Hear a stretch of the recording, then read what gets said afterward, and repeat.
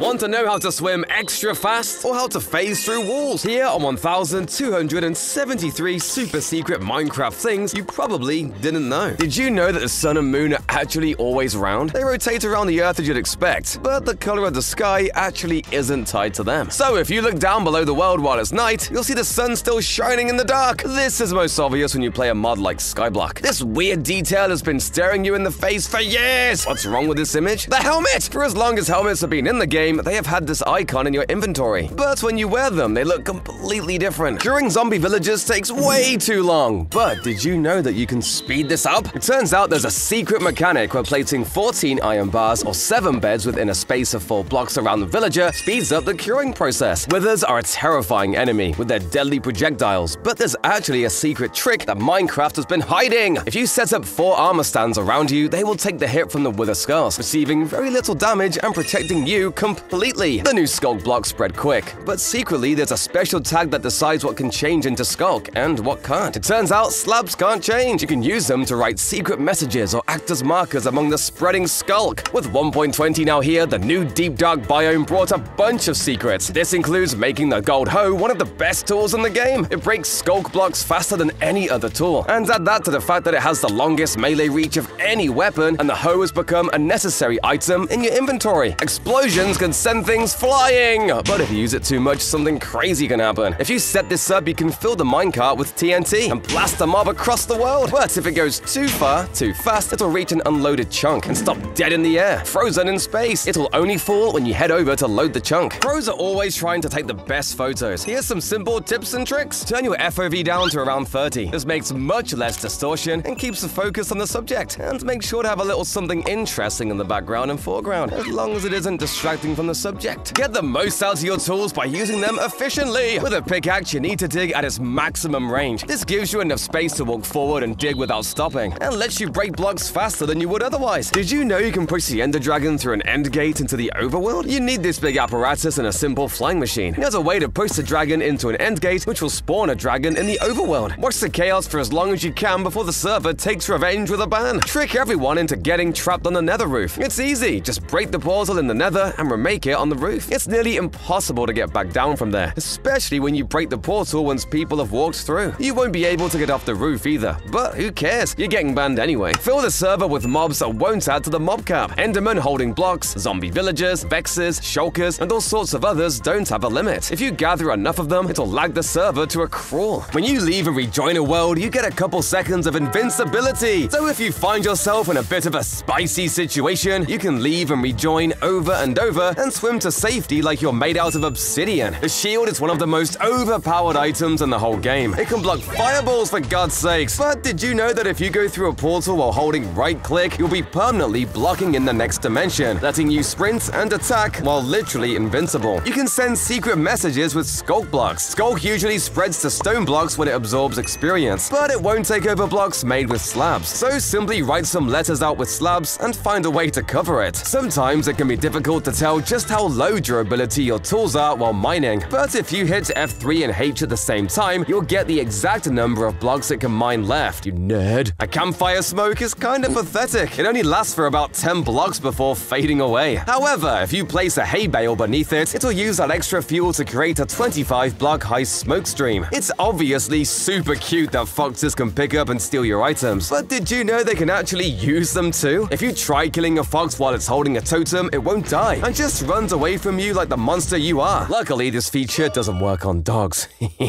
Here's how to make your pond 10 times better super easily. With waterlogged blocks, you can create detailed rocks in your pond with stairs and slabs that add a little extra detail and even give you a cool way to get across. Next, instead of the normal boring lily pads we have, try creating your own using four drip leaves and some flowering azalea leaves to make a big colorful lily pad. You can also use a bamboo trapdoor with pink candles on top if you're living in the future. And lastly, if it's a really big pond you're trying to decorate, try doing something similar with drip leaves, lily pads, and azalea leaves to create a huge floating algae mat. It's kinda gross though, doesn't smell good either. Oh wait, that's just me, my bad. Back in the alpha days of Minecraft, there used to be way less blocks and almost no ways to properly decorate your builds. This meant people had to create their own solutions. Since trapdoors didn't exist, people used to glitch regular doors into looking like trapdoors by breaking the bottom half of the cactus, finally letting them actually decorate their world just as Notch intended. Did you know in recent Minecraft versions you can actually clutch without any items, all you need to do is hit crouch and space just before landing, and voila! I'm alive! One thing only pros know is if you push yourself into the end portal from underneath with a piston, you won't spawn on the main end island, and instead will spawn at your overworld coordinates in the end, which can make tons of super deadly traps. Soul Sand already slows your player down a ton, but adding Ice Blow will make you move even slower. But there's a way to be even slower. Cobwebs! You now have the slowest floor known to man. But if you're fast enough, you can actually use a bow and arrow to break minecarts and boats to troll your friends. Just make sure you got good aim, or you might just pull a JF Kennedy. And while we're at it, did you know evokers can turn blue-dyed sheep into red-dyed sheep? Yeah, pretty wild. Who knew they hated blue? This fun hack will protect your buildings from being mined away by dirty, griefing players. It's simple. Just hide an Elder Guardian underneath your home, and breaking your walls and floors will become near impossible. Another way to defend is to make sure your enemy actually dies with this high IQ hack. Normally, your enemy can jump out of lava, but if you put a honey block under a cauldron with lava in it, it becomes way harder and almost guarantees they won't survive. This weird hack lets you actually sleep among the fishes. It turns out you can put a bed underwater, and it will make an air pocket when you lie in that bed. You can even use this hack to hide your bed away, because nobody will expect to see it there. Freak your friends out with this wild pig riding hack. See, if you make your floor out of path blocks and put a gap underneath the floor, you can ride a pig through that empty space, and your head will pop out of the path like a severed head greeting your guests. The nether looks great, and this hack lets you bring it to the safety of your own home. Instead of using a portal, put the obsidian blocks in your wall, then go through and recreate the nether on the other side. You get all the looks with none of the danger. This sneaky hack lets you hide vines under item frames, which you can then place maps over or paintings. The vines are hidden but still work, letting you climb them like invisible ladders. Need a truly secret entrance? This hack lets you use a composter as a trapdoor. If you drop an item here, it falls into a hopper minecart, which activates a mechanism and drops you underground, allowing you out into your secret base. Having a villager at home is old news. This hack lets you have a totally tame pillager. Just trap one in a boat and row it back home. He'll be shooting the whole time, but he won't hit you, and will eventually break his crossbow, making him totally harmless. This one is my butler. I call him Barry Halls. With all the carpet traps out there, most people are terrified to even step foot on them, which makes them perfect for the most illegal hidden entrance yet. You can jump on turtle eggs through carpets, and it'll break the carpet as well as the egg, sending you straight down to anything you build below. Sea turtles are endangered in real life, by the way, making this one actually illegal. If you place perfectly white maps on sea lanterns or glowstone, you can make a super trippy infinite room. Most people use this to troll their friends, but honestly, I think it makes a super cool house. Just try not to get a headache smacking into the walls. You can use a similar trick to make custom wallpaper for your house. Depending on your dedication, you can make custom blocks, simple patterns, or super ornate drawings rivaled only by glazed terracotta, whatever that's supposed to be. Using a hoe or a shovel on dirt will send a pulse to a hidden observer, letting you create wild hidden bases like the one Mr. Insane made in his world. This does seem like a lot of effort for a single player world though. What are you hiding it from? Herobrine? Something slightly more practical is this instant base idea that uses nothing but saplings. At the start of your world, put some oak saplings down where you want the walls. Once you're back from mining or looking for food, your house will have literally built itself. Ever seen this before? Well, if you're from the future, then maybe. Because Mojang added bamboo blocks in the recent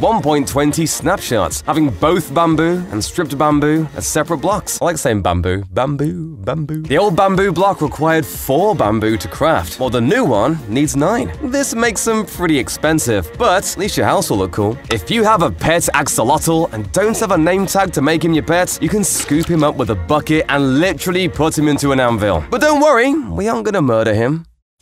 If you're in a village raid but don't manage to kill all the raiders, that's a cool way to easily find them. If you ring the village bell and wait a few seconds, all remaining raiders within a 40 block radius will all light up with a glowing effect. This one is already semi-known, but hey, your boy's gotta eat. Did you know not all skeletons hold the bow in the same hand? In fact, 11% of the skeletons are left-handed, while 89% are right-handed. Mojang paid close attention to detail here, as this is the exact proportional percent in real life. If you drop a sword near a fox, they can actually pick it up. This means if a fox is holding a sword while attacking, it'll deal the same damage as the sword, making it incredibly overpowered. Apparently, you can repair iron golems. If you see one or cracked up after a fight, you should be able to take some iron ingots and right-click on it. Hey, yeah, it fixes it right back up. That's super cool. I recently learned you can place beds underwater. Well, what's the point if you can't sleep in it? I mean, surely I can't hold my breath down here for eight hours. I'd...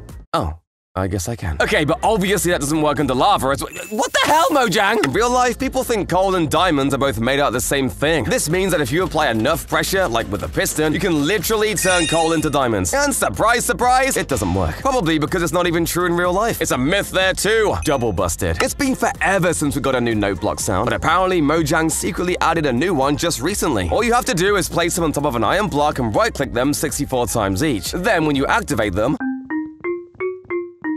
Oh god, why? Here's a trick to play on AFK players. Why not build a maze around them? In fact, why not make the walls out of falling lava for some extra spice? Get real dangerous with this deadly portal trick. Just drop some activated TNT into an end portal, but don't go in yourself. The TNT will only explode in the end when someone is there. So wait for your friend to go in first. Or the TNT you drop there will explode at the same time, sending your friend sky high! This secret little trick makes it look like this hole is full of water, but the water is actually only a block deep. Using pistons and slime blocks, you can create a floating block of water that doesn't fall. Once your friend swims down through it, it's a straight drop to their death. This trick makes it look like a regular mining tunnel, but there's a secret. If you place redstone ore into the floor and connect that to a hidden observer, this ore becomes a trap trigger. Hide some TNT under that, and your friend won't know what hit him. This trick is so murky, I can barely even see. This is because you can hide campfires underneath your friend's flooring, and the smoke will float up through. Put as many as you can, and they'll have to tear up their house just to get rid of them. Bedrock is one of the only unbreakable blocks in Minecraft that can be be found anywhere. But breaking it is actually quite simple. First, you need two TNT blocks, one obsidian, two pistons, one lever, and a trapdoor. Grab some nearby blocks and then place the blocks like this. Get near the trapdoor and click the lever. This should put you under the trapdoor. This will activate the piston and the TNT as well. You need to be looking at the corner of the obsidian block and start spamming with your piston. When the TNT explodes, you will place the piston and that will break the bedrock, or you'll explode. Enchanted books are a challenge to find if you have no villagers nearby. But did you know that different biomes have different chances to find these books. If you have a Badlands biome in 1.20, you will actually have better luck at finding these books. You have a 0.8% chance of finding these books without any enhancements, but in the Mesa, this goes up to 1.2%. Villagers are an extremely common mob, but there's actually a secret villager you can't find walking around naturally, and that's the Jungle Villager. At one point, jungle villagers were going to be added to Minecraft, but Mojang decided not to implement them. But they still kept this colorful guy in the game game. All you have to do is take two villagers to a jungle biome, breed them, and then bam, you get yourself a one-of-a-kind jungle villager. Despite being very useful, bamboo can be super annoying to get through. Most people will run through these bamboo jungles, breaking everything down with their axe. But did you know that the best option here is actually to hit it with your sword? And to make this even more insane, you can even do this with mining fatigue. If you look closely at your inventory, you will see that the hotbar is actually a repurposed sand texture. Turn the brightness up a bit, and you can see the sand in the background. Instead of just moving an AFK player to an obsidian box, how about putting them into a water-filled box with regenerating walls? All you have to do is place lava on the outside of the box, place a conduit to stop them from drowning, and an Elder Guardian will make sure it takes them literally forever to mine out. Oh, I know how to get out!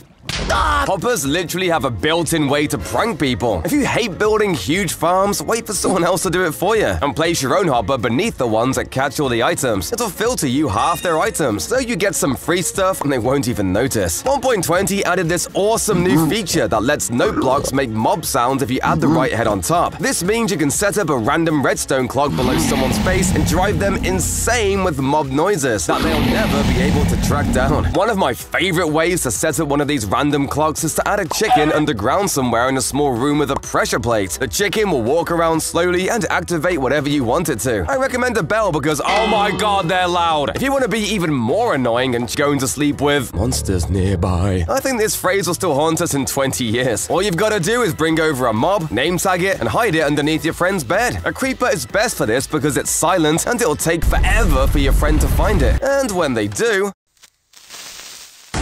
most people only place carpets on, you know, the floor, but they can actually be placed in way more places than you realize. Above string, water, slabs, buttons, other carpets, crops, and even fire. Although, that one might not go too well. There are so many potions in the game now, so many that I barely even remember how to craft half of them, or any of them. But that's not an issue for this secret potion, literally called the Uncraftable Potion. As the name suggests, you can't craft it or even obtain it in survival mode. Drinking it does absolutely nothing, but it looks kind of pretty, I guess. Something you can craft that I bet you don't know about is the End Rod. I've spent so long raiding End Cities for these, but it turns out you can just craft them with some chorus fruit and a blaze rod. The more you know, I guess. Tipped arrows are more useful than you realize. You can use harming arrows with a piercing crossbow to deal tons of damage to multiple mobs at a time, and even collect the arrows after. And if you hit yourself with a slow falling arrow, you'll fly super high when using a Riptide Trident, allowing yourself to float for miles with an Elytra. And speaking of Elytras, remember when firework rockets didn't exist, so we had to use punch bows to boost ourselves? Or am I just really old? You're old, son. Walking over or punching redstone ore activates observers, meaning you can create hidden cave bases really easily, or even hide some under a carpet or snow for a hidden entrance that'll probably just end up getting activated by a chicken or something. For something a little more secure, try hiding a hopper beneath a block and having a special item filter that only opens with a block named a certain way. Hoppers work under snow, slabs, soul sand, or even path blocks, but you can take it one step further by using a hopper minecart instead, as it'll pick up items through literally any block in the game. Hoppers can take items through path blocks because they're just a little smaller than a full block. We can take advantage of this in another way by hiding a lever under a tree next to some dirt and using a shovel or hoe to reveal it. The biggest mistake people make is to mine randomly for the resources they need. You want diamonds? Go to a river. It turns out that if a river has a clay patch, that is a sign there are diamonds below. Start at the center of the clay patch, go two blocks in the Z direction, and mine straight down. You'll be swimming in diamonds! But never mine straight down. If you're not careful, you can break the block below you and fall straight into some lava. So, always mine down with two blocks and have a water bucket so you can clutch. So many people make this simple mistake. Stop making low ceilings! Even when mining, a two-block tall staircase tunnel is a recipe for bonked heads whenever you go up or down. Also, doesn't a high ceiling look so much nicer in your house? Who doesn't love farming? But a big mistake people make is to stick a single block of water and surround it in veg. That water can only feed so many plants. So instead, set the water and vegetables in rows, and your plants will actually grow faster. There was also a mob called the Great Hunger, which is a pretty powerful name for a mob that looks like this. He's just a little lizard guy, and he didn't even attack you. Instead, it was supposed to be able to add or remove enchantments to your items. But as we know, the grindstone ended up doing that instead. Poor thing. Imagine being replaced by literally just a rock. And then more recently, there was a copper golem. Hey! Give me back my job!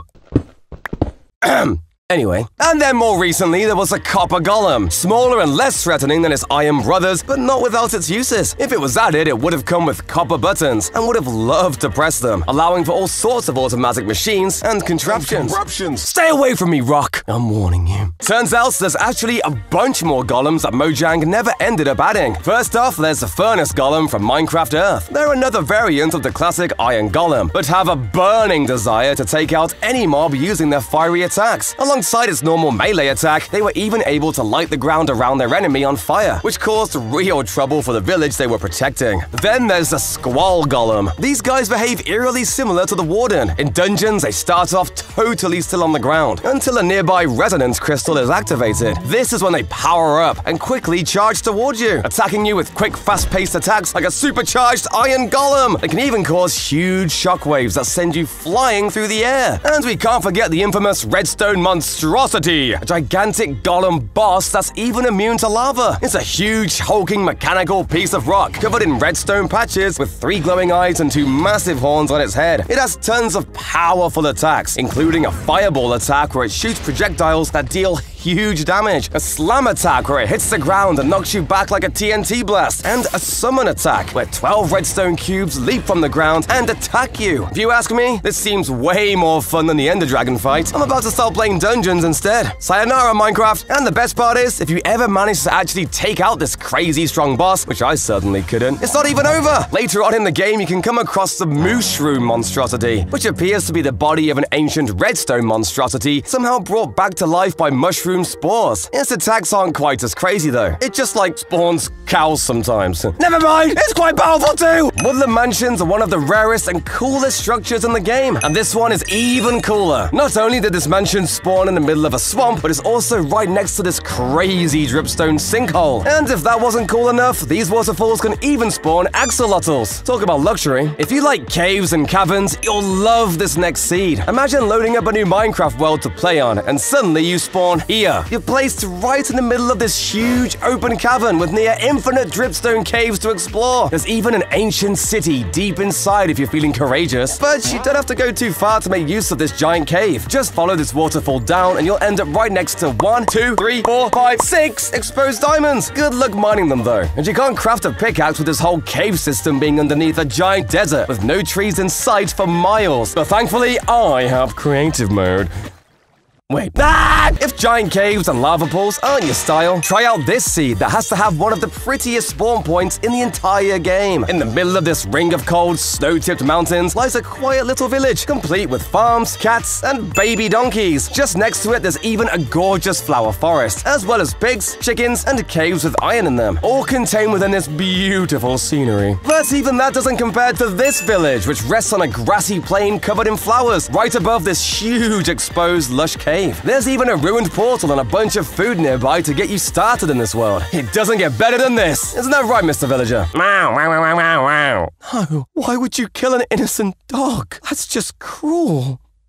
Speaking of, nether wart blocks make a fantastic blood substitute. For city builders, try placing a campfire below a loom to simulate a vent. This same technique also works for a barbecue grill. 1.20 already has me hyped. Check out these new bamboo blocks they're giving us. You can use these mosaic blocks to make cool floor patterns. And these new chiseled bookshelves for a new wall design. Maybe mix in other wooden blocks again to make it even more interesting. Sea pickles look kind of like pumpkin stems. And a stripped mangrove log, flower pot, and mangrove propagule put together makes a really big beetroot for farm decoration. But if that's not enough, try adding kegs made of trapdoors with raw iron in for potatoes and coral blocks in for berries and grapes. This works for other things too, like using a respawn anchor and trident instead to make a spooky animated witch's cauldron. Item frames and signs can actually be placed on the same block, letting you double label chests. You can even dye the sign for extra customization. Scaffolding makes a perfect table to put flower pots or other decorations on. Sometimes the only thing your build is missing is just a little bit of detail, and often buttons are the best solution to this. Whether it's dotting them around your roof and walls or chucking them next to a pond as pebbles, they're perfect for adding a little bit of extra interest. They make great fidget toys too. If you're looking for an extra block or color to add somewhere to your build, the answer is probably in a stripped log. Their textures are super simple, but with mangrove, jungle, acacia, and warped logs, there's tons of different and interesting colors to choose from. Six lecterns placed like this look suspiciously like a coffin that's been broken out of. This pairs perfectly with a gravestone made of soul soil, anvils, and a wither skeleton skull. Only the richest players can test this myth out. Apparently, nether stars don't disappoint when you explode them. It feels so wrong to do this, but let's try it. Hey, it actually works. You can even do it with stacks of them without losing any. I bet you can even put them in item frames and oh no. This works because it would really suck if you killed a wither and the star got blown up by the final skull. But what if you were fighting it near lava? Would you still be safe? Nope.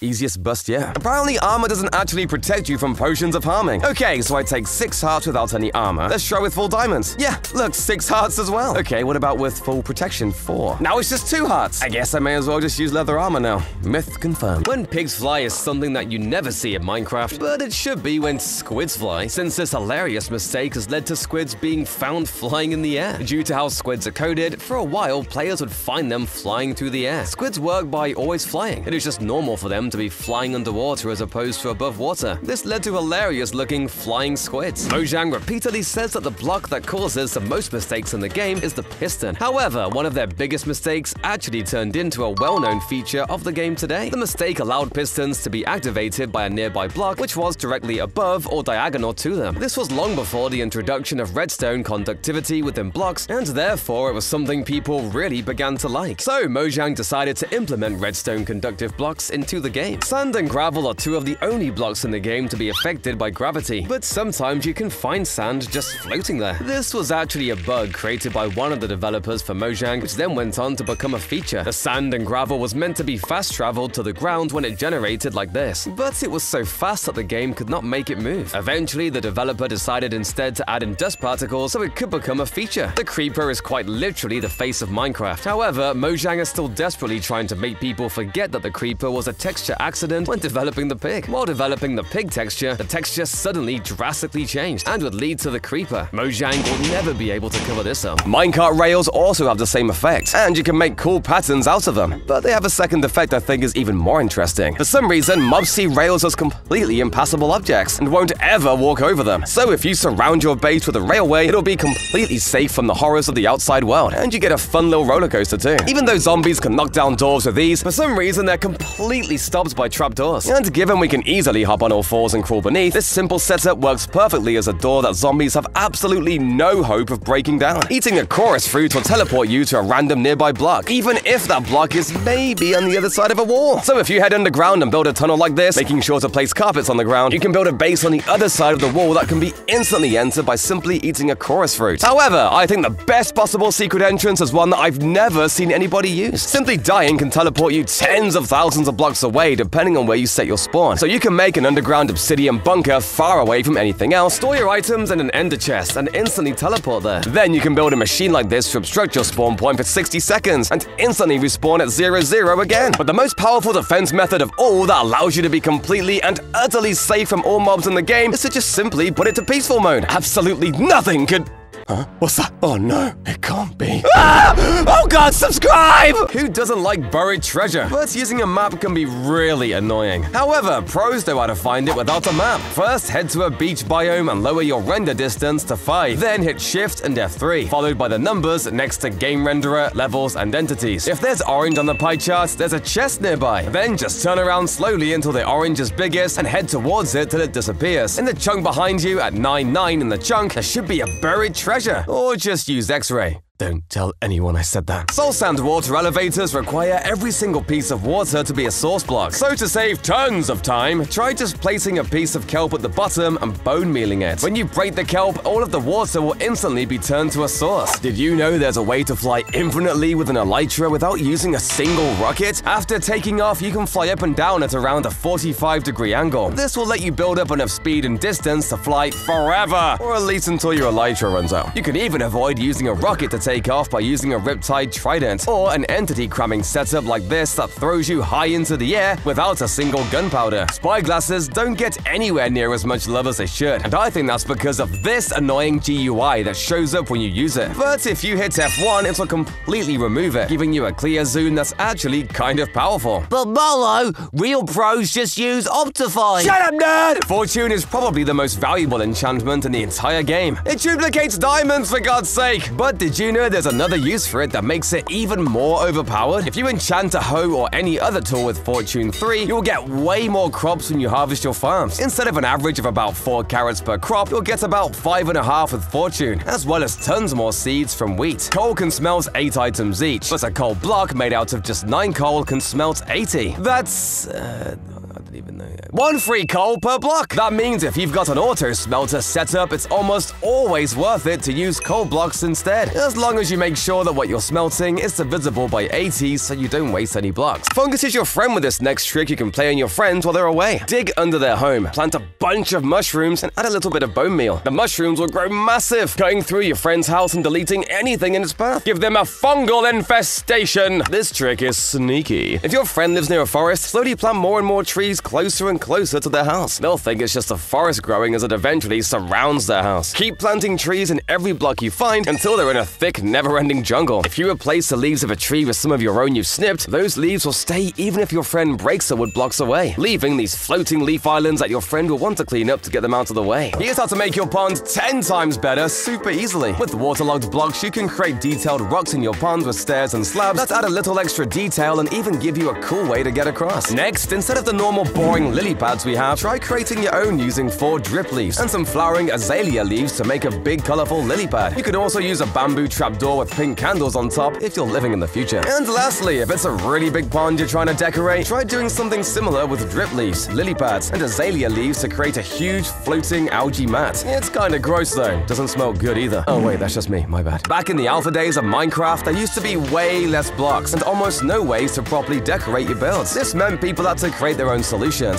Trapdoors didn't exist, people used to glitch regular doors into looking like trapdoors by breaking the bottom half of the cactus, finally letting them actually decorate their world just as Notch intended. Oh, and speaking of lily pads, the direction they face depends on the location of the block and not the way you look when placing them down. It changes block to block and seed to seed, meaning you can never predict which way a lily pad will face. You know how you can preload crossbows with an arrow or firework? Well, it turns out you can do this in bulk. Fill your inventory up, and then spam drop and fire the crossbows to turn yourself into a literal machine gun in Minecraft. If you look closely, all of the regular tools in the game have a regular brown stick for their handle, as they're all made with overworld materials and wood. But the netherite tools instead come with a darker crimson handle, reminiscent of what a crimson stick would look like. It's nothing crazy, but it's cool to see the attention to detail Mojang sometimes shows. In 1.19.2, there was a glitch that allowed you to completely bypass fall damage. If you jumped from 35 blocks or higher and hit crouch at exactly the right time, you'd be able to walk away like nothing happened. Ow! It's really hard though!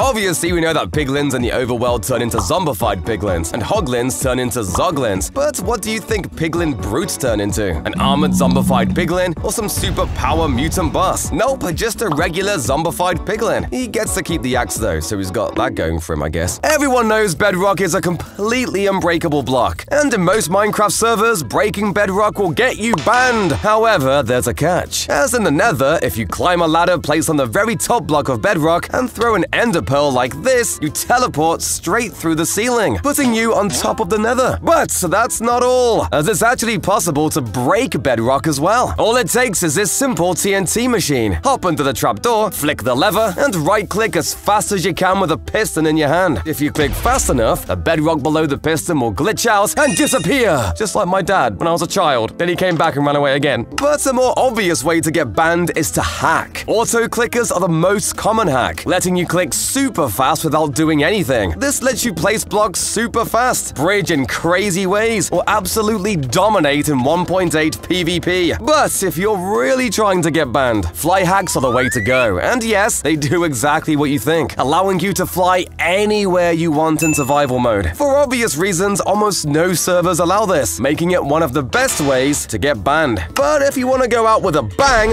you should try lava casting. If you go onto 2b2t, a server with no rules, you'll see these everywhere. Using lava and water, people build these huge lava casts to scar the landscape of servers. They're super annoying to get rid of, but really easy to build. Start by building a staircase straight up into the sky, as high as you possibly can. Then, it's as simple as placing a lava bucket at the top, waiting, then placing water above, and ta-da! Now all your friends hate you. Well, more so than before, if that's possible. Ever wanted to get overpowered on an SMP so you can kill everyone? Because everyone knows the best way to get banned is to start wars and kill people. Well, there's a special trick with villagers that lets you get rich. Gather a whole bunch of villagers together and simply let a zombie loose on them. It might sound dumb, but trust me, once they've been turned into zombie villagers, cure them with weakness potions and golden apples. This basically makes you their daddy, and they'll give you a nice discount on all trades. Then you can repeat this until all their trades cost just one emerald. So if someone asks how you've got mending on literally everything, don't tell them the secret. I'll never look at chorus fruit the same way again. They can teleport you to crazy places, including into danger, but they can actually save your life. If you're falling into the void, just eat one and it will teleport you to the nearest surface without any fall damage. I have seen the invisible. Everyone knows that Minecraft is made of blocks, and those blocks are generated in chunks. But what if you could actually see those chunks and where the lines are? You can if you press F3 and G and see where those chunks begin and end. The full moon used to be a source of comfort. It looked so pretty. But now all I see is invisible spiders hiding around every corner. It turns out that at a full moon, all sorts of crazy things happen, including a higher chance of invisible spiders spawning outside my house. Choo-choo! Here comes a steam train you've never heard of. This actually has been a feature of the game for over a decade and works by pushing a furnace minecart into other minecarts. They connect to each other, and then when you feed the furnace and send it on its way, it moves at high speed like a real steam train, complete with steam. Use this flying hack to make your minecart soar. The secret is to spawn a bee with a minecart riding on top of it. The minecart is still rideable, so if you turn the bee invisible, it'll look like you're flying by magic. Did you know you can walk on water? Upside down and backwards using this hidden trick. Grab an elytra, then dive into the water, and hold the spacebar to lift to the surface, and hold back. You'll moonwalk underwater. I'm wearing a full set of armor right now, but it's fully invisible! Prank your friends by putting in this command, which makes your armor completely see-through. This fire will never go out on its own. If you have a picture frame with an item in it, you can shoot the item with a flame bow. It creates a flame in the item's place, meaning it'll stay there as a decoration forever. Spawn a wither to help you break in. The wither's attacks can destroy almost any block in Minecraft. So, lure it to your friend's base and watch it make massive holes even in obsidian walls. Jump in and take their stuff. Use their XP farms against them. It looks like this, then the bottom of the farm will often end up inside their base because it's more convenient for them. Climb into the top of the XP farm. It'll be funneled down to the bottom and you can break out into the heart of their base. This pig can walk through walls. If you ride a pig up to the wall of the base and then get off it, you can hit the pig and the brief damage reaction will nudge the pig a tiny bit into the wall. Quickly ride the pig and it will continue going forward, letting you ride right through the wall. Don't worry about punching your pig either. Just means free bacon in your friend's house. What if the base is hidden or has a secret entrance you just can't figure out? If you know the general area the base is, just eat a chorus fruit. It can teleport you to some crazy places, including through solid walls, ignoring the secret entrance completely. Dripstone can drop and do real damage, so why not use this hack to make a fun defense for your castle? Bounce the dripstone off these slime blocks and pistons, and the stone will be launched out toward any incoming players storming your fort. Powdered snow is technically a full block, but you can actually pass through it with this weird hack. It turns out you can fly through it with a elytra, passing through to the other side without losing any speed. So why not use it as a secret wall or entrance? Ice and water travel systems for your items can end up with traffic jams, especially the corners. So use this build hack to make your system perfecto. Put two sea pickles at the corner and they will guide the items around the corners, sticking to the edge of the tunnel, straight to their destination. Get your minecarts going fast with this high-speed hack with much less redstone. Minecarts take turns fast, so if you lay your rails out into these circles, the minecarts will turn constantly, gaining super fast and still in a straight line. Just close your eyes while it's happening. this quick and easy hack lets you build an iron farm really fast and really early in the game. All you need is an iron golem spawning platform that's very small and a campfire at the top, leaving no room for the golem to walk away from it, taking damage and dropping all of its precious iron. I like to call this trick the drip leaf drop. A big drip leaf creates a platform that can hold you up, but it folds soon after. Grow one above a big pit and lead your friend over it. You'll trigger the fold and they'll fall right in. Hey! If your friend is online and you can access a house, play a really weird trick by building an upside down version of their house on top of their regular house. It's a bizarre, mind bending monument that will take time to remove, if they even want to. If your friend is a pet dog, a real sadistic trick is to replace it with your own. Hide their dog and name your own dog the same name. Then watch as your friend struggles, wondering why it won't listen to them anymore. You can even hit your friend and watch as they run screaming from the dog they thought was their best friend. This is so rare it only exists in one update, and you can take it with you outside the game. In the 20W14 Infinite Snapshot, there is a secret folder in the game files called Nothing to See Here Move Along. Inside are two sounds, banana.ogg and banana.ogg. There are two versions of this sound, which is a tribute to the Sega logo. Have you ever found a music disc in a chest? Do you want to find them all? They're actually a very rare item. Most can be dropped by a creeper that was killed by a skeleton, but three of them can only be found in ancient cities, dungeons, or mansions, and one of them can be made by gathering nine disc fragments. Get the whole collection and play that music loud! Speaking of ancient cities filled with rare loot, Minecraft 1.20 added these new buildings in the deep dark biome way underground. They're filled with new threats and new treasures, like the Silence Armor Trim. This armor trim only appears in chests, and only 1.2% of the time. Hope you get lucky. Rare armor should be matched with a rare and mighty steed. This skeleton horse only appears in a thunderstorm. First is a trap that explodes into four horses, with skeleton archers riding them. Defeat the skeletons and their rare and spooky undead horses are yours. Plus, you can ride them underwater. Who knows what rare items we'll find down here? Want to make a huge tower that's near unbreakable? Here's a super fast way of doing it. Make the outline of your tower at the height you want the tower to be. Put lava pouring off the sides, and then pour water from atop that. Remove the water, and you've got a near impenetrable fortress. You need to know where you're digging and what you want out of it before starting your journey. If you want diamonds, consult this chart. It shows you that diamonds start generating at Y16 and get more and more common the further down you go, with the most appearing right at the bottom of the world. Use ravines! It's a trick that all pros know because you don't need to waste time digging a hole when one has already been made for you. There's a greater chance of getting lost, sure, but you can dive right down and find exposed rare ones without using a pickaxe once. We all know the trident is the most useless weapon in the entire game, but they actually have a secret use only pro players know. If you charge up a Riptide Trident underwater with a sword in your hand, you'll turn into a supercharged torpedo that can kill almost any sea creature. And if you've got an Elytra, try taking to the skies while it's raining and using the same trick to literally become a missile that destroys any mobs above ground too. Ghast tears can be super annoying to collect. I don't think I've ever fought a ghast that wasn't over a giant lava pit. That's why the best players bring a fishing rod to the nether that they can use to pull mobs back over dry land to take out with a sword. This doesn't just work for ghast either. You can stop these pesky blazes from getting away and even lets you get sick kills on piglins. That'll teach him for stealing my gold. Enchanting can be really annoying when the bottom slot just shows up with breaking or an enchant you just don't want. But you can fix it with a wooden shovel. Turns out it's true. If you enchant any useless tool at level 1, it'll re-roll the entire set of enchants, you make the perfect set of gear. One of the most common items you can get in ruined portal chests are these seemingly useless fortune gold pickaxes. This thing will break after like 3 iron ore. What's the point? Well, if you're in the smartest 0.5%, you'll know that pickaxes don't break when destroying crops, so you can use the fortune enchant to get extra resources from your farm for free. Did you know that mob heads fit perfectly on top of wall blocks? Skeleton skulls also match really well with andesite or diorite walls, zombie skulls with mossy cobble, and wither skulls with deep slate walls. I don't know what you could use this for other than making gravestones, but hey, you again! Stop taking my job! The nerve of some people.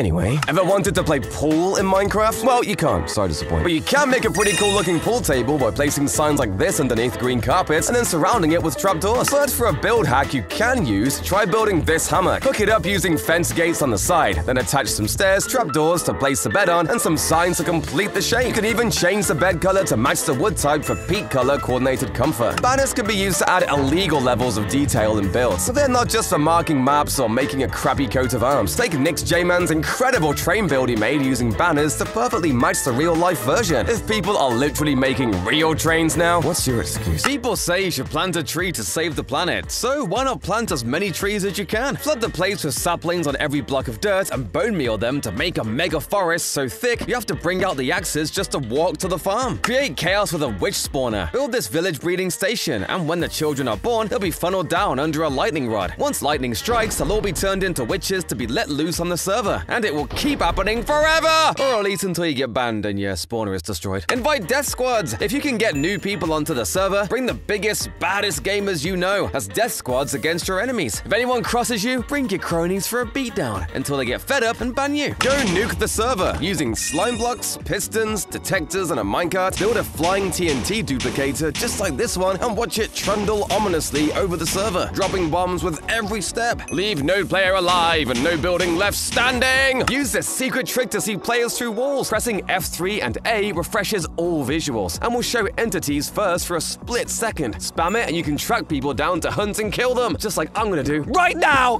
Uh-oh, that's a bell too loud. Everyone knows that you can't stack different types of slabs on top of each other. Apparently, if you go to the world border and make a setup like this, you can use a piston and yep, it makes a really cursed looking block. This one's true. Mangrove trees are super cool, especially because they're the only tree that can be grown underwater, right? Well, the propagule is the only thing that can actually be placed down here and works perfectly. Saplings, however, get broken almost immediately. Almost immediately. If you're quick enough, you can actually grow trees down here. This definitely doesn't feel right, but hey, the game's a game. This one says that if you spawn a cat in a witch hut, it'll always be black. I've spawned about 50 of these things in here, and they're all black, so I'll say that's confirmed. Redstone ore is the only reactive ore. Whenever you walk past redstone ore or interact with it, it will light up and then go dark again, except for deep slate redstone ore. Mojang clearly forgot to make deep slate redstone ore go darker after a while, so now you can use it as a light block. Wait, why is it so dark?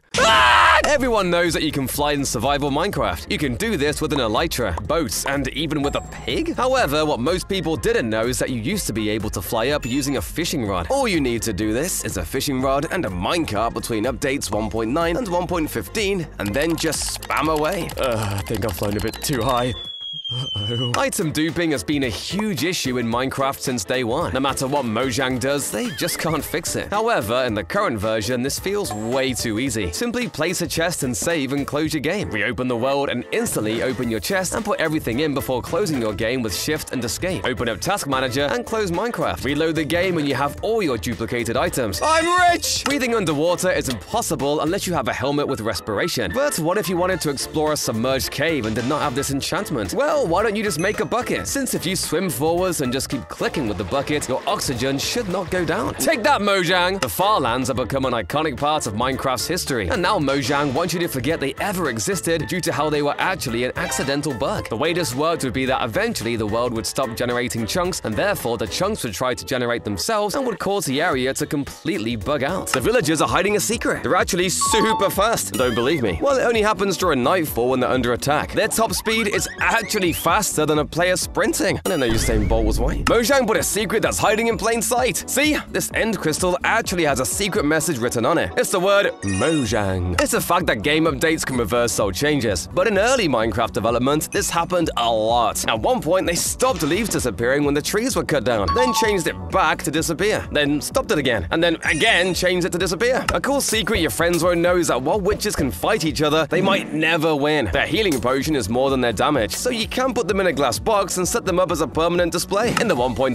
update of Minecraft, they added horses, and it turns out this was brought in from an unofficial fan mod. Mojang saw DrZhark's Mo Creatures mod, and even copied the horse model itself. Wandering traders look great, but what your friends don't know is that you can breed their llamas, and the babies will keep the clothes of their parents. It's a weird little detail, but you can make a whole army of fashionable llama. Mojang love making secret references to other games, such as when an evoker sees a blue sheep. The evoker casts a unique spell, makes a weird wololo sound, and turns a sheep red. It's a reference to Age of Empires, where monks would convert enemies to their side, chanting wololo and changing their color. Decoys are the number one best way to help hide your base, and you can even cover them with traps. Try building this water drop chute somewhere obvious, but add a tripwire halfway down. As soon as it triggers, this piston pushes a block over, leaving the thief in a very unfortunate situation. Another way to create a great decoy is with paintings. If you cover a wall with all sorts of paintings, an intruder is always going to try and just walk on through. However, if you build this setup, you can totally trick them, as a real entrance requires throwing an item in here and being squished through this trapdoor. It's quite sophisticated, just like my art collection. Mm, yes. mm. All these methods are quite expensive though. If you want the cheapest possible way to protect your base, try literally just placing boats all the way around it. When it turns nighttime, any mobs that try to attack will get stuck in them and serve as a defense against players. Another super cheap method of defense is to just wire up a super annoying noise to start playing as soon as someone enters. When this door is opened, an observer gets pushed over here and triggers all these blocks over and over, creating a circuit that will drive a thief crazy and even work as a perfect alarm system. And in case you don't have a big enough iron supply to waste on literally blowing up, there's a cheaper alternative in placing TNT on top of a half slab instead. For some reason, this also reduces the blast radius significantly. But unfortunately, you still take quite a lot of damage. Are you one of those weirdos that prefers using donkeys over horses for the extra storage space? First of all, why are you using horses in the first place? It's 2023, man, get But secondly, llamas are a way better option. They can have up to 15 inventory slots and form groups of 10 that follow each other around. Using shulker boxes, you can transport up to 4,000 stacks of blocks with you. That's this many blocks, more than you'd ever need. And if you need another reason to make the switch to llamas, check this out. While horses and donkeys just sink like rocks when you try to ride them in water, llamas can swim. You still can't control them or anything, but if you need a fancy pool float or something, llamas work perfectly. Fireworks can be used for a bunch of things these days, but I bet you never thought of making a cannon with them. That's right, fireworks launched from dispensers actually do damage to mobs, meaning firework crossbows are out, and this is the new best way to take out mobs. Although it doesn't look it, villagers can actually wear armor. They can even wear mob heads and pumpkins, but nobody wants to see that. You can use dispensers to equip it to them, and even put enchantments on each piece of armor, including Thorns enchantment. God, that's an embarrassing death message. Oh, and by the way, that mob head thing works on piglins too, and it's somehow even worse! Everyone knows how cowardly villagers are, especially around anything that even has a possibility of hurting them. But I bet you never noticed they actually sweat during raids. At least, I heard that sweat. They really don't have much to worry about though, because some of these villagers actually have morals? These scary ex-guys called Vindicators refuse to kill baby villagers, so at least when they grow up, they can rebuild the village. Uh, never mind. If you've ever tried shooting through a door, you know the arrows won't go through the hole of the door, even though there's clearly enough space for an arrow to fit through. But with items like pistons, chains, or a slanted staircase, you'll be able to shoot right through. So yeah, make your doors of chains so you can shoot intruders. This game makes no sense. Make sure you shoot the dogs. Want to be immortal in Minecraft? Well, there's a game-breaking tactic in the game which makes it impossible for you to die. An emo's worst nightmare. To do this, just craft a boat, place it on the ground and get in and out of it really quickly. It'll trick Minecraft into thinking you're still inside of the boat. From there, you can jump off high buildings, live underwater, and blow yourself up without taking any damage at all. And the best thing is, if you ever get trapped or get lost, you can always just press shift to teleport back into the boat. Now that's pretty cool, depending on your age, and if you like Minecraft. Pretty subjective, really. But even cooler than an immortal glitch is a building that will literally morph you into an unkillable soldier. If you're familiar with Anarchy servers, you have definitely heard of 2B2T. Anarchy servers have absolutely no rules, meaning you can do anything. Rob banks, grief bases, or kill lots of dogs. But the one thing you cannot do is building a lag machine. But obviously, players decided to break it, building this huge structure which was over 100 blocks tall and looked amazing. However, it didn't go to plan, as instead players near the machine had their hitboxes disappear, making them literally immortal. This machine was mysteriously removed, never to be seen or spoken about again. This is a regular nether portal, and this is a Heather Nortal. Wait, what? While Minecraft has a history of weird nether portals, there's never been anything quite as weird as this one. Literally. To do this, you need an update suppressor, which is a structure that allows you to force skip block updates by basically bugging the game out of functioning. And let's be honest, I have no idea how you do this, and you probably don't care either. So, after some off-camera building, here it is, a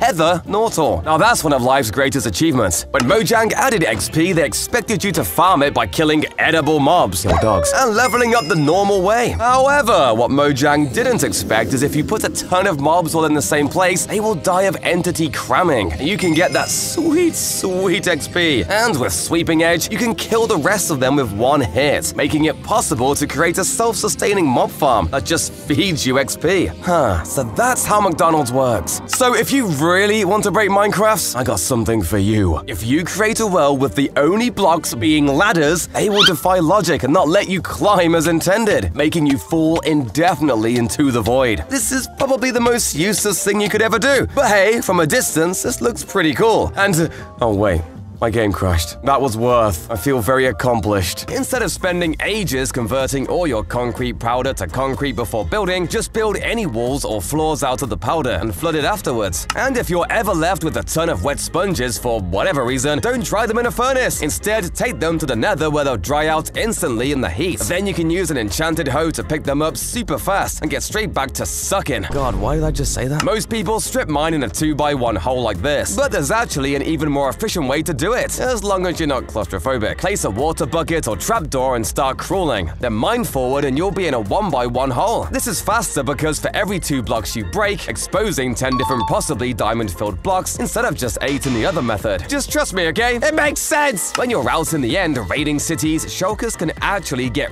really annoying, especially as you get further up the buildings. So before heading into one, grab some chorus fruit. If you get hit by a bunch of pellets and end up floating high above the ground, eat some chorus right before you fall, and it'll teleport you back down without dealing damage. You have to do it with levitation active though. I learned that the hard way. This does, however, also work with Elytras, allowing you to get back to the ground super quickly and painlessly.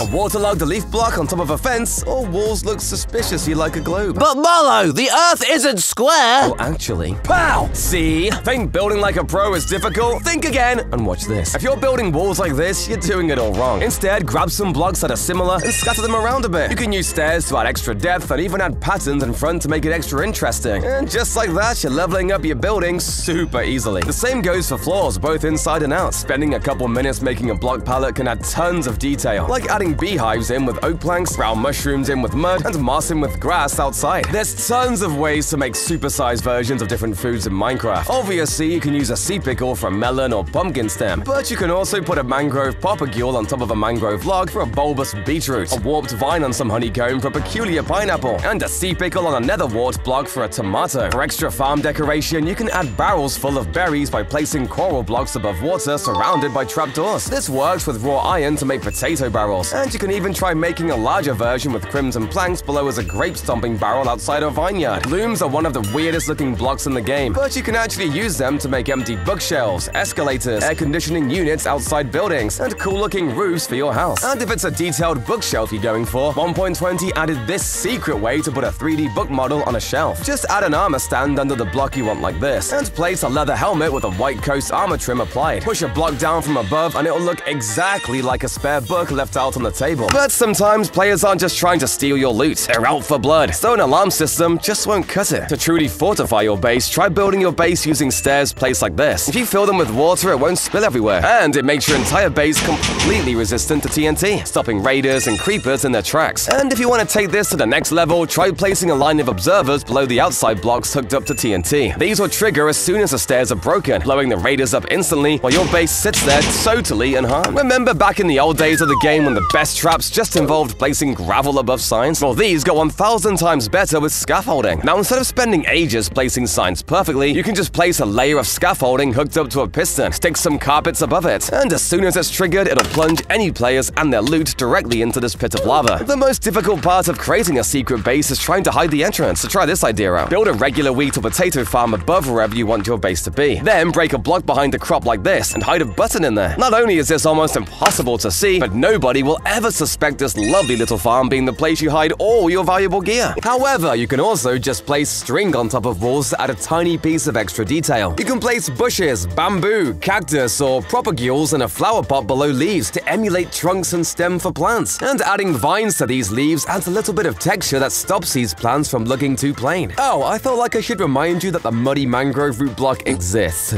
Why? Did you know that the best Minecraft builders actually get given a special custom cape by Mojang to show off how good they are? It's called the Realms Cape, and you can only get it if three or more of your maps have been accepted and used by Mojang themselves. And it looks way better than your Gucci jacket, mate. Dried kelp blocks look strangely like trash bags. Banners sway very subtly in the wind, which means you can use a specific banner design with trapdoors to make it look like they're a pair of blinking eyes. You can do the same with item frames to make flashing lights. A regular carpets too boring for you? First of all, what's your problem? Carpets are awesome and fluffy and incredible, but secondly, you can use coral fans on waterlogged slabs to make more interesting 3D cool colorful carpets. Alternatively, you can place crimson or warped signs underneath to make different patterns. But they look best when you mix in lots of different blocks and techniques to add variety in both texture and depth. This works for bookshelves too. Beehives, stairs, looms, and more all work great to add extra interest and variety. Have you ever realized that frog lights look kind of like those paper lanterns people release on different holidays? Oh, this gives me an idea. Just add some hanging roots below and you've destroyed the environment.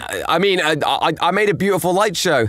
yes. A waterlogged leaf block on top of a fence, all walls look suspiciously like a globe. But Mallow, the Earth isn't square. Oh, actually. Pow! See? Think building like a pro is difficult? Think again and watch this. If you're building walls like this, you're doing it all wrong. Instead, grab some blocks that are similar and scatter them around a bit. You can use stairs to add extra depth and even add patterns in front to make it extra interesting. And just like that, you're leveling up your building super easily. The same goes for floors, both inside and out. Spending a couple minutes making a block palette can add tons of detail, like adding beehives in with oak planks, brown mushrooms in with mud, and mossing with grass outside. There's tons of ways to make supersized versions of different foods in Minecraft. Obviously, you can use a sea pickle for a melon or pumpkin stem, but you can also put a mangrove propagule on top of a mangrove log for a bulbous beetroot, a warped vine on some honeycomb for a peculiar pineapple, and a sea pickle on a nether wart block for a tomato. For extra farm decoration, you can add barrels full of berries by placing coral blocks above water surrounded by trapdoors. This works with raw iron to make potato barrels, and you can even try making a larger version with crimson planks below as a grape stomping barrel outside a vineyard. Looms are one of the weirdest looking blocks in the game, but you can actually use them to make empty bookshelves, escalators, air conditioning units outside buildings, and cool looking roofs for your house. And if it's a detailed bookshelf you're going for, 1.20 added this secret way to put a 3D book model on a shelf. Just add an armor stand under the block you want like this, and place a leather helmet with a white coast armor trim applied. Push a block down from above and it'll look exactly like a spare book left out on the table. Everyone knows Jeb, the developer from Mojang, so pretend to be him in a server and people will be falling over themselves to be nice to you. You're a celebrity! Use that power to get items and even money, until Jeb finds out and bans you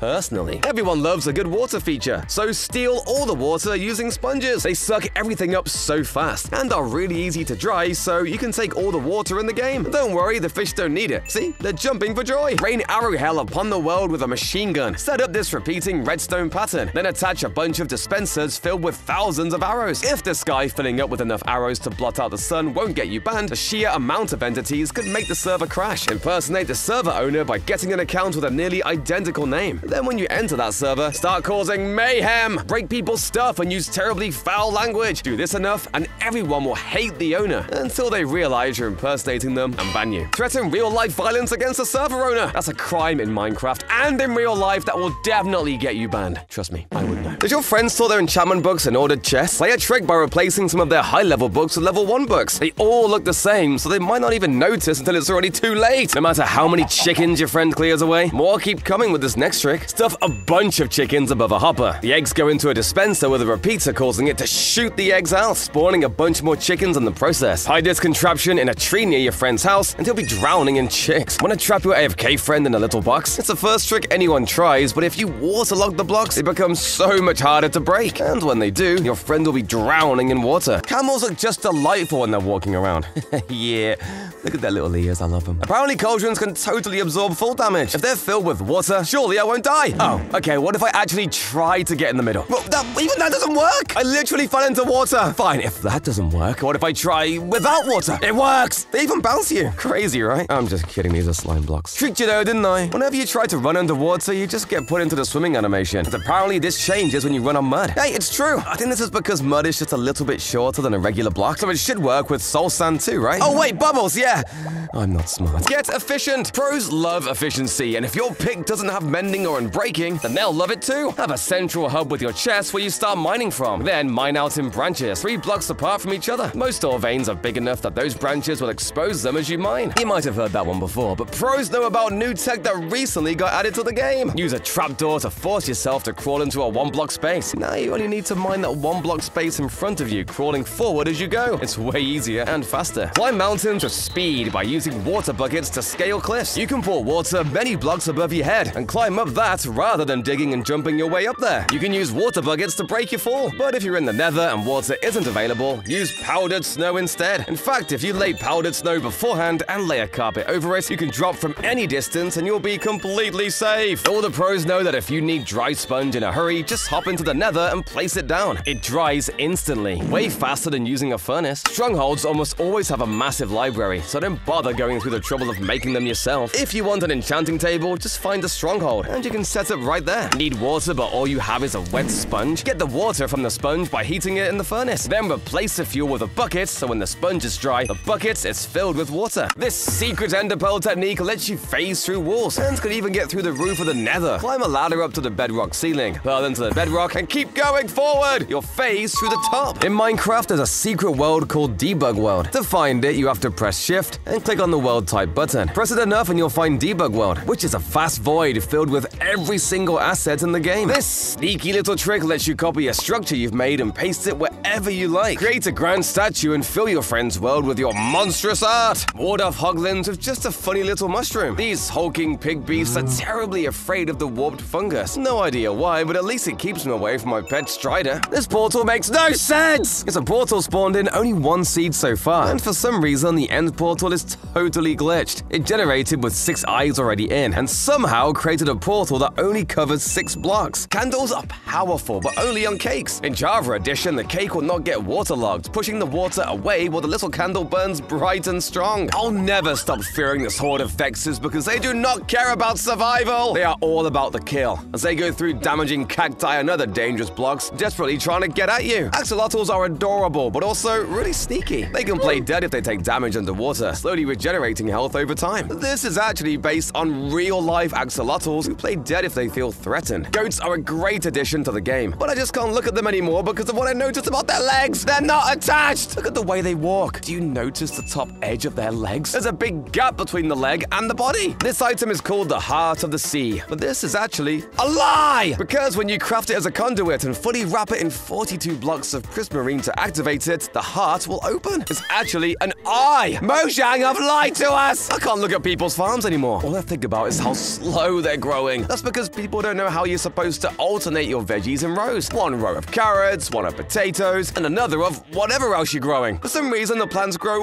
way faster as a result. Redstone activation can be slow over long distances. But did you know that wall connectors count as a redstone connecting block no matter how tall it is? That means you can instantly activate redstone with a contraption like this. The Wither is definitely not the friendliest of mobs, but if you've always wanted to befriend the guy, there's a way! A secret April Fool's snapshot called the Love and Hugs update. Oh, so cute. Turns the Wither into a friendly pink mob that actually heals everything around it. Who knew he had such a soft side? I love you, Withy. That's his name. It doesn't make a whole lot of sense, but amethyst clusters and geodes actually produce light. It's not a very bright light, but if you wanted to create a bar with ambient lighting, it actually works pretty well. If you're looking for a creative way to get lots of colorful wool for your survival world, one of the best places to look is actually uh, woodland mansions. As it turns out, these mansions can have up to 13 different colors of wool blocks inside of them. Just make sure you don't bring shears though. Dad! Try this pit trap as a dirty trick to play. Dig a huge hole, put up a bunch of scaffolding to cover the top, cover that with snow, and put a little treat in the center. Hide at the bottom and wait for them to take the bait. Then hit the scaffold and watch them tumble down to their death. It's a trick they might not notice at first, but will hate when they notice. Dig out the blocks under your friend's house, then put path blocks all around it. Path blocks are slightly smaller, so the gap will show the empty underside of their house, but only if you're looking carefully. Once they notice, they'll see it everywhere. This will also help with this truly terrible trick. This gap under the house will fill up with monsters as they spawn in the dark. When your friend least expects it, will hear the growl of a zombie dangerously close and would have no idea where it's coming from. Trapdoors and chains make perfect hanging chairs for garden or parks, and flower pots attached to chains look like hanging plants. But sometimes the chains that we have in the game just don't look like enough to hold up our big builds. So instead, try linking a bunch of grindstones like this. That looks much more stable. Pathways are super important for tying a village together. So instead of just using gravel and cobblestone, try using andesite and even dead coral blocks for extra variety and texture. The same goes for floors. Mud mixed with brown mushrooms and terracotta makes an awesome floor for muddy farms. Barrels and spruce planks look great for a creaky attic floor. And beehives are a super interesting block to use for the floor of a cute little cottage you've built. You can also try using blast furnaces, cartography tables, and a bunch of other blocks to make unique and interesting floor designs. Be creative with it. Dripstone makes an awesome trunk for a palm tree, and you can even use conduits to add coconuts, at least if you squint. Pink candles are just another light source. Here's a bunch of reasons why you're wrong. Firstly, you can make a pond plant called a cattail by placing a green candle on a glass pane. An end rod plus a candle, redstone torch, or iron bar makes a perfect sword replica. It's always annoyed me that lanterns can't float, but with the help of candles, they can. Damn, it kinda looks like Hogwarts in here. Red candles look suspiciously like tiny sticks of dynamite that you can mix with TNT for more detail in your cave builds. Cacti in real life often have pretty pink flowers on top. And you guessed it, pink candles perfectly replicate this. Building a computer on your computer is a classic for Minecraft. So when you've set up your painting and pressure plate, try using a candle in an item frame instead of a button as your mouse. It looks scarily accurate. And finally, grey candles and skeleton skulls on a stone wall make a really cool design. What's the most evil thing you can possibly do in Minecraft? Griefing? Duplicating? Even camping someone's spawn? I don't think it's any of these. The worst thing you can do is killing someone's pet, of course. People love their little friends, and you just know someone's gonna run straight to an admin if you hurt them. That's why you gotta do it invisible.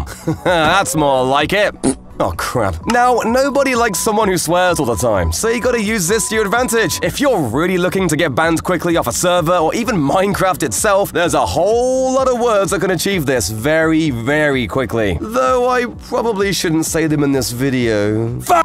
Getting banned in Minecraft is one thing, but what about something that can actually get you sent to jail? Now that's more like it. We talked about lag earlier, but there's actually a way to completely stop someone using their internet called a DDoS attack. If somebody gets your IP address, they can overload your router and completely stop it working. If anyone catches you doing this, you'll instantly get banned from any server and even have the police called on you. Oh, crap. It wasn't me! It was the dog! Minecraft skins are a perfect canvas to express your creativity. From From a turd to Michael Jackson, skins show to others who we are. But this, this is the opposite of beautiful. Oh my god, what is that? These kinds of skins are the reason most servers and even Minecraft itself bans any form of inappropriate skin. From curse words written across you to rather flattering depictions of other things. If you want to get banned, you know what to do. And if you want something to match your new skin, we can't forget inappropriate buildings in SMPs, faction servers, and Skyblock servers. You're able to create whatever you want, giving us the perfect opportunity to shape our house however we want. Ah, that's more like it. Ever wanted a girlfriend? Well, good luck, because e-daters are running rampant on Minecraft these days, and a lot of servers think that they need to be stopped banning dating in Minecraft. So if you're really looking for a quick ban, why don't you just come and kiss me?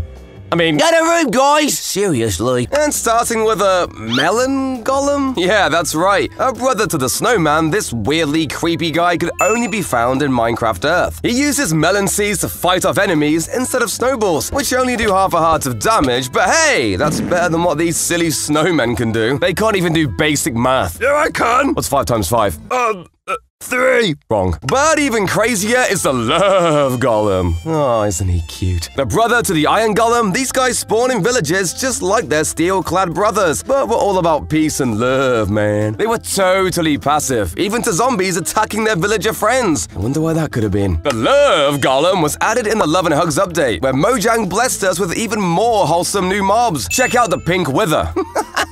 Have you ever seen anything goofier? Oh, you have? Oh, my bad. Instead of the dark and deadly damage the normal Wither would deal to your world, this guy spreads grass and flowers everywhere, just like bone meal. And what about the smiling creeper? There's not much to talk about here. But at least they're happy. Wait, wait, don't hurt me! Don't hurt me! Oh, puppies. Cute. Chickens are one of my favorite animals in Minecraft, but I sometimes wish they could do more than just that. That's why the diamond chicken was the best. I mean, they were bright blue, and instead of eggs, laid diamonds. Now that's more like it. Some mods even add these back, but with stone, iron, and gold chickens too, this is way better than mining. Although the gold does smell a bit funny. Oh, I think this might be poo. Most people think Alpha was the first version of Minecraft, but something called InDev was actually earlier than that. This super basic version of the game feels a bit like a fever dream, especially when you see one of these things skipping past you. This, apparently, is a human, though I'm not sure their heads are supposed to move like that. I don't think it's healthy. Truly, the stuff of nightmares. Well, if you think that's crazy, wait until you see the strangest mobs in Minecraft. That award goes to these Funko Pop looking things. Seriously, what on earth am I looking at? Their names were Rana, Beast Boy, and Steve. And they didn't even have animations. They just glided motionless around the world like some creepy ghost from the future. Rana looked straight out of a Pokemon game. She's pretty cool. Most people use fences, slabs, or iron bars for balcony railings. But come on, I'm too short. I can't see over. Instead, try adding carpets on top of barriers to create this sleek modern railing that you can actually see past. If you want to do this in survival, you can use string instead for the same effect. This trick also works to hide lighting blocks in your roof. Yeah, just ignore the cobwebs up there. They stop the roof falling down. Looms kind of look like empty bookshelves, so you can mix in a few to make it look like you actually read. If you want to add more life to a hedge, you can place sunflowers and invisible item frames to add flowers. Drip leaves also work really well as a natural archway if you need a way through. And of course, a garden isn't complete without a lawn, especially one of those weird stripy ones that rich people seem to have for some reason. If you want to do the same, use lines of grass and moss to make it look realistic and perfectly mown. But if you want to do the opposite and make a barren, dead landscape, mangrove roots and spruce fences make a great dead bush that's much better looking than this. You can also use mangrove roots with stripped bark to make a dead tree, and basalt works perfectly to use in burned down forests. Also, for some reason, you can place fish and axolotls in waterlogged mangrove roots, which is just cruel. Why on earth is this a thing? Did you know there's a way to get extra inventory space instantly? Simply turn touchscreen mode on and use your number keys to put some items in the crafting grid. Then click off your inventory and you've got four extra slots just like that. Unfortunately, this was patched out in 1.19, but you can still use this feature in any other update. Splash water bottles seem like the most useless item in the entire game, but they're actually the only way to put yourself out in the nether. You can also use cauldrons for this, as water placed in them won't disappear in the nether. This even works the other way around, letting you place lava underwater. It's not quite as helpful though. But this isn't even the only way to get fire and water to mix. The other method requires bubble columns and fire charges. If you place a ton of soul sand in the water like this, they'll bob around in the water as if they're not just totally breaking the laws of science. Dripstone technically counts as an entity while it's falling, meaning you can grab it with a fishing rod and yank it midair. This doesn't have much use outside of really messing with your friends, but it also works for sand, gravel, and best of all, TNT. Back when bees were added in 1.15, there were actually two secret textures hidden in the files for extra honey items. The first was for a crystallized honey item, and the second was this yellow block called the wax block. These items never made it into the actual game, but it does bring the concept of crusty honey into my head, and I don't like that. Slimes can actually let you duplicate name tags. Well, technically at least. If you use one on a big slime, the name will actually pass down to the smaller ones. And since these things can't despawn anymore, you can use them to really get your message across to a friend. Oh god, there's so many of them! Ender are awesome for moving around and are even better in the nether. Here's a few tips to make you a pro at using them. If a pearl flies out of render distance, it won't teleport to you until you load it again. This means you can throw a pearl wherever you want, lower your render distance, and travel wherever you want. Then when you want to leave, raise it again, and you'll be teleported to wherever you threw the pearl. Pearls can also be used to easily traverse the harsh terrain of the nether, but it can sometimes be super risky if you're pearling over lava or a long fall. However, if you're pearling against a wall, position yourself like this on the edge of a block, and click as fast as you can while the pearl is flying. When the pearl hits, you'll instantly place a block below you, saving you from certain death and making you feel really cool. If I was to ask you what the most OP weapon in 1.8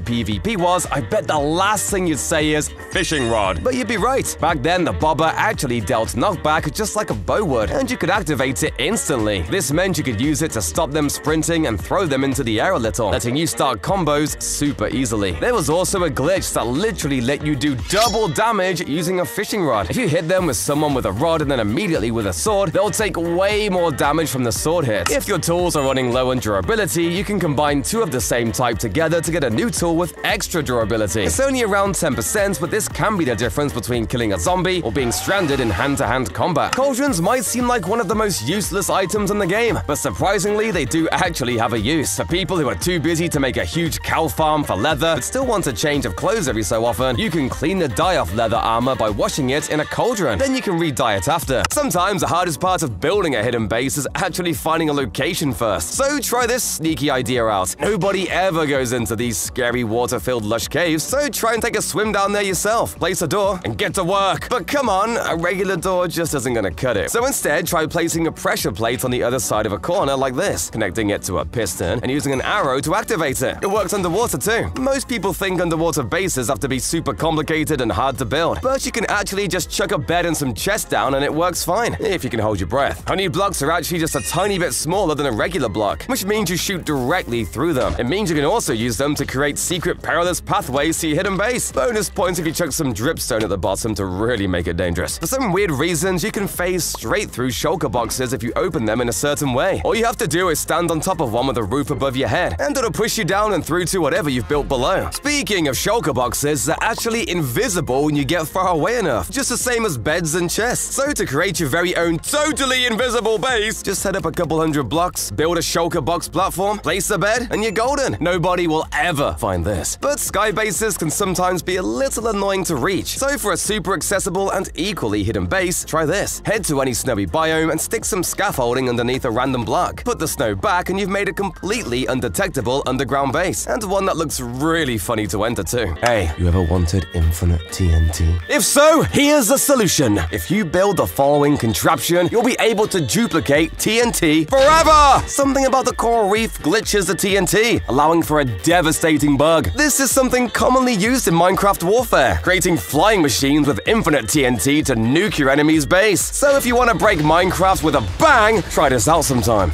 Everyone knows you can't place water in the nether. Or can you? If you build a time machine and travel all the way back to Minecraft version 1.6, you'll need to stock up on ice blocks. Why? Well, my friend, in this version, if you break ice in the nether, you get water, allowing you to technically turn the nether into a water park. My life is finally complete. And I've got a cool time machine to boot, so that's pretty cool, yeah? Hmm, hmm, I think it's cool, yeah.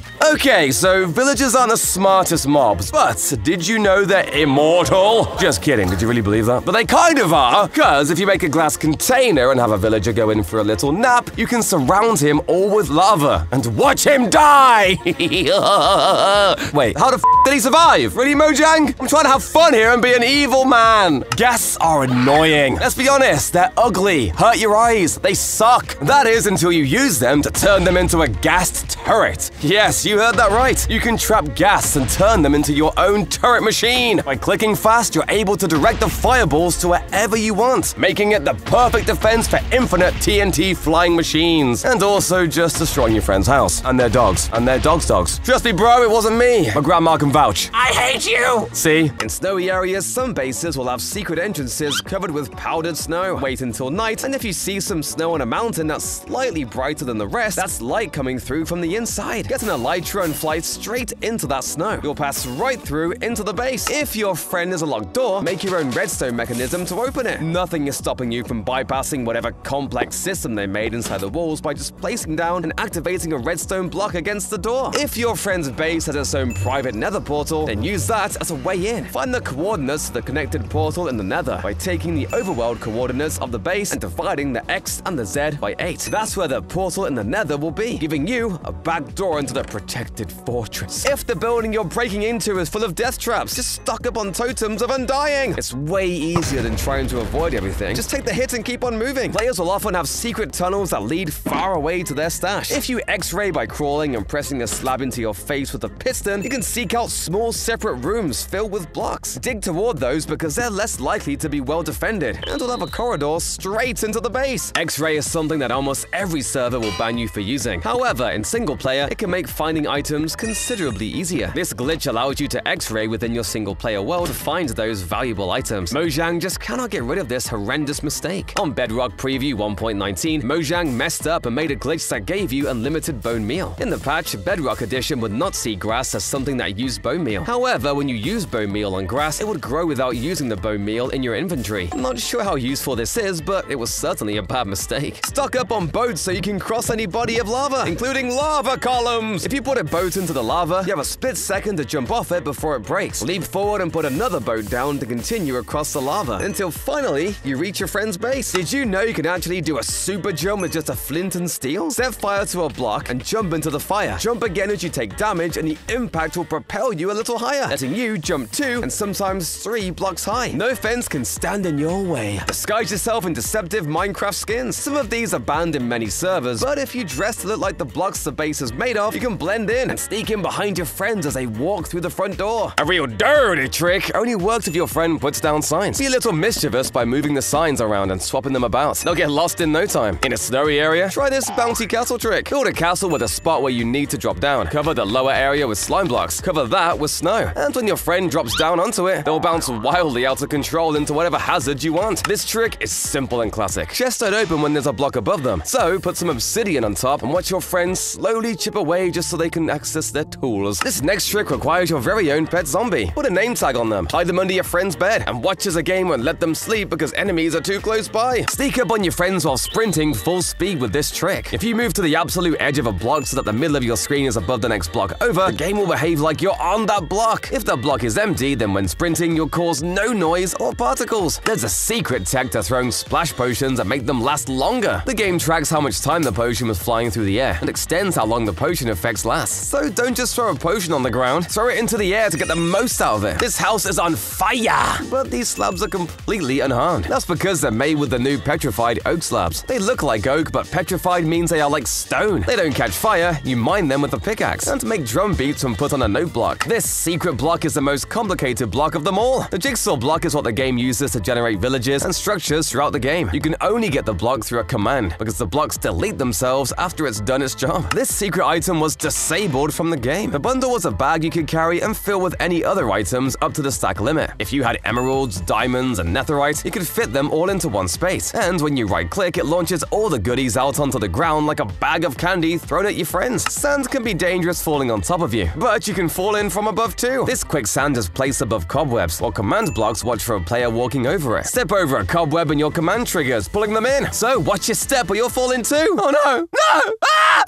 Subscribe! Most of us know now that you can make a birdcage by simply just pushing some glass on top of a parrot. But come on, doesn't that feel cruel? Instead, give them some room to breathe with a hanging scaffolding cage like this. And to make sure our little friend is as happy as can be, try making this advanced bird bath. Place an armor stand with a helmet on top of three layers of snow. Then push a floor block and the wall down from above and finish with a slab and some signs. A netherite helmet might work better for some designs, but that's expensive. I think I'll just stick to leather. The most illegal item in all of vanilla Minecraft has to be the debug stick. You can only get it with commands, but it lets you do all sorts of crazy, weird things that literally feel like hacks. You can make strange beds with no pillows, white grass, cursed flower bushes, and even floating water. And pow! I'm outside your window. My favorite build hack to use the debug stick for, though, is to just add a little more interest to my creative builds. You can turn this strange and boring bamboo farm into something cool looking by connecting the fence and adding leaves to the bamboo. It's literally magic. Beehives kind of look like empty storage containers, so you can use them for extra decoration in a cluttered storage room or attic. They also work great as drawers or a bedside table. You can make any English letter in a 4x3 space using different combinations of slabs and stairs. This chart by Cookie Dough Bread shows you exactly how to spell out anything you want super easily. There are tons of ways to add tiny details to your builds in Minecraft, but one of my favorites is this method of making footprints. Just chuck some invisible item frames down and then place some steak in them. All of a sudden, you've got some weirdly convincing looking footsteps. Find out if the server owner has a pet, then find an animal that looks just like it in the game. Tag it with the same name, then taunt the server owner as you kill the pet in cold blood. It's an awful thing to do and will definitely get you banned. Why not go further? Find their real pet and kill it in front of them!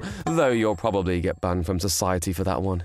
See you in jail! This special book will get you insta-banned. If you fill a book with text, get a bunch of books filled with that text, and then put it in a shulker box, the moment anyone opens that box, the server overloads and the player is instantly banned. Destroy the rarest item in the game. If you get into a server early, speedrun killing the ender dragon and get that dragon egg first. Chuck it into the void and nobody will ever get the egg ever without cheating. Use a VPN. Microsoft hate when people try to bend the rules, so they will ban you if they find out you're using a VPN. You can use Mojang as a weapon. Go into a server and report everyone in the server to be banned. It might even work. Getting innocent people banned for no reason. But if the server owners don't ban you, Mojang will catch on and ban you for false reports. Rule PvP with this evil cheat that will definitely get you banned. If you can access commands, turn your armor invisible with this command. That'll teach them for giving you so much power. Minecarts can fit almost any mob, including sniffers, ravagers, and even ghasts. That's a hell of a visitor when you send it down the rails to your friend's home base. Ever feel like a zombie horde is never ending? That's because it might be. Anytime you hit a zombie, it will look around and try 50 times to spawn a new zombie. It only has up to a 10% chance to succeed though, unless it's a leader! Then it goes up to a 75% chance of spawning the horde. Be careful where you put your beehives. If it's too close to the ocean, any bee that strays over the water can very quickly get disoriented and will eventually fall in and drown. People have lost entire bee colonies this way, so stay safe. There's a crazy looting glitch that lets you get the extra rewards of the looting enchantment even when the tool you're using isn't enchanted. If you have a sword with looting in your main hand, a regular bow in the other, enemies killed with the bow will give extra items. Everyone knows cats always land on their feet, but did you know that in Minecraft they also take no damage from a fall? This is based on cats' real-world ability to survive crazy falls. Some have even fallen out of a plane without a parachute and lived to tell the tale. Go beyond the end of the world with this command. It's a secret teleport destination that will put you on the other side of the world border. But be careful because the moment you pass that border, you'll be taking real damage. Mojang has given themselves the power to ban people and hate when you have items with dangerous names. If they're rude, illegal, or named after real-world guns, Mojang will ban you completely. You're in someone else's server, so why not advertise your own server and entice people to join it? It'll make the server owner so mad as you endlessly pull people away from their precious world. Get this invisible block. No, it's not a barrier block, but actually block 36, a glitched piston that was duplicated using an end crystal and this machine. Put an item frame on it and it goes invisible. Since it's a glitch block, when you stack sand on them, the sand stays there, but still acts like it's falling, so people can fall through it. A perfect invisible trap. Why not skip the middleman and just hack the server owner's account? That way you don't have to wait for a ban, you can just do it yourself. And if red isn't your favorite color, harming potions are super useful for taking out those dreaded mobs or enemies. But when it comes to zombies, these potions actually heal them. I suppose they're dead anyway. So if you want to kill a zombie, throw a healing potion at them to damage them instead. Nice attention to detail, Mojang. Turns out locking is easier than you think. And you can add a glass pane to a map to lock it, meaning it won't update if anything changes. This can be great for documenting the progress of your base over time, or creating a permanent design of an upside down T. If you bring bottles with you to the end fight, you can actually pick up the purple particles the dragon shoots at you. These are called potions of dragon's breath and can be used to craft tipped arrows or lingering potions. I just wish you'd brushed first.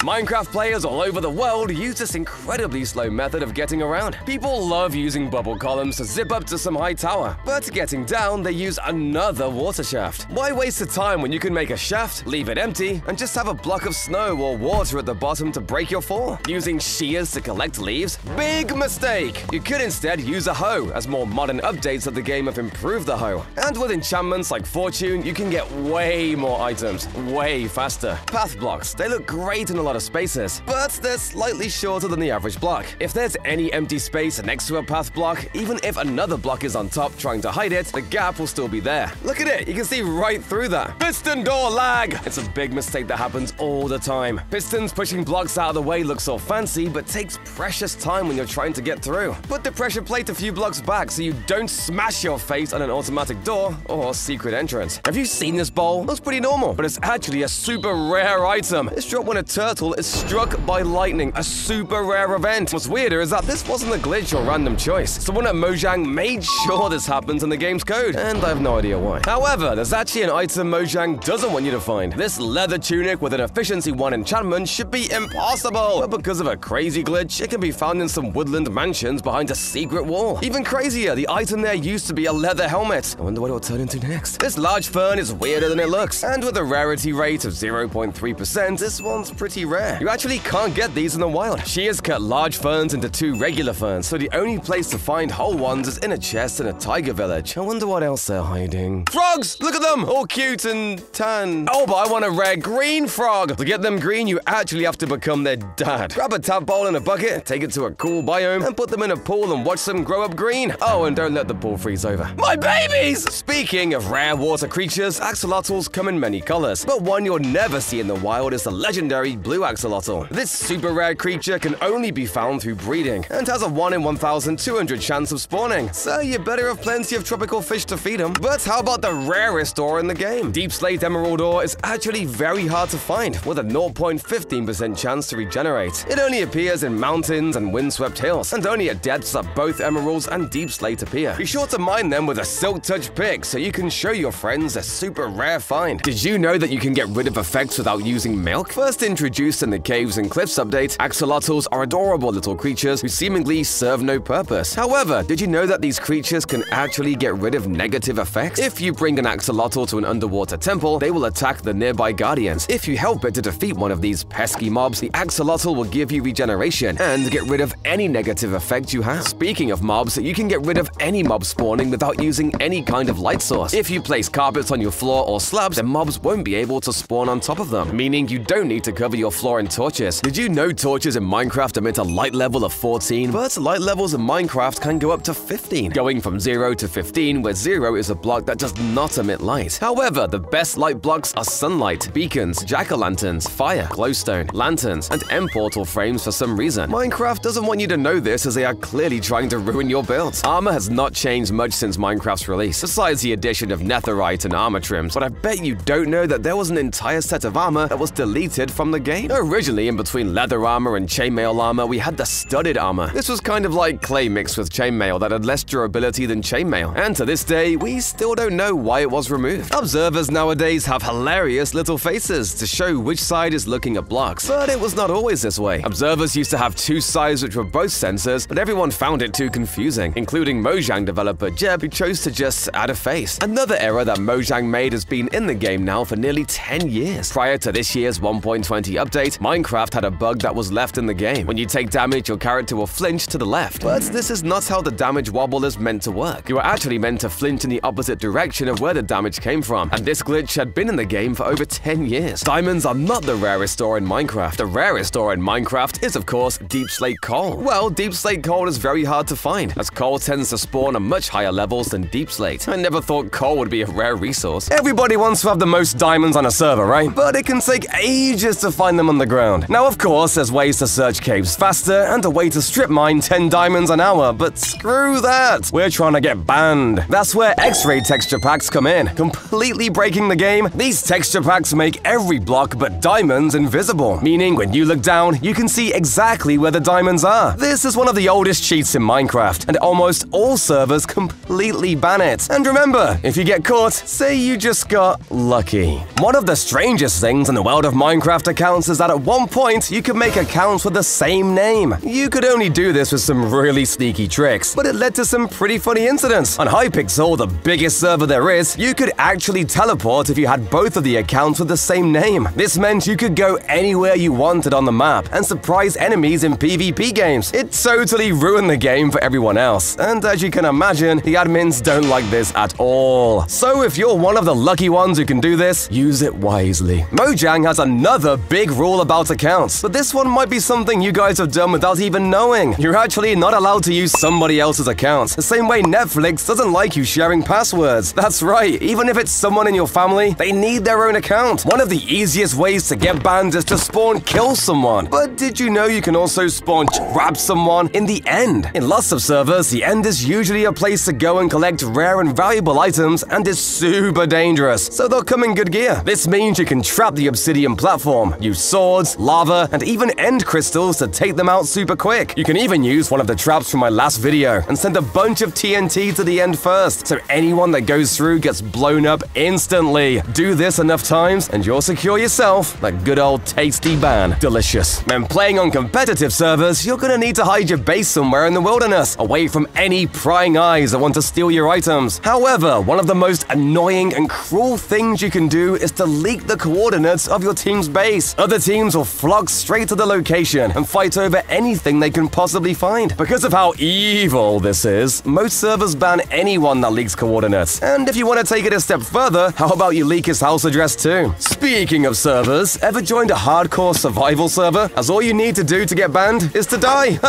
Who knew getting banned could be that easy? This may look like a magical optical illusion, but it's actually just a bunch of stairs and slabs placed in this special way. You can place coral fans on trapdoors like this to make colorful lily pads. Lanterns can also be placed below lily pads to make them glow at night. And you can finish up your pond by placing hanging roots below stained glass to add jellyfish. If you want to show off how rich you are, how about building a huge quartz grand piano? If you place dragon heads on armor stands below some stairs, the ears will pop out and look like keys. You can make rope bridges by building up fences and then attaching leads to them. Oh, uh, don't worry about him. This also works to make balloons. Yay! Ladders can be placed on trapdoors to make extra thin ladders that don't take up much room. And if you're really clever, you can use this to make double-sided ladders by using a layout like this. Waterlogged blocks completely break the game. Lily pads can be placed on any block that's waterlogged, creating illegal-looking setups like this. But you can make it look even weirder by placing sugarcane next to the lily pads. Another build hack is this weird new flower. Because this thing is two blocks tall when it's fully grown, you can put string above it to keep it at its third stage, and use it to look like a weird, overgrown potato in your farms. A lot of the time, the builds you make look like they've been thrown into the world randomly and look super out of place. To fix this, try making shadows by placing slightly darker blocks near overhangs or edges. You can even add mossy blocks around trees to act as fallen leaves. The inside of a mangrove log looks suspiciously like a nice piece of juicy meat.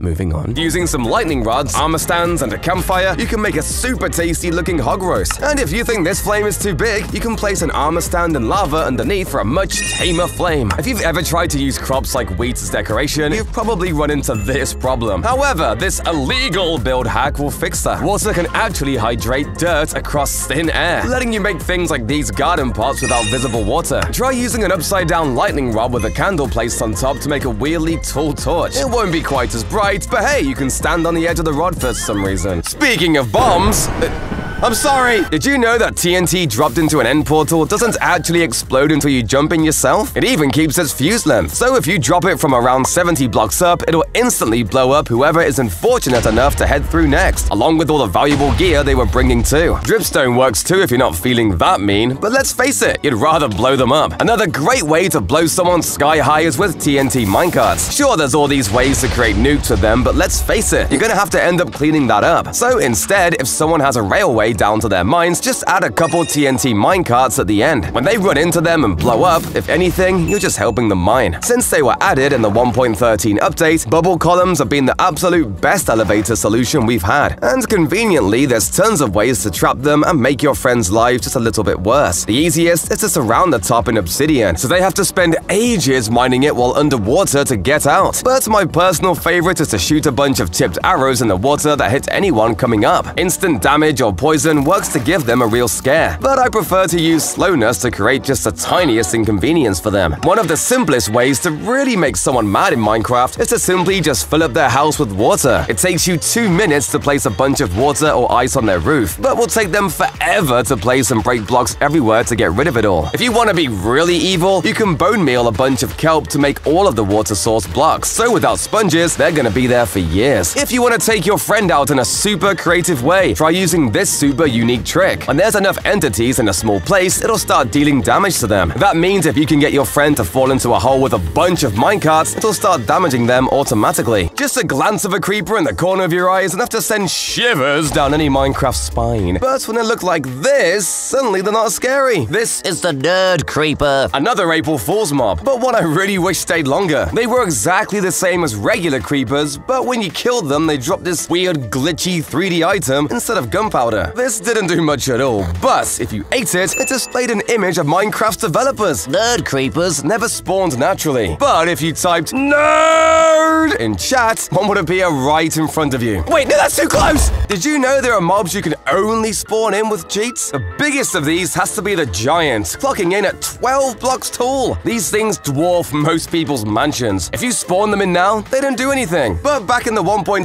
update, these things could run round and deal damage to you.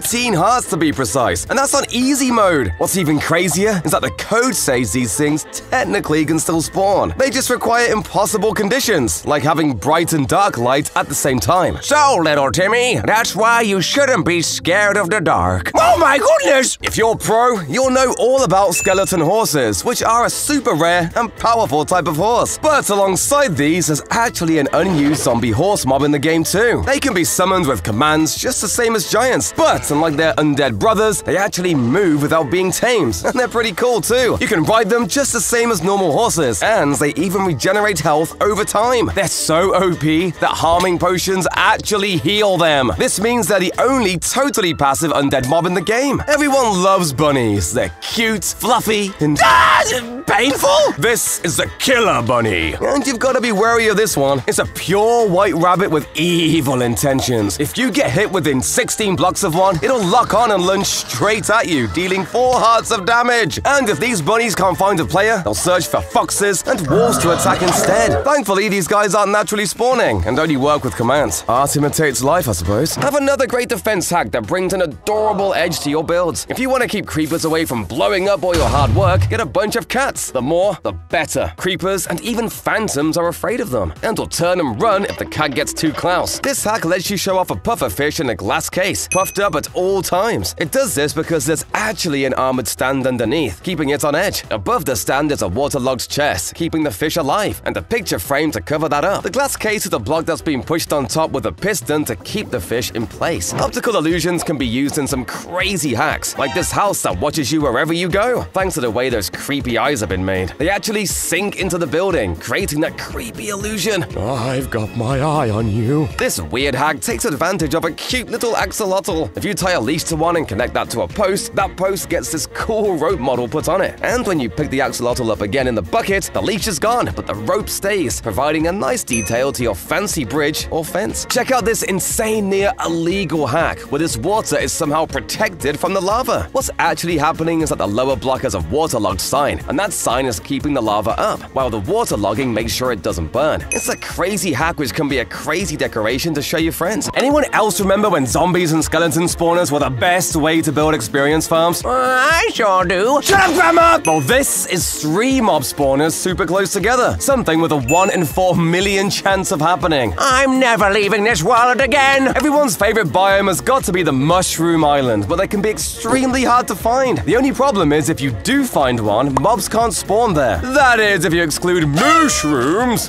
Oh yeah, baby, this is all we need. Well, luckily, this seed spawns you into a mushrooms lover's paradise with four huge mushroom islands surrounding you. You're welcome. Mushroom islands can only spawn in oceans, but have you ever seen an ocean spawn in the middle of a forest? This seed looks normal when you first spawn in, but if you look over this hill, you'll find an absolutely huge ice lake. And let me tell you, it's not one you want to fall into. If you break just a single ice block, you'll end up sinking down a hundred blocks to this huge obsidian floor, covered in rocks filled with exposed diamonds. But you'll probably want to bring a water-breathing potion or something. I don't think you get him back out of here alive, just saying. What's craziest is that this seed looks even more broken in 1.19.2. Here is a gigantic sinkhole right in the middle of the lake, with a massive lava pool at the bottom. It's like somebody went into World Edit and punched the terrain down a hundred blocks. And this isn't the only one of these either. A user on Reddit has found a bunch of these, including this wild sinkhole with a woodland mansion directly in the middle of it. These seeds are so new and crazy that we still don't even know why they generate. All we know is that it's something to do with the code and how apparently in certain places, the values for what can spawn and where are totally messed up, causing this insanity to happen. If you're brave enough to delve deep into one of the ancient cities, you're usually awarded with some enchantments, gear, and maybe even some music discs. But all of that is comparatively terrible compared to the best chest in Minecraft. Check it out. Four enchanted golden apples in one chest. The chances of this are actually over 1 in 20,000, which means you'd have to search thousands of ancient cities before you ever see this again. And nobody ain't got time for that. But compared to this next seed, 1 in 20,000 seems like a coin flip. Before heading to the end, most people bring 12 or more Eyes of Ender to complete the portal. But did you know that each individual portal block has a 10% chance to already be filled? And now I know exactly what you're thinking. And you're right. That means portals can spawn in with none.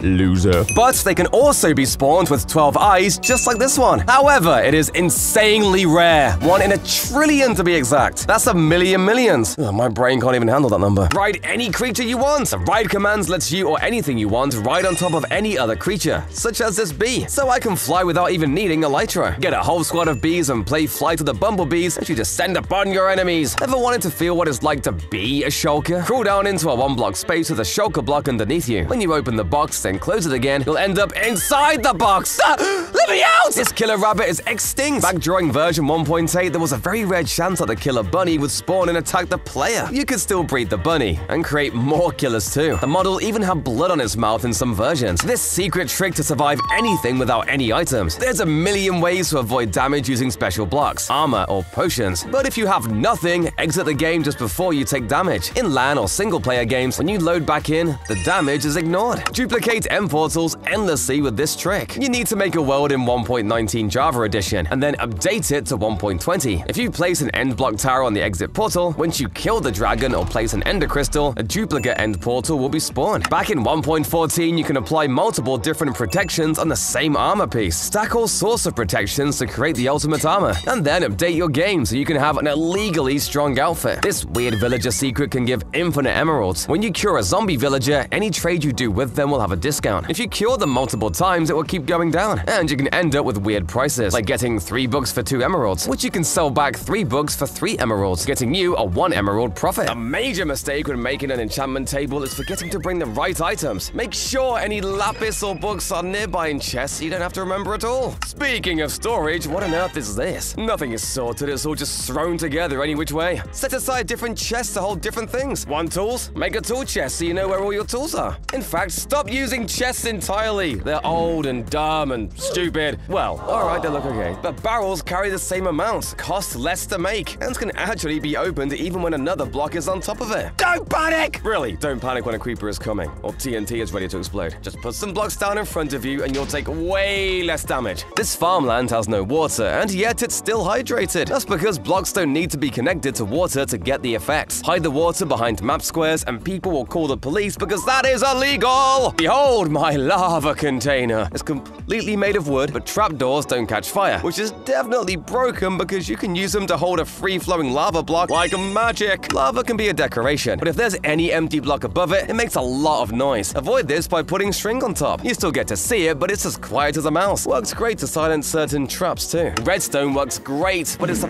pain to mine it, so why not use leaves instead? This secret exploits the fact that leaves need to update based on what's around them. So by using leaves and wood, you can create machines that don't use any redstone at all. Become the most efficient miner in the game with Swift Sneak. It doesn't just improve your crouch speed, but also your crawl speed. So at one block tall, you can just dig straight forward without having to make space for your bulky body. This book will destroy anyone who reads it. That's because it's filled with so many letters that it overloads the game with the person reading it. Just make sure you know which book is which. Slimes are the only mob you can kill with just a single punch, but the bigger versions are a little stronger. Luckily, slimes have terrible pathfinding and won't avoid things like lava, cactus, or big holes like this, making them easier to trap than any other mob. Sea turtles might have the most enemies in the game. Not only do all types of zombies try to break their eggs, but skeletons, ocelots, wolves, stray cats, and even zoglins will attack baby sea turtles. I don't know what they did to make so many enemies. They're so cute. Somehow bees are even cuter, which is why no mobs in the game try to attack it. However, if they try and pollinate wither roses, they'll take damage just the same as mobs that walk over it. They'll also die after stinging anything that attacks the hive. All types of fish will start to drown after just 15 seconds on land. Weirdly though, they don't even try to get back into water. They just kind of flop around and wait for it to be over. Dolphins, however, can last over two minutes on land, and if it's raining, they can survive forever. However, dolphins do need air to survive, so if they're underwater for too long, they'll actually start to drown. At least they try to find water. Squids literally just sit there and move like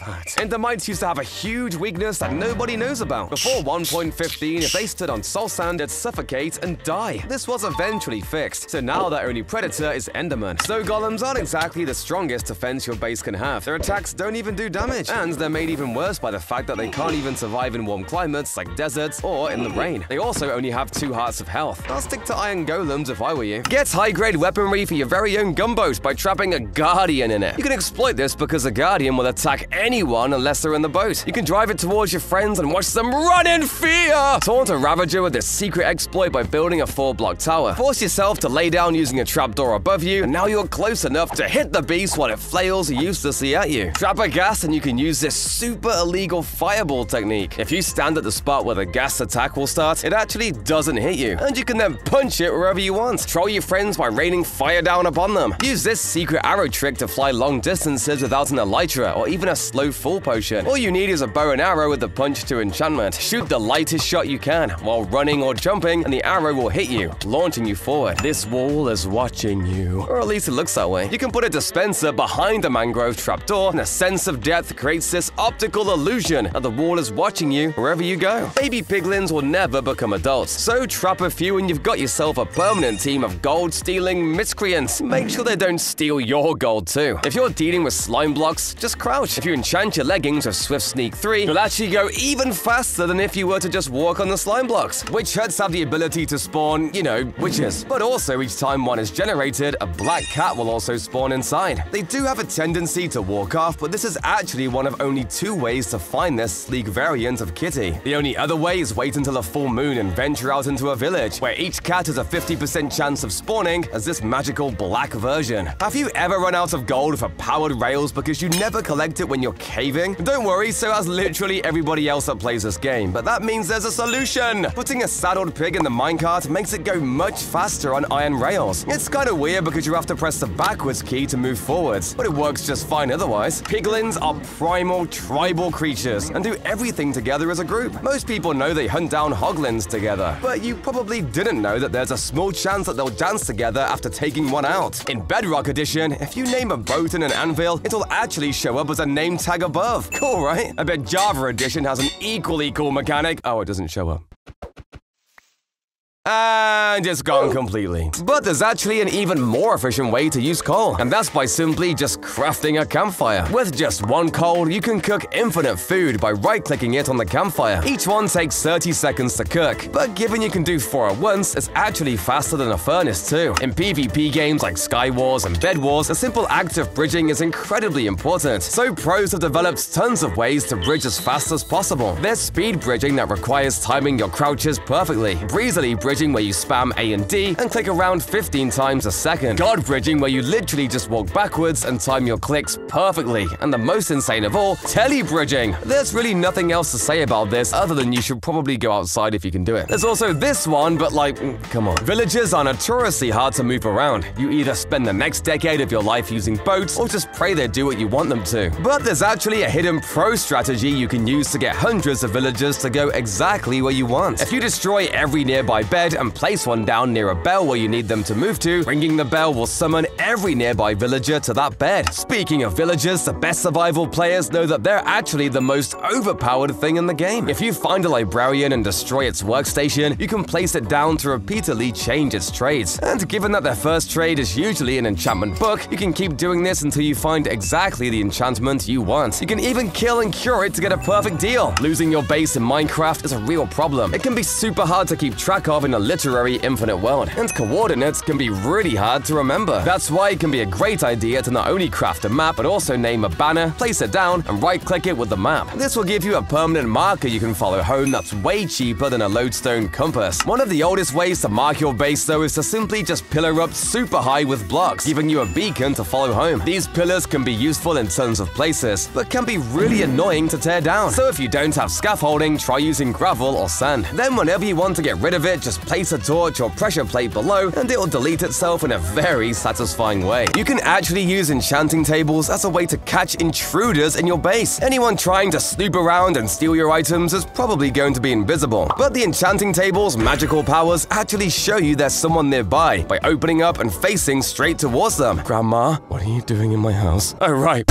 Every single item in the game has a shape that goes from the bottom left of the item slot to the top right, from tools to fences, name tags, and even amethyst shards. That is except for the Echo Shard, which does the exact opposite and faces the other way. I love this feature because it shows that the item really is an echo of the regular items, and could even come from some strange alien world. Ever wondered what causes those creepy cave sounds to play? It's actually not random. It relies on this section of the F3 screen called Mood, that increases over time when you're underground and decreases when you're near light. When it gets to 100%, a random cave sound will play, and it'll reset back to zero. There are actually four secret paintings hidden in the game files that you can't even get normally in the game. The paintings are earth, wind, fire, and water, and can only be spawned in with this command. Apparently, they were only added in to promote Pocket Edition, but I really hope they get added in fully eventually, as they're so much cooler than this. Tinted glass is the only glass block that actually drops an item when you break it normally. I guess the Amethyst enchanted it with mystical powers. Since the addition of Deepslate and all the new caves, strip mining has pretty much become a thing of the past, but it can still be pretty hard to find caves. Thankfully, there's a few ways to make it way easier. Firstly, this number on the F3 screen shows you exactly how many air blocks are ahead of you, meaning the higher this number is, the more likely it is there's a cave in that direction. And to make it easier to find exactly where it is, try turning on subtitles. Not only will it make it easier to see which sounds are being played, but it'll even give you arrows pointing in the direction they're coming from. Raiding in cities can get pretty dangerous very quickly if you find yourself floating high above the ground, and that's why the best players know to always carry chorus fruit. If you find yourself in this perilous position, eating one will instantly teleport you down to the ground safely. Just make sure you still got the levitation effects. It doesn't go well otherwise. Sometimes a regular fuse of a TNT just isn't long enough to get you to safety. So if that's the case, try crouching and setting the block on fire instead. Instead of instantly lighting, it'll burn for a bit before lighting. Trust me, this isn't a troll. Trust me. I'll never do anything like that. Anyway, did you know trains actually exist in Minecraft? And I'm not talking about minecarts. Well, technically they're called caravans, but if you attach a lead to just one llama, all nearby llamas will quickly run into formation and start following you around. With enough patience, you can breed llamas to have 15 slots of storage space, meaning you can carry around 150 shulkers worth of items with just a single lead. And when you're done with these llamas, if you attach the least one to a fence and then uh, dispatch it, it'll lead the lead on the fence, giving snow golems aren't the only mob that doesn't like the rain though. Pandas are actually terrified of thunderstorms, and they don't just take damage in the rain. They hide their face and whimper, so they're actually scared. Also, did you know pandas eat cake? That's not a weakness or anything, I just thought it was cool. Ah, no! Ocelots seem more adapted to the tough jungle environment, as they've learned to avoid fall damage and to hunt chickens for food. However, they are still terrified of humans, and run away faster than almost any mob in the game. It's worth it if you can get an ocelot or cat to stick around though, as they're actually super good at keeping away phantoms. In fact, a phantom won't come within 16 blocks of a cat at all. But if you want to avoid phantoms altogether, just make sure you get a good night's rest. Taming ocelots removes this weakness, just the same as taming a wolf removes theirs. And this one is the strangest so far. For some reason, wolves are super scared of llamas and will run away the seconds they get anywhere near them. I wonder why they hate them so much. Tamed wolves, however, are super chill with llamas until their human decides otherwise. But this is the same with every other mob in the game, except for creepers. So I guess this makes them weak to creepers? The only other thing dogs have to worry about is me!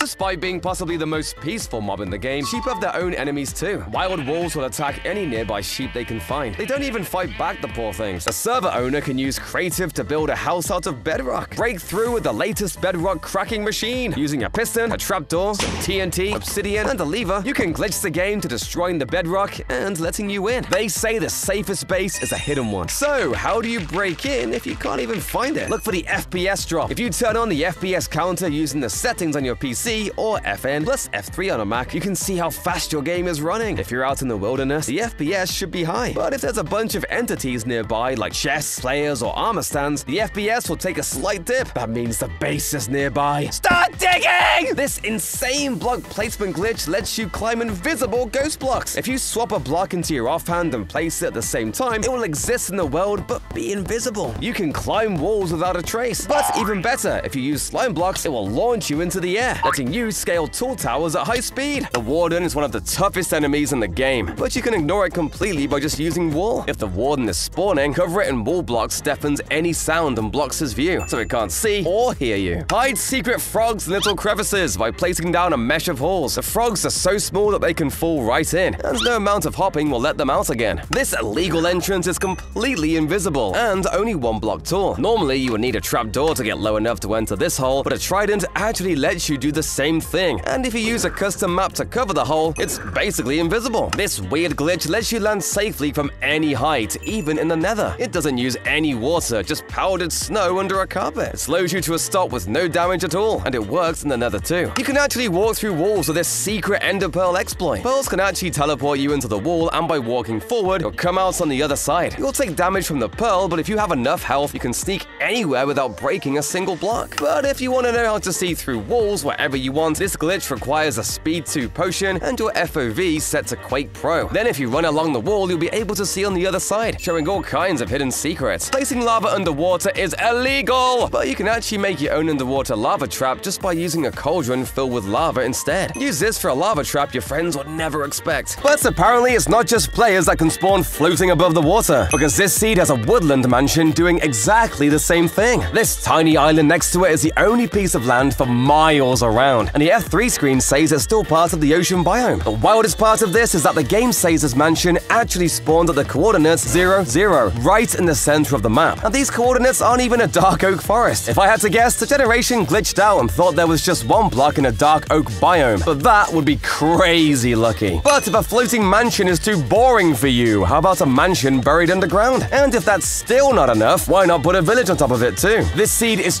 truly one in a million. There's houses inside roofs, roofs inside houses, and even a house just hanging out on its own in the middle of the mansion. But my favorite part is to be these random sprinkles of grass and huge blocks of stone in the roof of the mansion. I wonder what would happen if you started a raid here. Spawning right next to a village is great, allowing you to loot up, get food, and set yourself up for the nether. But with this seed, that's not exactly the case. Here, you spawn right next to an abandoned zombie village. Sure, there's a couple of hay bales, but don't try going in any of the houses. Around any corner could be a zombie just waiting to. Ah! Gosh! I should have seen that coming. When you spawn into this seed, you might be tempted to check out the beautiful coral reef in the ocean right next to you. But as soon as you turn around, you'll be met with the truly gigantic Badlands mountain range. This Badlands stretches from sea level to far above the clouds. The rocky parts high up are covered in iron and emeralds, and there's masses of long, winding caves that stretch for miles underneath the huge pile of terracotta and stone up top. And we're not even talking about the crazy spiky rock formations found all over this area, and the truly massive cliffs that open up to reveal caves with mine shafts, lakes, and even an ancient city below. So if you're looking for a sea to explore, this is your best bet. But let's talk about a different kind of seed for a moment. Speedrunning is a crazy way of playing Minecraft where you simply just try and beat the game as fast as possible. And if you want the cheat code, we got you. This current seed spawns you in a village with beds for the dragon, chests with obsidian, a ruined portal giving you everything to light the nether portal in minutes. But once you're in the nether, you don't need to stop for blazes or enderman, because the end portal in the stronghold is one of the one in a trillion glitched ones I mentioned earlier, and lets you enter as soon as you're back in the overworld, making this seed even rarer than one in a trillion. It's literally the best seed in the world. Foxes can also eat chorus fruit if given the opportunity, and presumably get really confused after. You can go upstairs much faster if you've got auto jump enabled. Finally, maybe a reason to use this. Every Minecraft player's worst nightmare is having a creeper sneak in or spawn in their base and having it blow up everything. But to make this a little less disastrous, you can waterlog your chests to make them blast resistant. Speaking of, if you're looking for a block to build your TNT base farms out of, waterlogged leaves might be for you. They're totally blast resistant and super easy to get a hold of. Just be careful you don't accidentally flood your redstone. End portal frames are one of the only impossible blocks to break in Minecraft, right? Wrong! Using a red mushroom plate just right, you can grow it with bone meal and use it to totally delete the frames. You can get floating minecart tracks by placing them on trapdoors and flipping them down. Aside from this just looking really weird, you can make some pretty crazy traps with this, as all the rails disappear at once when anything updates them. While testing this, I realized you can actually walk underneath trapdoors even though you're way taller than this gap. And your head even sticks into the trapdoor. Yo, Mallow, is that a fresh cut? No, no, no, no, no, please! Shulkers are one of the most mysterious mobs in Minecraft. I can't even figure out what they're supposed to be. But it turns out if you throw an invisibility potion at one, all is revealed. The Shulker's shell disappears, leaving the Shulker itself floating in midair. I'm still no closer to understanding what earth this thing is, but I guess he's like cute. It's common knowledge now that villagers are the best way to farm items, but it takes so long to cure them. But it turns out if you place iron bars near the zombie villager, you can actually speed it up a bunch. The wiki says this works with beds too, but when I tested this, it seemed like it was fake. But let me know in the comments if it works for you. Speaking of beds, did you know that there used to be a sky dimension planned for Minecraft? It was supposed to be a magical realm in the sky that you could access through dreams. Each time you went to sleep, there would be a chance you'd wake up here instead. Unfortunately, this idea was eventually replaced by the end, but I'd love to see them bring back this idea. While you were busy having sniper duels or hiding away praying they wouldn't see you, skeletons have been hiding a dark secret. Okay, it's not that dark, but around 11% of them are actually left-handed and hold their bows differently to the rest. Apparently, this is to mirror the amount of real people who are left-handed. Also, even though wither skeletons can't spawn naturally with a bow, they still have a line of code that lets them shoot fire arrows when they're given one with commands. Weird, right? Have you ever noticed that the sky actually changes color during the Wither fight? That's right, as soon as the fight begins, the horizon turns a deep, ashy gray, and some clouds become much darker. Too bad nobody will ever see this because we all fight the Wither underground now, like mole people. Everyone loves a good explosion, so here's a way to make a totally invisible and instant landmine. Just place a bunch of TNT minecarts on some powered rails like this and hook them up to a Sculk sensor right next to them. Sneak away and you've got the best hidden way to protect your house. Isn't it so great? Ah!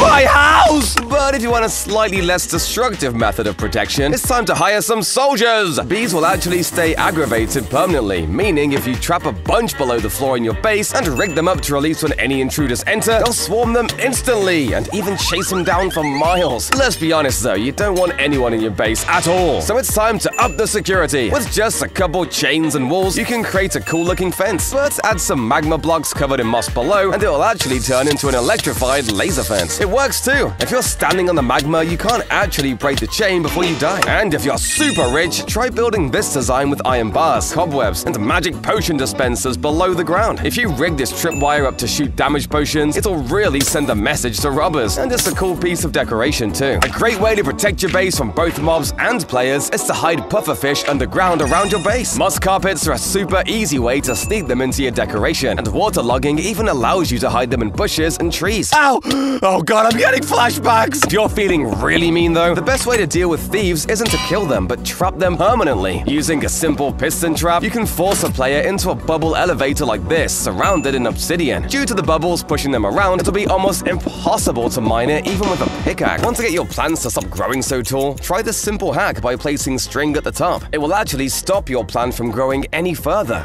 and it's almost invisible. Perfect when you want to take a fancy picture without the bamboo blocking the shot. The sound of villagers waking you to the sound of their people can be great, but not if they all die during the night. So try this build hack to get them safe indoors. Bells can be activated with redstone, so just put a pressure plate by your bed and when you go to rest, so will they. Do you need a protector for your base? How about a guardian with a simple hack? Put a guardian outside your home, and any player coming for your goodies will get blasted! Here's a defense hack that looks invisible. It's actually these azalea bushes, because apparently mobs don't know how to jump over them even though you can. So if you want a safe house that doesn't look like a prison, this works great. Also, killing mob farms are great for items, but this hack lets you get the XP from it too. Just sit one of your dogs next to a non-fatal drop like this. They'll get that last hit, and you'll get the experience. What a great team up. Speaking of mob farms, it can be a hassle making them, especially in the nether. But if you're specifically trying to get Enderman, this high IQ hack can make it way easier. Enderman hates Endermite, so use them as bait above a hole, and the Enderman will drop right in for the easy killing. Some items have only existed in a single update, including mad experiments like this special little chicken that actually lays diamonds instead of eggs. They don't taste good in an omelet though, and the chickens have a bad habit of exploding. One item you were never supposed to get is bedrock. But if you put end crystals around the end portal after killing a dragon, and then quickly explode them with a click before the dragon resummons, there's a slight chance a piece of that bedrock will fall through the portal and end up as a usable block at world spawn. Check out this nether portal, or uh,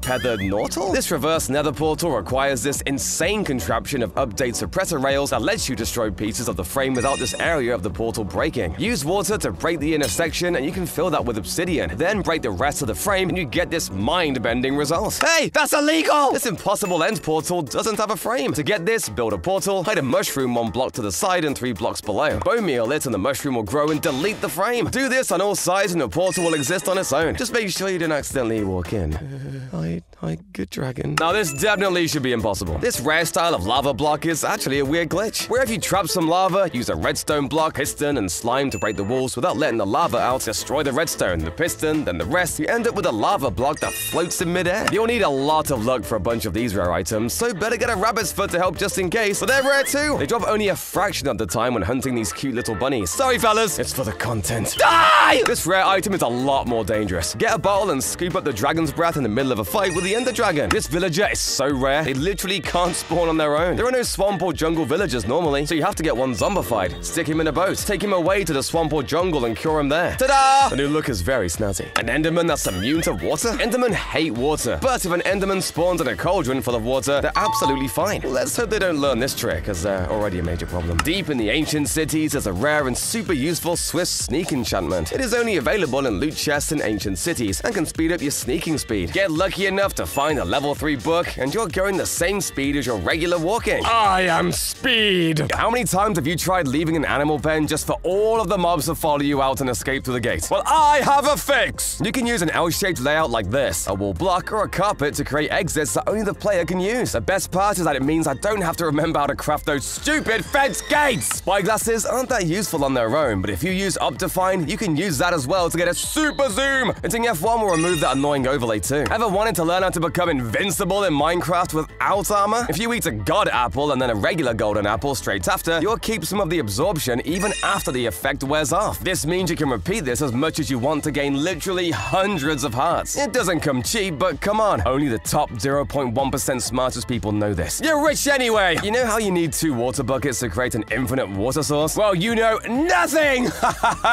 Sorry, that was me. But seriously, you only need one now as long as you have either kelp or a cauldron. Using this setup, you can place kelp here to magically create two new sources, and you can use water bottles to fill a cauldron and conjure another bucket full. Setting up a farm for food can be super difficult early game, but there's a hidden cheat code only 1% of people know. If you're brave enough to challenge the nether and make a run to a soul sand valley, you can farm the fossils for tons of bone meal you can bring back with you for a head start on all your farming needs. Silverfish don't seem that dangerous at first, but it's not uncommon to find yourself in a stronghold severely outnumbered in just a few seconds. But silverfish only spawn when a player deals damage to them, meaning you can just use lava or a flint and steel to totally avoid spawning them. Get a pumpkin or melon farm and use that to get emeralds like a pro. The villagers love that stuff and will give you an emerald for pretty cheap. You can then use those emeralds to buy all sorts of things in return. It's so easy to get lost in the caves and tunnels, and making signs and landmarks every few steps can be tiresome. Just place torches on the right side as you walk. Then when you want to go back, keep the torches on the left side and you'll go straight back the way you came. Press F3 to know if there's a bastion nearby like a pro. A debug screen shows how many entities are on screen, but this includes entities that are hidden behind walls. If you make your FOV real small and look around in the nether, a high number of entities clustered together will probably be a bastion. Use powdered snow to wall jump your way up a cliff. This works great in the nether, where water isn't available to scale cliffs so have a bucket of powdered snow ready. You can place the snow against the wall, hop off it, and mid-jump you can scoop it back into a bucket and then place it again higher up. Keep going until you reach the top. If you need to find lush caves, look for azalea trees. These trees are easy to spot with their weird windswept look, and they indicate that there is a lush cave directly below. So get digging! You don't need a furnace or smoker to cook your food, not anymore at least. As with a campfire, you can cook four pieces of food at once, basically for free. Put a hay bale underneath the campfire to give it a smoky flavor. All my life, I've made this huge enchanting setup with all these bookshelves, but apparently you only need 15 bookshelves in total, meaning this tiny setup works just as well as this one. And wait, it's actually true. My life is a lie. There are three different types of overworld frog, warm, cold, and temperate. But supposedly there's a fourth secret frog you can only get in the end. If you take two frogs and lead them to the stronghold, send them through the portal and feed them slime balls, the tadpoles will grow into super frogs! Yeah, I just made that up, they're just normal. Myth busted. This myth says you can shoot fire arrows to the bottom of a lava cauldron, but there's no way that's true. Can you even shoot below them at all? Huh, wait, I guess it is true. How didn't I know that? Am I stupid or something? But as it turns out, Mojang might want to brush past some older Minecraft snapshots too. As in an old snapshot, you could actually grow furnaces? By using a command to spawn a pumpkin with an impossible growth phase, a furnace would grow out of the ground underneath it. Shulkers can be super annoying when they hit you with their levitation balls. Trust me, I know. But these balls can actually hit other mobs as well, causing them to fly high into the sky. Who knew their balls were so powerful? Not me. Definitely not me. Everyone knows that if you name a sheep Jeb, it will turn rainbow. But most people don't know is that you can actually name a rabbit Toast to unlock Toast! Okay, not really, but it does have a secret texture. It's a reference to a developer's old pet. And although it's not exactly rainbow, at least this guy has meaning. It's common knowledge that dispensers can't place blocks. But did you know that dispensers are actually able to place blocks if it means they can summon a golem or the wither? Dispensing a carved pumpkin on top of two snow blocks will create a snow golem, just as if you place the block there. A pretty cool way to win a bet and scam your friends out of their hand-earned diamond. Oh, just do it for fun. But come on, who does that? It's no secret that Mojang are sometimes a little lazy when it comes to textures, with bedrock just being an overly saturated stone, and endstone being an inverted version of cobblestone. But I bet none of you realize that the jungle log texture is just a rotated version of the oak log. Speaking of being overpowered though, did you know that creepers can climb ladders? I'm already terrified of getting ninja bombed by them in ravines. Why do I have to be scared of this now too? But creepers have been hiding another secret from us too. If they're affected by a potion effect from an arrow, or you know, a potion, when they explode, they'll leave a lingering pool of that potion effect wherever they stood. What can you use this for? Don't ask questions! Moving on! No matter how high they fall from, cats will never take full damage. You can send them all the way from build limit to bedrock and they'll walk away like nothing happened. Conversely, dogs do take damage. And anvil damage! It's just so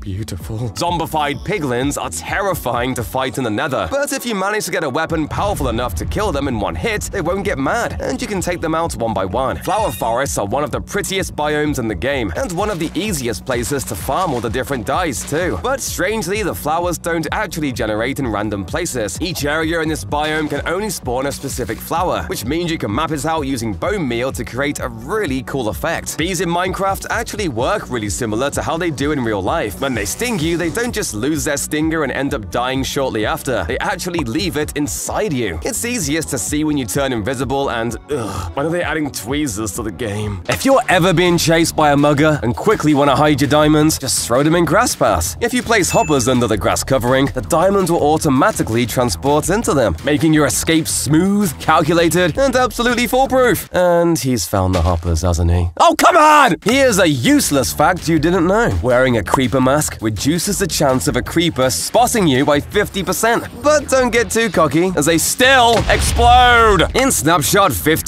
15W31A, Mojang pretty much added one of the dumbest things possible. Usually, to respawn the Ender Dragon, you need Ender Crystals. Pretty hard to obtain. That makes sense, right? Well, for this snapshot, you literally could build a clay creeper face, and the dragon would respawn. Yeah, I'm not even joking. I'm baffled, bamboozled. If an iron golem is low on health, you can heal them by tapping on them with an iron ingot. Don't confuse this with hitting them with an iron ingot, as that will certainly end up killing them, and we don't want that. If you've ever tried building a railroad before, you would have definitely come across a train turn that looks something like this. Well, if you take a look at the corner of the train track, it actually looks very similar to an iron pickaxe. Bet you didn't know that! When a player crafts their first enchantment table and enchants their first weapon, assuming you pick the lowest enchant level on a bow and arrow, the first enchant will always be power 1.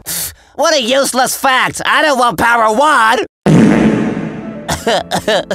Ass one. This speedy hack lets you mine out a large area of stone incredibly quickly so you can focus on making your underground base. All you have to do is put down some moss, use bone meal, and the moss replaces all the stone around it while leaving the precious metals like diamonds and iron. If you dig it out with a stone hoe, it goes almost immediately. Banners aren't just good to show your colors, they can imitate metal in this crazy hack. With the right designs and placement, banners can look like sheet metal. Perfect for builds designed to look like big industrial machines. This huge building is watching! See, if you put this banner design behind the trapdoor, the sway animation on the banner will make it emerge outward, looking like it's opening and closing its eyes. This fancy chair has secret storage compartments filled with food, perfect for lazing around. The key is that the decorative layer is actually a traveler's llama. The llama itself has been turned invisible and has storage boxes attached to it. It's everything you need from a comfy chair. And if you're ever left with a ton of wet sponges for whatever reason, don't dry them in a furnace. Instead, take them to the nether where they'll dry out instantly in the heat. Then you can use an enchanted hoe to pick them up super fast and get straight back to sucking. God, why did I just say that? Launch into space with this crazy hack. If you pack a bunch of cows or pigs together in one space in this hack, you can cause entity cramming. This kills off the animals until it's at the max allowed in that space. If you jump into that space with them while wearing a elytra, you can launch yourself out at an insane speed. And for even more detail in these buildings, try using this square character to make it look like signs are nailed down. This works really well for boarding up doors and windows. You can even use spruce trap doors placed on the ground to give the effect that a door was broken down. Waterlogged stairs can be used to make tiny creeks that wind throughout your buildings, but a more practical use for them is to add water sources to your farms that you can't fall into. Animation is the best way to make any building come alive, and the absolute easiest way to do this is to hide a spore blossom somewhere. They create a bunch of these tiny little green particles that are just so, so pretty. Sometimes the flames from fire and campfires are just way too big, so instead, try putting an armor stand below ground and lava for a much smaller and way cuter little flame. Oh, look at it, so tiny. By placing banners below stair blocks, you can make couches with cushions. This also works for beds and comfy chairs. If you want to be able to actually use your chairs, you can push a stair or slab into a minecart and you'll be able to sit in it. And if you want chairs to put outside, campfires make great benches coupled with signs and trapdoors. They also work great in log piles to add extra detail in the form of tiny little logs or sticks, as some people call them. I also like to add barrels, fences, and slabs to these to add extra detail and storage to a survival build like this. Let's be honest though, one of the best ways to protect your base is to just hide it really well. So next time you're feeling too lazy to set up tons of traps on your turf, try heading to a snowy biome and hiding it like this. Pick a random snow-covered block and place a few scaffolding below it. Then dig two holes either side, add a bubble elevator in one, and now you have an invisible base that you can even crouch around in to hide your name tag. That's if you can remember where you put it, which, let's be honest, I can't. Mobs have got way better at pathfinding compared to how they used to be, but they still have some issues. For some reason, they still don't see carpets as blocks. So if you fill a pit like this with them, you're totally protected from mobs. Two tall flowers like sunflowers and roses work for this too. If you're like me and can never remember where you put your secret entrances, try this out. Shulker boxes are a great way to sort your items. But if I jump on top of this one and open it, suddenly I'm in my second secret base. For some reason, you can fall through shulker boxes if there's a block above your head, allowing for a perfect entrance that you can even color code and use as storage. Everyone knows zombies love turtle eggs, or hate them, I guess. But you can actually use this to protect your base. With just a single turtle egg and a trapdoor, you can create this super simple zombie trap that will kill every zombie nearby for you for almost no cost. You can stack enchanted books with this secret exploit. Just put two books in a grindstone, and if the books are cursed, then the grindstone can't do anything to them. It just puts two books stacked together as a result. This illegal exploit makes you way stronger in the nether. Just hold up your shield while walking through the portal, and when you step out the other side, the game will assume you've always got it up, so you can sprint and fight while still blocking at the same time. Using ice to slide in a diagonal is near impossible, unless you use this simple trick. Place the ice in a diagonal pattern, and then fill the edges with water. The water will keep you centered, and you'll keep going as fast as ever. Spy on your friends with this illegal one-way wall that's see-through on one side. It's built with item frames that have been turned invisible with this command. Put custom map frames onto them to make it look like a wall on one side, and it will be invisible on the other. Try the most secret mechanism using this bizarre Enderman glitch. If you trap one in a minecart or boat next to a wall, arrows still won't work on it. Sometimes I'll even pass right through the Enderman and the wall. If you put a target behind that, you've now made a secret mechanism that's especially great for hidden doors. There's tons of secret actions you can do using the F keys on the top of the keyboard. Hold F3 and C and you crash the game. Tell your friends it's a fun visual glitch and watch them drop from the game as it crashes hard. They'll be off the server and you'll be in their secret stash of goodies. Endermen hate rain water and will freak out and teleport as soon as they touch any. This means if you're being chased by one, just chuck some water at your feet and you'll be completely safe. Wither skeletons look fierce and they do deal a ton of damage, but because they're undead, they actually die in just one swing of a Smite V diamond sword. Ravagers, however, are much, much tougher. Can you believe these things literally have 50 hearts of health? Some people think it's best to use bows or lava to kill these things, but they don't know you can do this. Ravagers won't walk over sweet berry bushes, meaning if you simply just place a line of them outside a village, you'll not only keep them out, but also almost every single mob in the game. Now it's on to the bosses. The Wither is by far the easiest one to take out, as it has a huge weakness. The Wither actually dies in under 20 hits to a Smite V sword on hard mode, so as long as you build a long tunnel like this and spawn at the end of it, you'll be able to take it down in under a minute. The Warden is actually just as easy to trick as the Wither. The Warden is attracted to any sound regardless of what it is, but because no mobs spawn in the deep dark, you're usually the only thing making noise. However, if you do something as simple as making a redstone clock attached to a bell or note block, the Warden will be totally distracted and let you loot as much as you want to. And yes, the Ender Dragon does also have a massive weakness you can exploit to make the fight super easy. Simply wait for her to fly down to the bedrock portal, place two obsidian like this, and use beds to blow her up as she flies down. There's also a way to do this without even waiting for the dragon to perch, but it requires a specific setup, perfect luck, and lots of skill. Surrounding a bed with slabs makes it look kind of like a sleeping bag, but I've always thought the regular bed was quite small, so instead of just placing one down and leaving it at that, try making a bigger custom one like this. Also, I made these pillows with snow layer blocks. They look so soft. This layout of campfires, trap doors, and hopper minecarts looks like a stovetop. And if you place a dragon head backwards, it kind of works perfectly as a toaster. Although I don't know if I'd want to eat that grey bread. Hmm. But if you'd rather just cheat, you can use custom texture packs to change block designs for super detailed and useful new blocks. And if you want to go all the way, custom mob heads offer literally infinite possibilities for extra detail, like cakes, kitchen appliances, and smaller versions of blocks we already have. You can mix these in with blocks like iron bars to make things like CCTV cameras, but a skeleton head will work fine for this in a pinch. Oh, and if you've made a TV or computer somewhere in your house, backwards with the skeleton heads make great speakers. Sure, chests work fine, but campfires make for way cooler food storage. You could also take it one step further and use invisible item frames to hang fish off chains like this. Gold ore looks like honey that's dripped onto the floor. And gilded blackstone looks the same, but for lava instead. You can use stairs and slabs to add extra texture to walls like missing bricks, and to create holes as if it's crumbling and degrading. But if you're really dedicated to decoration, you can make maps with any design you want to, and then fill item frames up with them for custom wallpaper. Uh, just stick to texture packs though, that's a lot of effort. You can easily set up a daylight sensor next to a bell to make a simple, functioning alarm clock. Alternatively, hook this up to arrow and healing dispensers next to a dog that shoots every morning for the rest of time. It's a fact that golems are the villager's loyal protector, but it's actually possible to witness a golem go on a rampage. Villagers celebrate by launching fireworks, but if they're not safe and a golem gets hit by a firework, it will see the villagers as enemies and wipe them all out. Did you know that if you enchant a trident with loyalty, it will follow you around until it gets into your inventory? Well, what happens when your inventory is full? It actually follows you around like a pet bird. A fact that's obvious, but most people never notice is that endstone is actually an inversion and recolor of cobblestone. It's honestly poetic, where the stone at the end is no different to the stone at the beginning. They actually behave almost exactly the same as a Vindicator named Johnny, a secret mob that definitely doesn't keep me awake at night. Here's Johnny!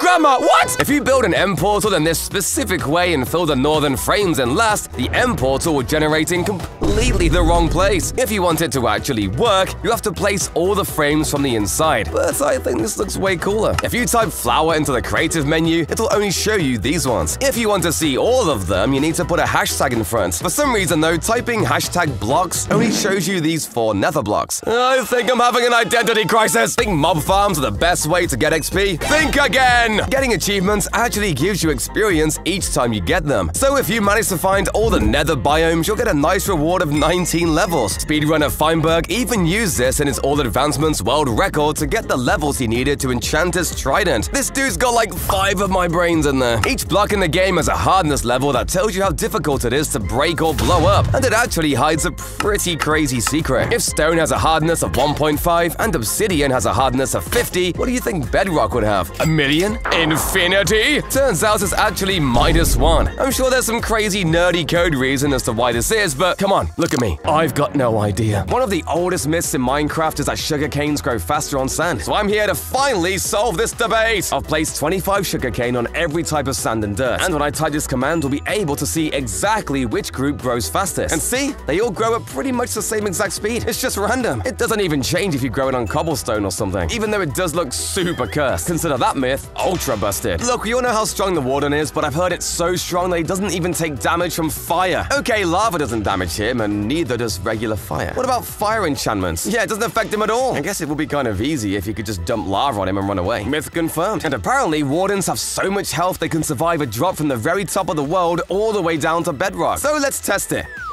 Yeah, it survives. It turns out you'd have to drop the Warden exactly 504 blocks to instantly kill it, which is literally impossible in a normal world. This thing is so powerful. If you want something even less suspicious, try breaking a hole beneath a lava pool and placing some water like this, and building your base down here. Lava pools are totally natural, and nobody ever touches them on a server, making them the perfect place to slip into, even if it is a little painful. The only other place in the entire game that mobs can't spawn is actually an ocean temple. It's true. The game is coded so that only guardians can spawn in them, meaning that if you remove all the water, absolutely no mobs will spawn nearby. You're gonna need a lot of sponges or a massive machine, but at the end you're left with a pre-built mob-free paradise. But if you'd rather not do all that work, there are ways to completely mob-proof your base easily. Not only do slabs basically double the amount of blocks you have for floors and roofs, but mobs can't spawn on bottom slabs, meaning even if your house is pitch black, nothing will be able to spawn inside. You could even add soul sand below and use soul speed to run around your house super quickly. It's kind of annoying Minecraft's water can only ever be one block wide, meaning you can't make small droplets or tiny streams very easily. However, blue glass panes work as a perfect substitute for cases like this. The same goes for ice. How do we have ice and dripstone but no icicles? Well, maybe it's because Mojang knows that light blue glass panes do the job perfectly, but come on, I can't take out zombies with them, so what's even the point? Whenever you're building a hedge in your world, try placing podzol beneath the leaves. This both acts like a shadow, but also kind of looks like leaf litter or mulch beneath the hedge. I really like the word mulch, by the way. Mulch. Wait, what are we doing? Oh yeah, build hacks. Did you know you can place nether plants like crimson fungus or warped roots outside of the nether? What's really weird is that you can only place them on grass or dirt, not cobblestone. This is super weird to me because netherrack and cobble seem most similar to me. But I guess now we know netherrack is just like hard dirt. What? My head hurts. Piglin bartering is super overpowered, but it's so slow. Luckily, Bedrock Edition pros found a way to speed it up by a hundred times. All you need to do is grab a sticky piston and a gold block, and took it up to a super fast clock. Then when you drop the gold, the piglin will pick a piece of gold up every time the block moves, giving you supercharged trading. Swimming with Dolphin's Grace is even faster than using a boat. The only drawback is that it's quite difficult to breathe down here. However, there is a secret solution that lets you literally breathe underwater. If you punch a mob while swimming, you'll stand up for a split second. When you head to the surface, you'll be able to breathe like you're scuba diving. Another way to breathe underwater is to bring a bucket and simply just spam it against the block in front of you. The water will disappear for a split second at a time, letting you grab all the air you need. Look, everybody knows about the water bucket clutch now. I've been doing it since before Dream was even born.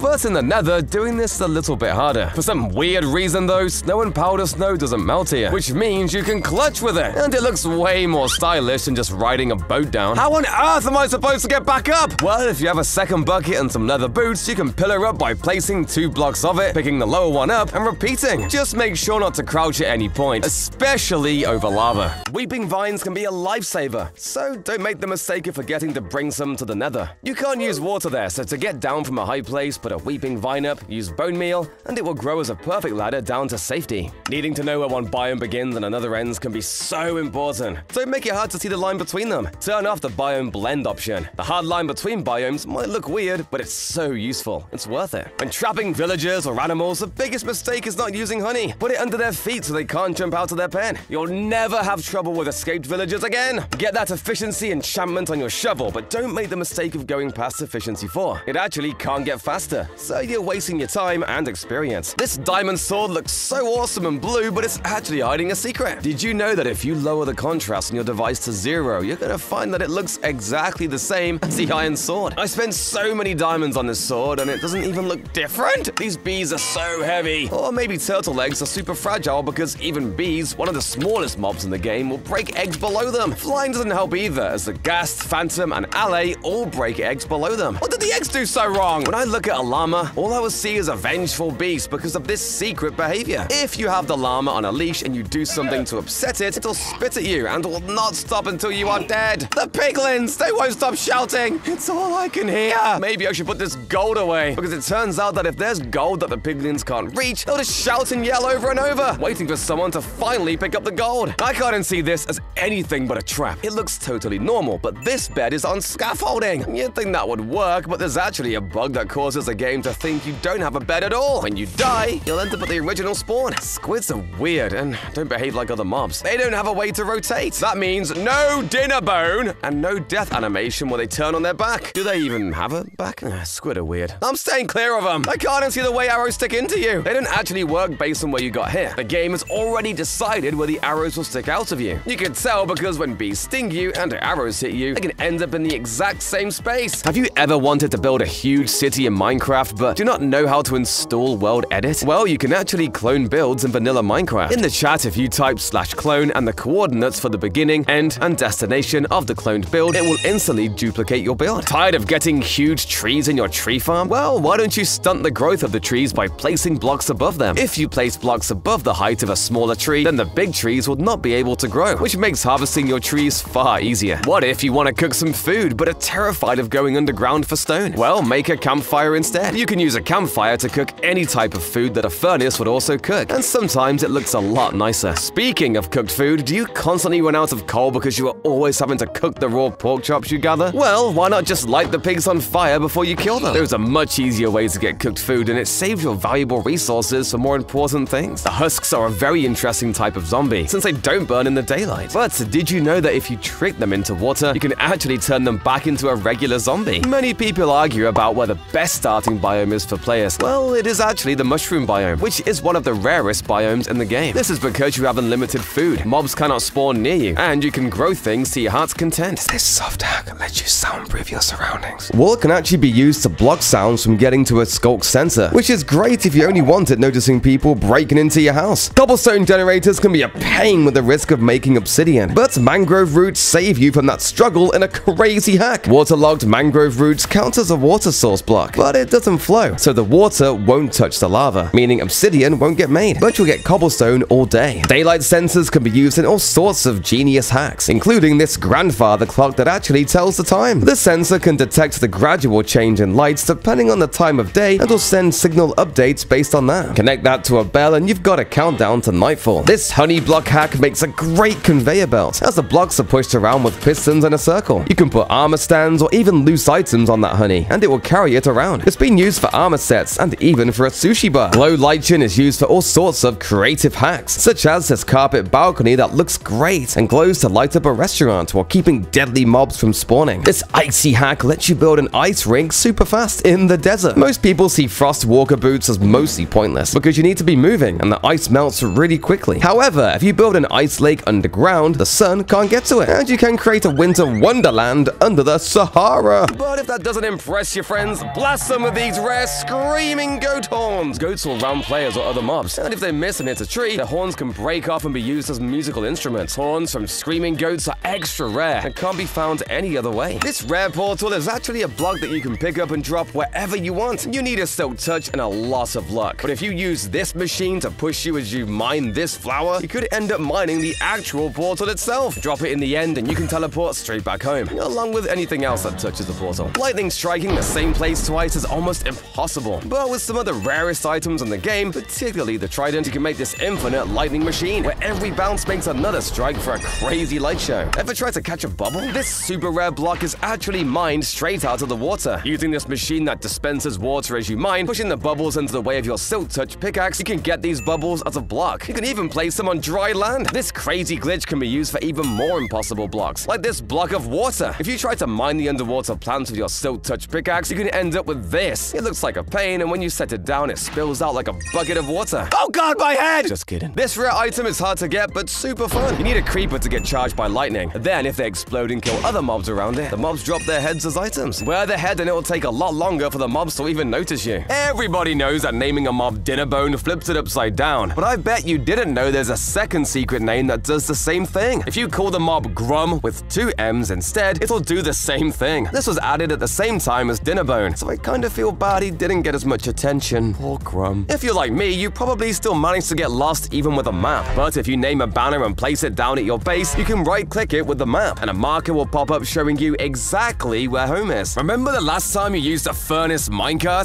Yeah, me neither, but there is actually a way to use them that kinda makes them useful, I guess? If you push a furnace minecart into a chest minecart, they'll actually couple together, allowing you to transfer a huge bunch of resources easily without shulker boxes. It all completely falls apart the second a corner or hill appears, but hey, they've got the spirit. Honey blocks are so sticky that mobs like villagers can't actually jump off them, meaning you can use them to hold them in place. And if you've spent ages pushing villagers around or using boats to move them, I'm about to blow your mind. You can't bait villagers around with seeds or carrots, but you can get them to follow you simply by having a chat with them. It seems they're so excited to trade with you that they just won't leave you alone, letting you bring them pretty much wherever you want. And if anything was to, uh, happen to your villagers, don't use potions of weakness to heal them. Instead, you should use tipped arrows with a crossbow. If you have a high enough piercing level, you can shoot through multiple villagers, and then pick the arrow up after allowing you to cure hundreds of villagers with just one arrow. The best way to move villagers isn't to use minecarts or boats. It's actually just to use a bell. Villagers will all flock to a bed whenever a bell is rung. So if you remove all nearby beds and place just one wherever you want them to head to, they'll go straight there as soon as the bell is rung. Clever, isn't it? What's even smarter is this invisible elevator that uses wind. Crazy, right? Huh. Uh, you didn't see that. Okay, fine, it's not a wind elevator, but it's still really cool. If you place a bubble stream in a corner behind two honey blocks and then maps in item frames on the honey blocks, you'll create a hidden elevator that really does it like magic. Sometimes you just need a ton of filler blocks for a project. So what's the fastest block to farm in bulk? Well, you can obviously build gigantic wood, cobblestone, or moss farms. But if you just want something simple, try trapping a snowman and using stone shovels to instantly obtain hundreds of snow blocks you can use for whatever your heart desires. If you've ever built an Enderman farm, you know it can be pretty tiring to constantly click on Enderman to get XP. But did you know that splash water bottles actually hurt Enderman? That means if you get them low with fall damage, you can just chuck one every so often to gain tons of XP and infinite satisfaction. I could literally do this for hours. Speaking of splash potions, have you ever noticed that you don't get quite as much effect time as a potion says? Well, that's probably because you're throwing them at the ground or a wall. If you throw them straight up so they land on your head, you'll get the full advertised time. Skeletons and strays also burn in the daylight like zombies, but they're deathly afraid of wolves. I guess skeletons are the best way to get bones. However, a little known fact is that both skeletons and zombies are weak to healing potions. Just two direct hits can insta-kill a skeleton in full diamond. Hoglins are massive, brutal creatures that are scared off by... Uh, fungus? That's right, whenever these huge hogs go near a warped fungus, they'll immediately run the other way. The same goes for respawn anchors and nether portals. I guess they're scared of going through and turning into zoglins, which, by the way, are one of the only mobs in the entire game that doesn't have a weakness. They're immune to drowning and fire. Iron golems are also immune to drowning, but they're so heavy they can't actually swim. This means you can trap an iron golem underwater and take it out super easily. Given they're literally made out of fire, it's not hard to guess that blazes are weak to water, but it's a little inconvenient to make use of this. So instead, try bringing some snowballs to the fortress, as they actually damage them quite a lot. Just seven snowballs can take out a blaze despite dealing no damage to any other mob. Most people try to kill ghasts with their own fireballs, which, don't get me wrong, is extremely fun, but also kinda dangerous. Ghasts actually only have 5 hearts of health, meaning that instead of risking your life for a stylish kill, you can just shoot them once with a power 2 bow. Now that is weak. This milk is special. It was milked from a squid. That's because back in beta 1.2, squid could be milked just like cows. It was later taken out of the game, but modders all over the world have been desperately trying to put it back into the game. This mound of snow holds a secret. It's actually an igloo, and exactly 50% of the time there's a secret trapdoor underneath, leading to a golden apple, a zombie villager, and a regular villager. If you cure the zombie villager, you've got yourself the makings of a brand new village. Invisibility is amazing, but it's not perfect. Wearing armor makes you more visible, but even without nothing on at all, bats and cats can see you clear as day. So if you see some bats freaking out about nothing, it might be another player sneaking up on you. It's super gross, but this baby panda can make a slime ball. All you have to do is wait for it to sneeze, and the gooey snot has a chance of coming out as a full slime ball ready to be used. Do you want to remove the hostile mobs from your survival world, try building a mob switch. This hack lets you do it quick and easy, just using villagers. If you trade with one, then zombify them, they won't despawn, and count toward the amount of hostile mobs in the area, so no extra ones will appear. This simple hack lets you turn minecarts into two-seaters, with speed you can control. It turns out you can actually put a boat in the minecart and have it still work. The boat can fit two people, and when you row it, it actually changes the speed of the minecart, letting you go faster!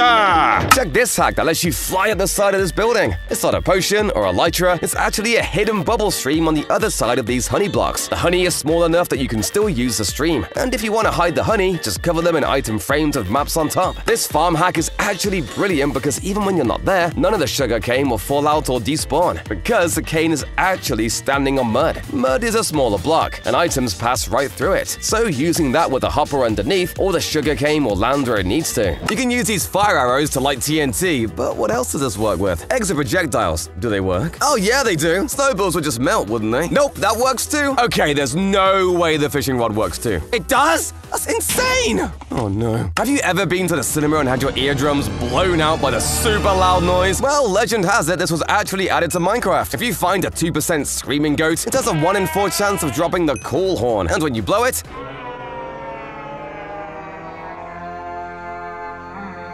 I'll say that's confirmed. You can make a door with end rods that mobs can't get through. This one's weird because the end rods are thin enough for us to walk through. So why wouldn't mobs be able to? Oh, huh, I guess it works. That's strange. Maybe they see them as full blocks like they do with trapdoors? Grindstones remove the enchants from items, so surely it makes sense for it to do the same for a notch apple, right? Oh, I guess not. Why would you even want to do that? Wait, what if I put an enchantment on it with an anvil and then put it in the grindstone after? There we go. I'll call that one a maybe. Most players beat the Ender Dragon by taking out all the crystals and then hitting it with a sword. But excuse you? I watched Dream back in the day, and not only have I seen his face before he put the mask back on, but even I know that you can skip this process entirely by waiting for the dragon to perch and then using beds to blow it up. Take that, American military! Cactuses are able to destroy items when thrown at them, but they are the only block that can do this. Dropping an anvil on some items from four blocks or higher will instantly destroy those items. Pretty cool. The invisibility potion is great for hiding from your friends, also sneak past mobs, but for some reason, villagers will still look at you, even if you're completely invisible. The same thing happens with enchanting tables, so if you're trying to spy on your friends, make sure a villager don't snitch on you. It's so much fun finding buried treasure, but where is it? I'm at the X. Everyone makes a mistake of just guessing the X exactly is pointing, but you might be off by a few blocks. So to be absolutely sure, look at the coordinates in the chunk selection. The treasure will always spawn at 9-9 for that chunk. It should be straight down. The nether is where mistakes can be deadly. It's very easy to catch fire, and water disappears instantly. Or does it? The big mistake people make is not bringing a cauldron and buckets of water. Even in the nether, water in a cauldron will not disappear. So when you catch fire, put yourself out with this cool trick. A big mistake is to not keep up with what's changed in game updates. In version 1.18, they even changed the way diamonds spawn. It used to be that diamonds mostly showed up between depths 5 to 12, but now you'll find them showing up more and more all the way down to bedrock. A mistake that has taken millions of lives is digging under sand and having it fall on your head. The best way to avoid dying is to put a torch under any falling blocks. Any sand or gravel that falls on the torch breaks instantly. Talking about end frames, some seeds have something a little bit more common, but just as weird. Instead of all the frames being filled, only a few of them will be. But the portal will still be lit. This one has just 9 eyes and a full portal. But you can get portals with only 2 eyes which still work. It's some glitchy mechanics with chunk borders that make this work. When you load the world, the game checks one chunk at a time for a finished portal. And if it thinks one part of the frame is complete, it'll spawn the portal before it even looks at the rest. I don't even know what I just said. Cool. But let's head back above ground for a second to look at some crazy world generation. Mojang recently changed how terrain is made to make it seem more realistic. But when you look at this seed, it feels as though they completely messed it up. I promise you, I'm not in an amplified world. This is just how it looks around here. Complete with crazy cliff faces, floating islands, and awesome overhangs, this area has it all. It even has a lava stream burning all the plants near it to the ground. I'll admit, it does look cool when it breaks the bamboo though. Sorry, pandas. But this next one takes the cake for my favorite seed in Minecraft. Take a look at this. It's like something out of a sci-fi movie. It looks like some sort of crazy asteroid belt, or maybe the ring surrounding a planet. I guess because this is a Stony Peaks biome in the middle of an ocean, the game tried to make huge mountains and rocks, but it glitched out in a major way. I could totally imagine someone building a mysterious orb or machine that's supposed to make all of these rocks and precious minerals float in the air like this. I'd do it myself, but uh, building isn't really my strong suit.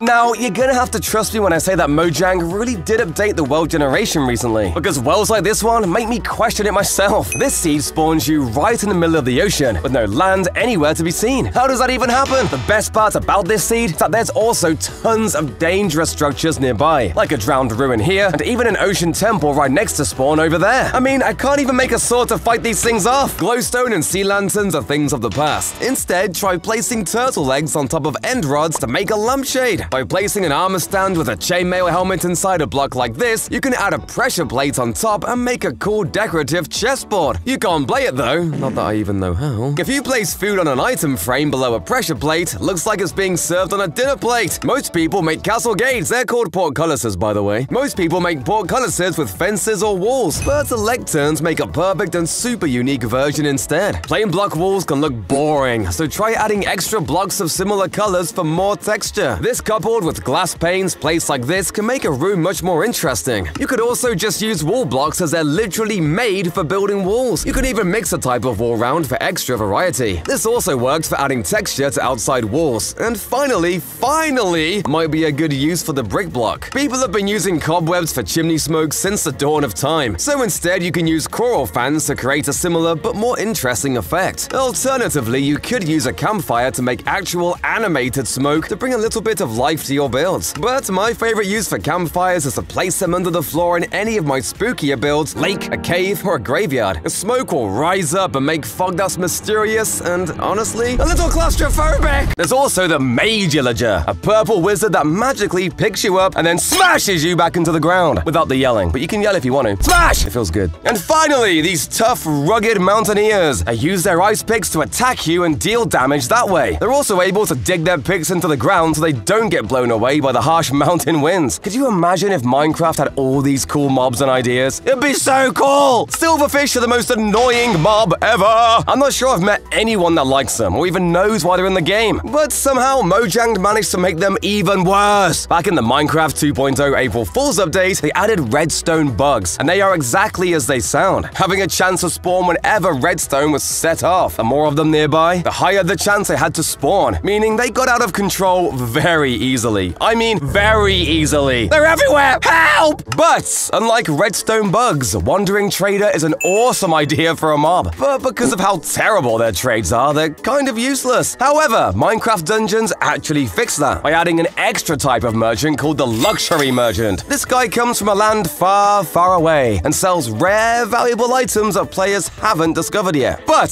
it's not cheap. For certain trades, you even have to slay a certain number of mobs and mini bosses. Nothing's ever free in this world. There's also the Mystery Merchant, who sells you loot boxes with random loot inside. But don't worry, these aren't like CSGO cases, and you can buy these with plain old emeralds. He gives you different types of gear based on what case you buy. So if you need a new sword and you're feeling lucky, you can take a chance to win a brand new enchanted diamond sword. Just don't get addicted. The Phantom, Glow Squid, and Allay were all added in mob votes. But I bet you didn't know the panda was as well. That's right, it was actually added in a secret Chinese mob vote to celebrate the release of Minecraft China. Other contenders were crocodiles, monkeys, deer, and pink dolphins. Obviously, the panda is way cooler than the rest. But imagine monkeys in Minecraft. They might have given squid competition for goofiest mob. But then again, crocodiles would have made swamps and jungles way more dangerous. Talking about these votes, could you remember what the other options were in 2017? Alongside the Phantom, they showed us the terrifying Barnacle. Trust me, it's scarier than it sounds. It's supposed to be a huge sea monster found deep in the ocean. It would suck you underwater using its tentacles and wouldn't let you escape from its slimy grasp unless you managed to kill it. Which raises the question, why would you want to kill it? I just want to be held. Uh-oh, Sculk sensors have been placed all over this minefield. One noise, and it all goes up! You could sneak by, but you can easily get caught. So you've got to move fast. The answer is to jump and sneak. If you constantly jump the entire way and press the sneak button, just as you hit the ground each time, you can go fast and stay quiet enough for the sensors not to notice you. This next trick will let you fly up to high buildings without TNT or Elytra. The trick is to get your own pet Shulker. You need to catch them in a boat or minecart that leads to the end gate out of the end city, and eventually to the main end portal into the overworld. Throw them away in a boat toward the target base and let yourself get cursed with levitation. You'll fly up into the sky, and with a good enough levitation, it won't matter how high the base is. Use subterfuge. If your friend is in need of a certain mob, like a particular villager or perhaps the ultra rare brown panda, get one for yourself and offer to bring it to their base. Base. You can lead it over, and you'll get access to the base as you bring the creature into its new home. Once inside, steal as many items as you can. It's fair payment for such a rare panda. An endangered species, you know. Fencing has been used to cover this entire opening. There's no way in without breaking it, unless you get a trapdoor. The crawl mechanic actually changes your hitbox, and with a fence like this, if you set up a trapdoor right next to it and make yourself crawl, you'll be halfway through the fence already. Just keep moving through, and you'll slide right in without breaking a single block. And finally, there's no point getting in if you get caught. So this teleporting escape plan. If you make a bubble column with an open trap door and a redstone torch at the top, you can throw an ender pearl in, and when the torch is activated, the door will close. You'll be teleported to the pearl. Attach a clock mechanism like this, and you can give yourself enough time to break in, do your dirty deeds, and disappear even if you get caught. One of the biggest mistakes Mojang has ever made is the exclusion of mobs that appeared in all the different mob votes. Mojang could add all of these mobs into each update and have it be an all-inclusive mob vote update, but instead they only ever decide to add one from a community vote that always seems unfair. Mojang, I did not want this! Speaking of missing updates, one mistake Mojang has still not corrected is fixing the end. The end is meant to be the final location in your Minecraft world. You beat the dragon, open a portal, and boom, you end up in this weird, barren wasteland. Since the Nether update, people have speculated about there being a similar update for the end. This is great, except that the Nether update was three years ago, and we still have nothing for the end. I feel like Mojang employees just do not want to give us these updates. One mob that we all miss as the OG zombie pigman. This is for a couple of reasons. Firstly, the zombie pigman was just a perfect enemy that really felt like it belonged in the Nether as a zombie counterpart. But introducing the piglins ruins that feeling. The thing that makes this an annoying mistake, however, is that they do not even drop rotten flesh anymore. Please, Mojang, bring this back! The next mistake was not entirely Mojang's fault. Since Microsoft bought Mojang, they have been trying to get Mojang accounts and Microsoft accounts linked. However, this proved to be massively hidden from people who perhaps use their parents' account. Since there are now millions of Minecraft accounts that have been erased entirely from the earth, people often say that Minecraft doesn't feel as colorful as it used to. Well, in Snapshot 18W15A, if you mess with the new Biome Blend feature, you could turn your Minecraft world into a colorful fever dream. Just fly around and see blue leaves, pink grass, red rivers, and so much more. Honestly, can we have this back, please? There is a feature in older versions of Minecraft that Mojang actually regretted adding. People love playing Minecraft in different ways, and Minecraft Virtual Reality now has a huge player base. However, did you know you used to be able to play Minecraft with 3D glasses? Back in 1.12, there was a 3D anaglyph setting on Minecraft which would let you see the world in 3D. Yet, I have never actually met anyone who used this, so Mojang swiftly erased it from existence. Mob heads are extremely rare, but most players never even bother to collect them. Well, that changes today! Did you know that wearing a zombie head actually reduces their detection range by 50%, allowing you to blend in with them and live out your days as a zombie? I love brains! Did you know it's actually possible to ban yourself from a single-player world? All you have to do is cram a bunch of weird text into a book, then fill an entire shulker box with them. The information is just too much for Minecraft to handle, so it'll just ban you. I'm not sure why you'd want to do this, but hey, it's possible. Curing a zombie villager takes forever, but what most people don't know is you can actually speed up this process. For whatever reason, placing beds and iron bars around the villager will actually speed up the curing process by about 4%, which sure isn't that much, but hey, every second counts. If you think placing water in the nether is impossible, well, you're wrong. On this specific Minecraft snapshot, Mojang messed up and accidentally allow players to bring water into the nether. If you place a piece of glow lichen in water, then shear the glow lichen and silk touch, placing this piece in the nether would cause water to start flowing everywhere, allowing me to fulfill my dreams and create a water paradise. Okay, just joking, this is a texture pack. Foxes can hold items in their mouths, but they won't just hold the item. After a while, they'll attempt to eat it if it's a food item. This means foxes are able to teleport when eating a chorus fruit, and if they eat something like a suspicious stew, they'll actually gain the effect from that as well. Just about everyone knows that sticks are a terrible fuel source when it comes to smelting items. But if you pour and that's all you have, I got you covered. Use a crafting table to turn them into ladders, which will make your sticks much more effective as a fuel source. Pros know to never use lava to get rid of your items. It's dangerous and there's no second chances. Instead, use a cactus. Make a cross-shaped hole, cover it, put a trapdoor above, and a button above that. Now you can throw your items on the trapdoor. If you throw the wrong item, you can just pick it up again. Then when you're ready, press the button and watch the items get deleted by a cactus. Pulling around a bunch of potions can fill up your inventory real quick. So instead, use arrows. They can stack. And if you move forward fast enough and look slightly up, you can hit yourself with your own arrow. You get the same effect while not wasting space with potions. Getting into and out of buildings can be done at high speed and with no trace left behind using an ender pearl. Run to the wall and throw the pearl down at the corner where the wall and floor meet. Keep moving forward and you'll get to the other side. Pros use entity cramming for a lot of things. This is the act of putting way too many entities in the same single block space. Anything in there starts dying. And if you put a hopper beneath that, It's a very easy way to farm beef without huge contraptions. This mushroom is a light source. It may not look it, but the brown mushroom is generating the lowest light in the game,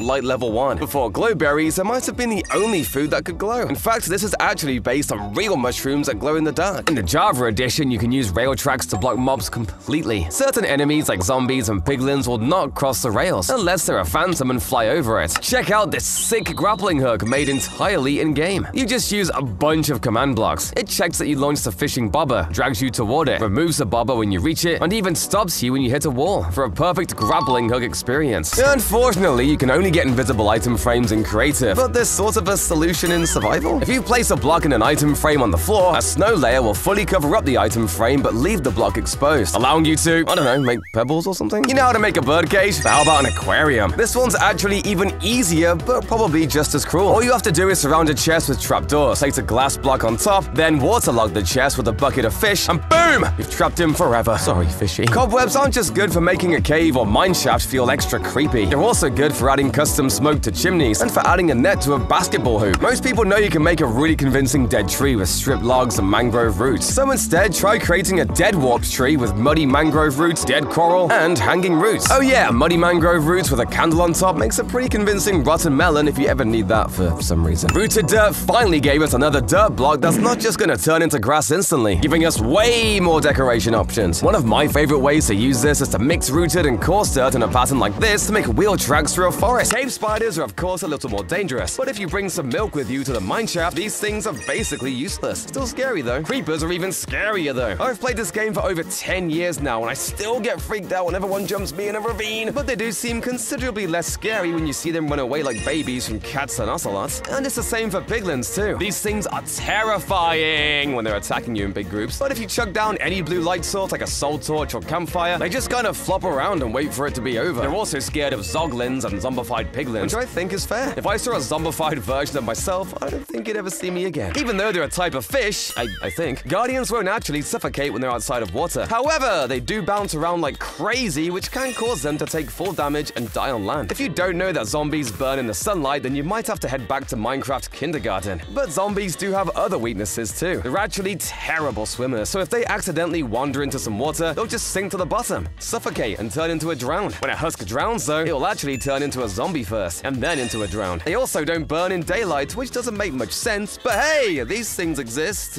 What do I know? Wither skeletons are one of the most annoying mobs to farm in Minecraft. They don't even spawn half the time. But if you're in single player, try lowering your render distance and simulation distance to 5 chunks. This will force all mobs to spawn where you can see them, letting you find farm skulls way easier. Once you're ready to fight the wither, whatever you do, don't spawn it above ground. Trust me, I learned the hard way. Instead, dig a 40 block long tunnel underground and spawn it in a chamber at the end. If you stay at a safe distance, you'll be able to take it down super easily without getting hit once. Well, good play as well. Cakes aren't really the best food source, but they do work as a great decoration. But did you know they're even better now with the addition of candles? Now you can place a candle on top of the cake to add just a little bit extra color to the room. For redstoners, slimes are super valuable, but they can be so hard to find. Swamps are usually the best place to look for them, but sometimes you'll go just to be met with nothing. Well, it turns out that's because slime spawns in swamps are actually based on the moon. So if the swamp is dry, try waiting a few nights until it's full, and the swamp will be covered in the things. It can be really hard to find exactly where the buried treasure is once you're nearby. The map isn't really clear, but if you think you know the general area, hit F3 and make these two numbers say 9 by moving to the right block. Dig down and voila! Seven fish and an emerald. Great. Unfortunately, snowmen don't do damage to mobs with their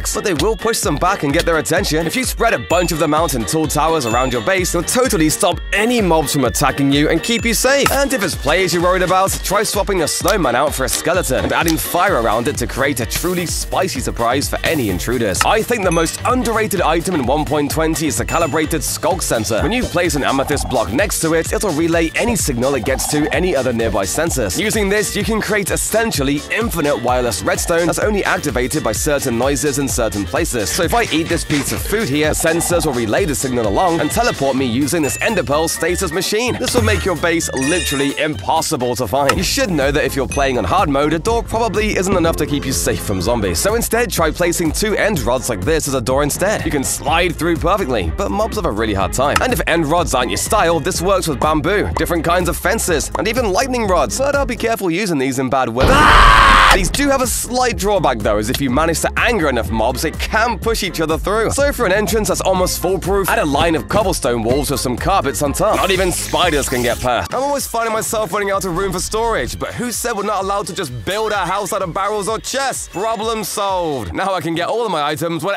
Hey! Give that back! Okay, okay, everybody knows about the painting entrance by now, but what if we use that to our advantage? All people do is walk into the painting to see if there's anything hidden, but this painting has a pressure plate behind it you can activate with an item. I guarantee you, nobody will find this one. Let's face it, everybody's realized that amethyst is pretty useless, so I don't think anyone would mind you setting up camp inside one. They're the perfect size to fit all your decorations in, and crimson wood goes perfectly with the amethyst color. That's just cherry wood if you're living in the future. Gathering materials for a base can take forever. Why not just cut that part out entirely? Leaves are the fastest block to collect in the game, so just shear a bunch of them and build your house out of those. I'd make sure to set up a few uh, lightning rods though, because that could go very wrong. But if you want to take it even further, try building this thing instead. It's got all of the blocks you need for a home, including a brewing stand and an anvil. And you're even safe from mobs in the bed too. I don't know if I'd call it a base though. It's more like being homeless. You can make a perfect little cage for parrots by pushing a piece of stained glass on top of them. For dogs, try a solid block instead. On Minecraft Bedrock Edition, you can create a literal piece of art. Using a command block to place hundreds of end crystals, the crystals will actually stack, creating something that doesn't even look like Minecraft. Just make sure you don't run into it. Or walk, or crawl. Just, just stay away! Over the years of Minecraft, farms have gotten more and more advanced. We went from farming melons to a fully functional wither farm. Using TNT, arrows, and insanely precise timing, these people built a machine able to get arrows to supersonic speeds, allowing you to one-shot the wither and farm its resources while AFK. In fact, there's even a functional wolf farm, which offers a new home to live dogs!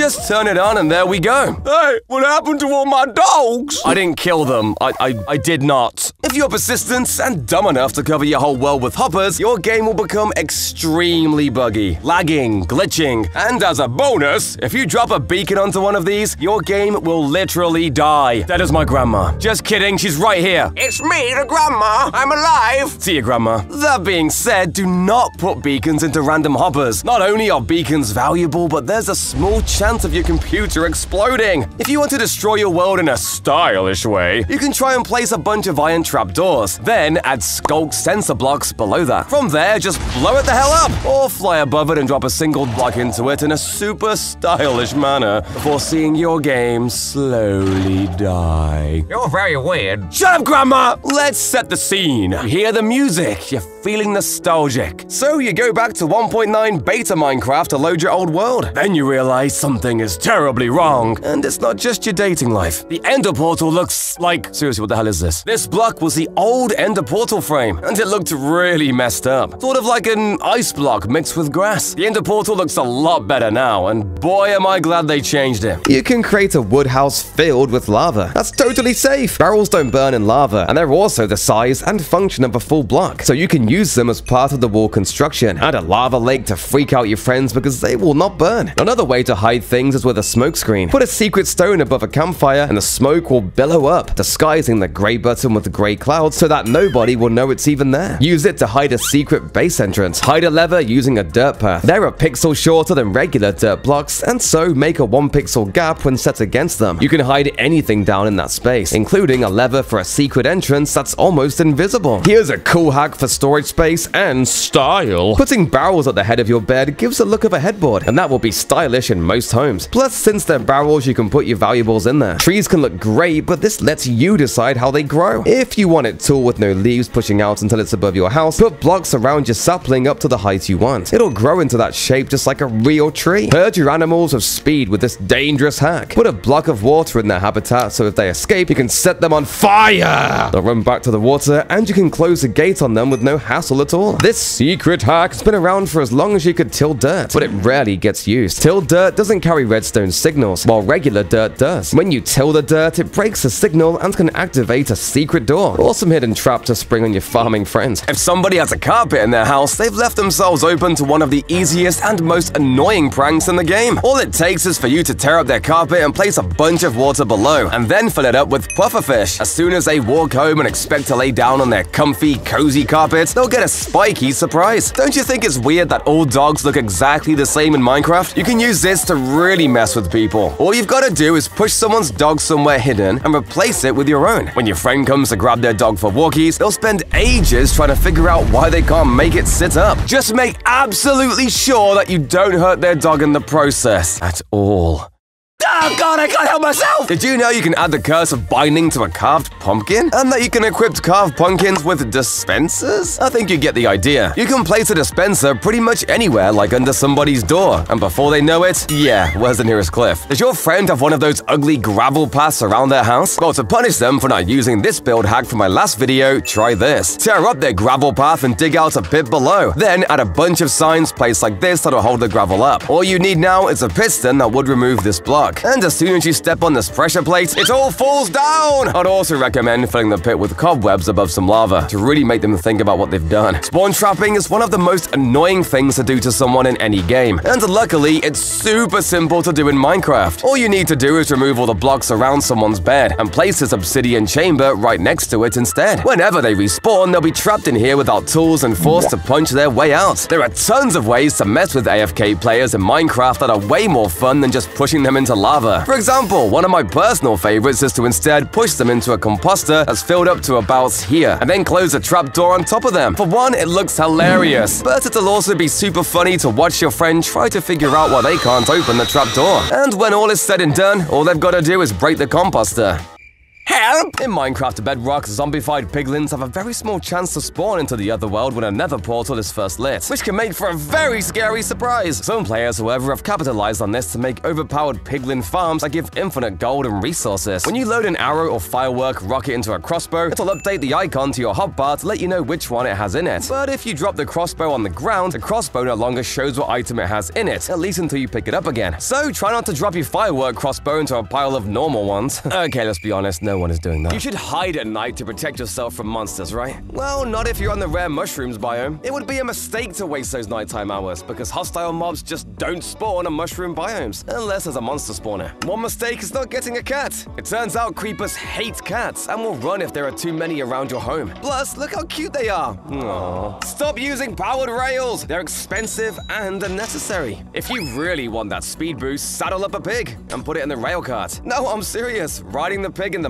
minecart while pushing forward lets you move almost as fast on normal rails as you would on powered ones. Using a furnace for your food is a big mistake. Use a campfire. It doesn't need any fuel. And even if the fire gets put out, you can use a silk touch shovel to recover it, and the fire will be lit again. Check out this book I have. Oh wait, no. It's actually a leather cap. See, the new leather trims that came in with 1.20 lets you use armor trims to customize your look. This particular trim makes it look almost exactly like the books the librarians wear on their head. Speaking of leather armor, did you know that you can dye your armor multiple times to get slightly different shades? Use enough dye and you have access to all 16.17 million possible colors in Minecraft. Now I can't look at boring regular leather armor without seeing all the colors it could be. Sniffers are like big puppies. Seriously, they're actually based somewhat on corgis. Their dig animation has them splay out their legs, which dogs do, particularly corgis, when they're hard or need to lie down. Lying down like this is officially called a sploot. All the paintings in the game are pixel versions of real paintings, and some of them hide amazing details. I can never unsee this painting now without looking at the six brown pixels at the bottom. In the original version of the painting, they're actually a cute, fluffy little animal. Here's a little detail that's easy to miss. Want to create a lot of smoke? Campfires can make some, but it disappears before it can even get past the treetops. But if you put the campfire on top of a haystack, that smoke will rise three times higher. Skeletons have been in the game for well over a decade, but I bet you didn't notice how they've been holding their bow. It turns out that skeletons have an 11% chance of being left-handed and holding their bow in that left hand. This only applies to Java Edition though, as mobs in the Bedrock Edition cannot be left-handed. Did you know that you can actually totally skip the Ender Dragon fight? By building a simple flying machine like this, you can fly all the way to the outer islands without so much as touching the Ender Dragon, allowing you to raid as many end cities as you want for all the loot you could ever dream of. However, the only way out is, uh,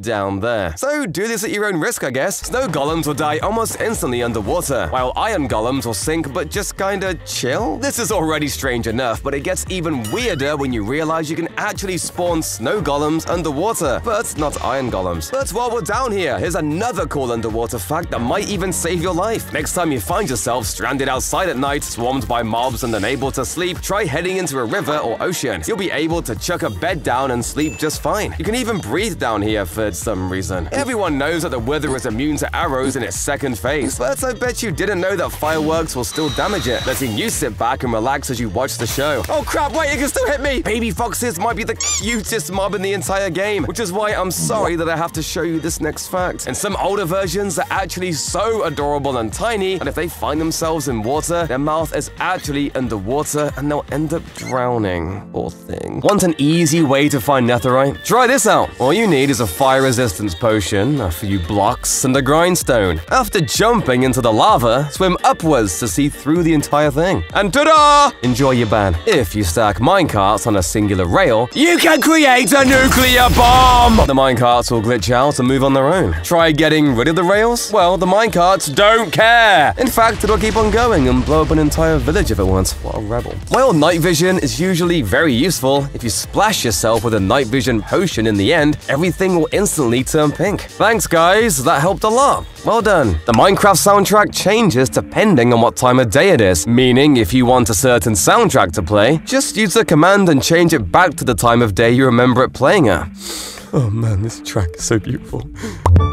Who said it today? Who? Huh? I know karate! Because soul sand isn't a full block, you can't really place falling blocks on top of it. Or at least without having your blocks turn into fragile block entities. If you've ever created a staircase, you'd realize how annoying it is to have to go up and down and back up again. Who invented stairs? I will fight you! But there's a way out of the never-ending pain. Because if you place a torch on the block you're using, you can place a block on the side. And if you keep recycling your torches, you'll soon enough have a really long staircase. Just don't look at it from the side. Getting caught in a raid can be a nightmare, but don't make the mistake of fighting off the enemies in open combat. Just dig down! In a three-block hole, you can hit the Ravager, but it can't hit back. Want to sneak fast? Use Swift Sneak correctly. If you sprint, jump, then sneak as you land, your Swift Sneak movement will actually be going one block faster every second than you would sneaking normally. If you find yourself in a cold biome and want to make a farm, you can! But don't make the mistake of using open blocks of water. Use waterlogged leaves instead because these don't freeze like water does. Ladders take a lot of wood to make, and when you're exploring, you might make the mistake of wasting wood for no reason. Instead, grab a friend, get some shields, and start punching each other. The knockback can launch you six blocks into the air with some real speed. There was actually a secret red dragon that almost made it into the game. The plans were dropped in 2014, but Mojang have said that if they ever brought it back, it would come from the rarest item in the game, the dragon egg. This lava is trapped! The pressure plate technically fills that space with stone, so the lava can't flow into it. Use it as a decoration in your house? It's totally safe, until someone decides to break it. This secret is one you've seen and never even noticed. The title screen Minecraft has a 10,000 to 1 chance of changing the spelling to Minecraft. Circles are illegal in Minecraft, but with command blocks you can make one with an armor stand that rotates. This spawn stands as it rotates, with stand blocks on their head. Use a command to face the center stand and make the stands invisible for a perfect circle. In this super old snapshot, pumpkins have a truly crazy secret. If you spawn in pumpkin stems that have grown further than 8 stages, they'll start to turn into this weird furnace plant. This happens because the textures got totally messed up in the files, but I prefer to imagine them growing those fire flowers from Mario. In any official update before 1.8, you could use this illegal fire item to craft chainmail armor. The weirdest thing was that you couldn't even get the fire item, so it was a completely pointless craft. You can get invisible armor in Minecraft. Right now, I'm completely invisible! And all I'm wearing is this suit. To get this amazing armor, all you have to do is type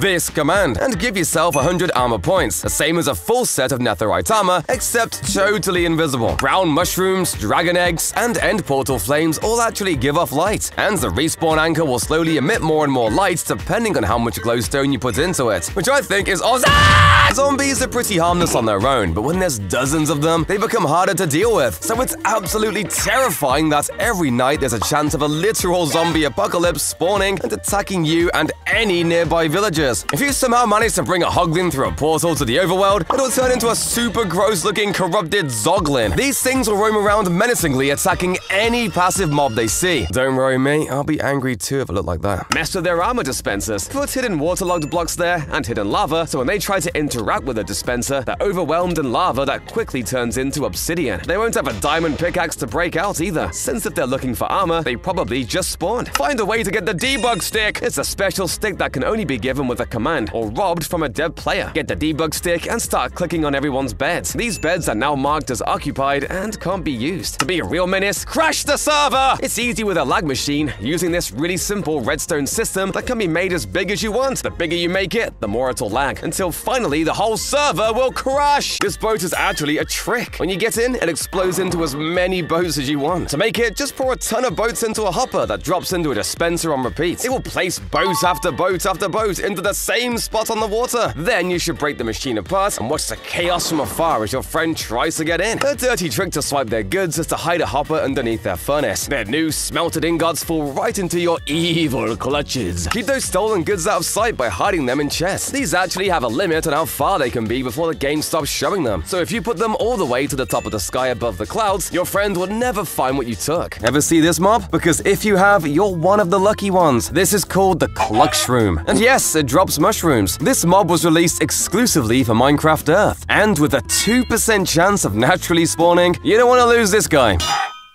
Mushy? Mushy, why? If you're in Minecraft Bedrock Edition and you catch on fire, don't panic! Just craft a campfire, and you can light it for completely free just from standing on it. Oh man, what a good trade-off. Now that's what I call making the best out of a bad situation. In the early versions of Minecraft InDev, you could stack up to 99 items in Minecraft. This was later changed by Notch to the iconic 64 items you can hold today. Hey, you do you, bro. Everyone knows if you hit a zombie piglin in a swarm, it's not gonna be a fun time for you. However, if you manage to one-shot that same zombie piglin with an overpowered weapon, all of the piglins will get confused and stop targeting you, allowing you to finish them off one by one. Hey, it's fine, they're zombies, so die piglins. Did you know if you splash a potion of poisoning onto a creeper, then let them explode, you'll end up seeing a lingering poison effect? This can be used for blowing up your friend's base, and then finishing their dogs off. Thank me later, you monster. If you're near an ocean with your friend, have them crouch down in front of the water and pay attention to their name tag. If you look closely, you can see the water is transparent, allowing you to see anything you want. So if your friend's got a secret base, we will find it, and we will kill your dogs again. Talking about the ocean, if you take an iron golem and try to sink them, you'll realize they literally can't drown. This means they can stay at the bottom of the ocean for years without taking a single hit of damage. Man,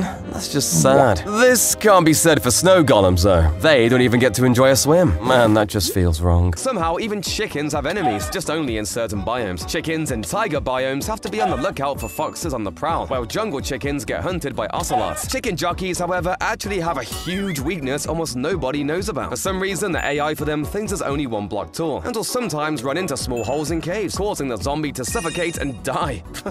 Idiot. Oh crap! Shulkers are annoyingly hard to kill with their armor and ability to teleport, but we can actually use this against them. If you place water where a shulker is sitting, it'll teleport away immediately, leaving you free to loot up the end city in peace. Everybody knows that spiders are weak to Bane of Arthropods, but I guarantee you've used it so little you didn't know that hitting a spider with it doesn't just deal extra damage, but also gives it slowness 4, rendering them almost totally harmless. And by the way, Bane of Arthropods 5 is so powerful it can one-hit a spider on a wooden sword. Why does nobody use this? Did you know you can jump up more than one block in Minecraft? This is called a blip up. Basically, you trick the game into thinking you are on a higher block than you actually are. This then lets you jump up multiple blocks. However, it requires a fair bit of setup, so probably is not that useful. People will often MLG into a bed. It is certainly one of the biggest flexes you can do with your friends. But how about swimming into bed? Well, if you position yourself just right as you approach the bed, then you will actually have the swimming animation while you lie in bed. Is this some kind of water bed? Representation is huge in Minecraft. However, this next mistake I do not think was entirely intentional. If you load up Minecraft in Snapshot 20W45A, you would see some cats that really showed some representation that they only had three legs. Not sure how they would would be able to balance like this. I could barely stand on two legs. Ah! There is nothing more embarrassing than dying from fall damage, but did you know you can actually do an MLG clutch without any block or item? No water, no cobwebs, no beds or anything. All you have to do is crash into a block as you fall at just the right angle, and you will bounce up on the block. Certainly one of the best MLGs to make your friends believe you are hacking. Have you ever wanted to use an Elytra but are way too lazy to defeat the Ender Dragon? Well, this next glitch lets you completely skip the End Dragon fight and go straight to the End Island. All you have to do is push yourself into your End Portal with a piston, and voila! You will go straight to the End Island at the same coordinates as you were in the overworld. But be careful, as there may not be no block underneath you! Ah! This super high IQ hack lets you farm mobs in the nether. Most mob farms use water to funnel the mobs into a drop that kills them, but you can't do that in the nether. So instead, use ghasts in Minecraft. Their big hitbox pushes other mobs to the edges, where you can put a drop down to their doom. It can be great to make a village of your own, complete with villagers, but you need this hack to protect them from invaders. Fill a dispenser with armor and use it to launch the set into a villager. The village will actually use the armor, a perfect defense for your peaceful town. Campfires can look great in your home, but not if it smokes up the place. This hack removes the smoke completely. Just put two layers of string on top and the smoke stops. Filling a swimming pool with buckets of water can take way too long. So try this speedy hack instead. Stack ice blocks along two edges with a gap between, and then break them down at speed with a pickaxe. The water will spill out in such a way that the whole pool gets filled like magic. If your friend wants a nice oxidized copper roof, trick them by secretly waxing the copper blocks with honeycomb. They'll be waiting for days wondering why it's not turning that lovely shade of green. Check out this infinite lightning rod. If you can trap your friend in a room above one, see how long they can survive as lightning constantly strikes around them. Bring extra difficulty by dropping hostile mobs in with them. This deadly trick is devilishly simple. If your friend uses water to jump great distances, put a blue tinted block over the water. It totally blends in, and you can watch as your friend slams into it at full speed. Everyone wants a secret underwater base, but will often forget where it is. Well, how about this genius hack that uses a magma bubble column? It'll drag you down to the right spot to activate a hidden door or redstone contraption, letting you into your own personal underwater home. This warped fungi is the key to this home with this new hack. You basically have to hold a strider hidden in the wall, sitting in a two block space of flowing lava. If you hold out the warped fungi, the strider will walk up the lava to get it, activating the mechanism and opening the door. Then when you put the fungi away, the strider will slide back into place. One crazy Minecraft fact is that chests don't burn, even in lava. So if you want to hide your valuables, put them under a lava lake. If it's shallow enough, like one block deep, then you can access the chest while staying on dry land, and the lava will cover it completely. This genius hack lets you recreate the nether in the overworld, including totally not zombified piglins. To do this, you simply replace regular dirt with blocks and entities from the nether. But piglins zombify in the overworld, so disguise that with a piglin head forced onto them using a dispenser. Include some armor and weapons to hide the rest of their body too. If you want to hide your valuables, don't put them on a chest out in the open. Hide a barrel behind that chest, and you can still access it without people noticing it's there. Using maps and item frames, you can build huge 2D replicas of fake blocks and create super detailed hidden entrances you can use to hide almost anything. Check out this desert. See anything wrong? There's actually two hidden bases here, one inside this cactus and one behind this sand block. All you need to do is place the maps inside an item frame placed on a sign, and your base is suddenly invisible. You can actually make a base in the void. Sure, you can't place blocks down here, even in creative mode, but there's an illegal workaround. Using a chicken, leads, and boats. You can spawn shulkers down here and walk on them as if they're normal blocks. They'll even use levitation to send you back up. Look, all of us have wanted to live inside a video game at one point, and with some glass, terracotta, and buttons, you can. Imagine seeing this while playing on your Nintendo Switch. Hang on, I think I'm trapped. Let me out! Let me out! Huh?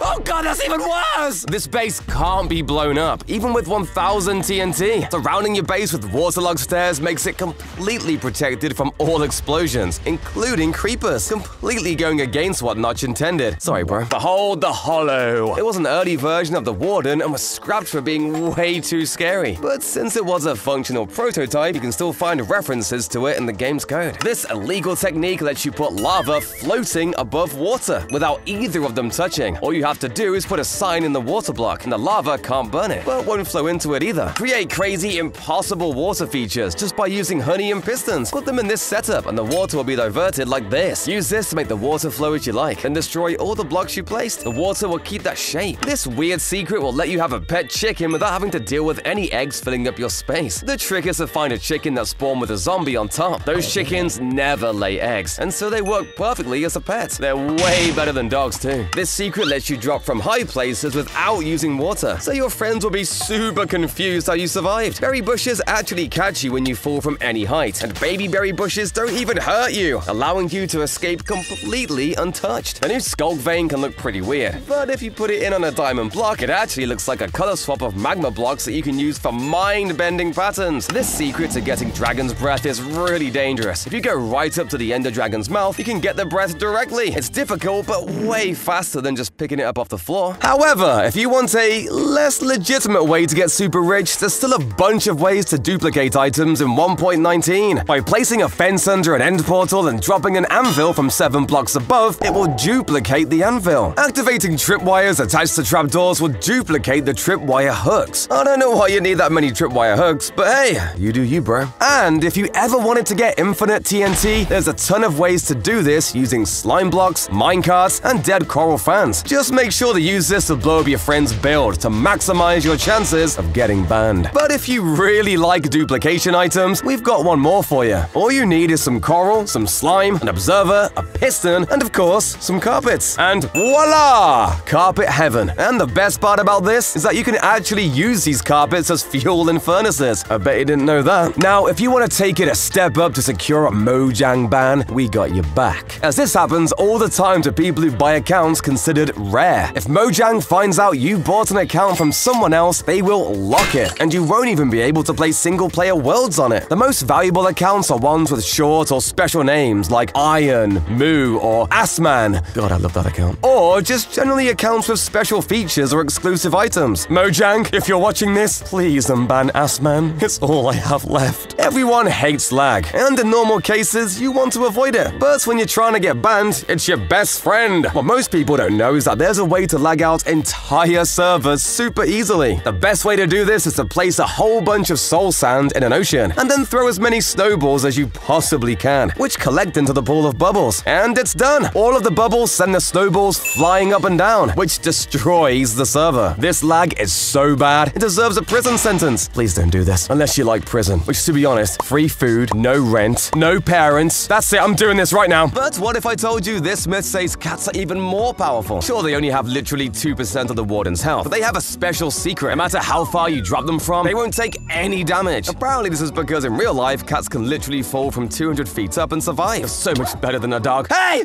I didn't kill it. I'm still keeping my promise. But what about us? For some reason, landing in just an inch of water is enough to completely survive any fall. So, I mean, a watermelon is mostly water. Surely that can save me, right? Yeah, no. But berry bushes can. Right. 1.20 finally added armor customization with armor trims. But did they add the ability for our horses to get dripped with us? Alright, it doesn't work with diamond. What about leather? Oh, I guess not. Looks like it does work for turtle shells, though, for extra swag for us. Sorry, horsey. Oh, and by the way, if you have a looting 255 sword and kill a screaming goat, you'll actually get a secret goat horn that plays a super special sound.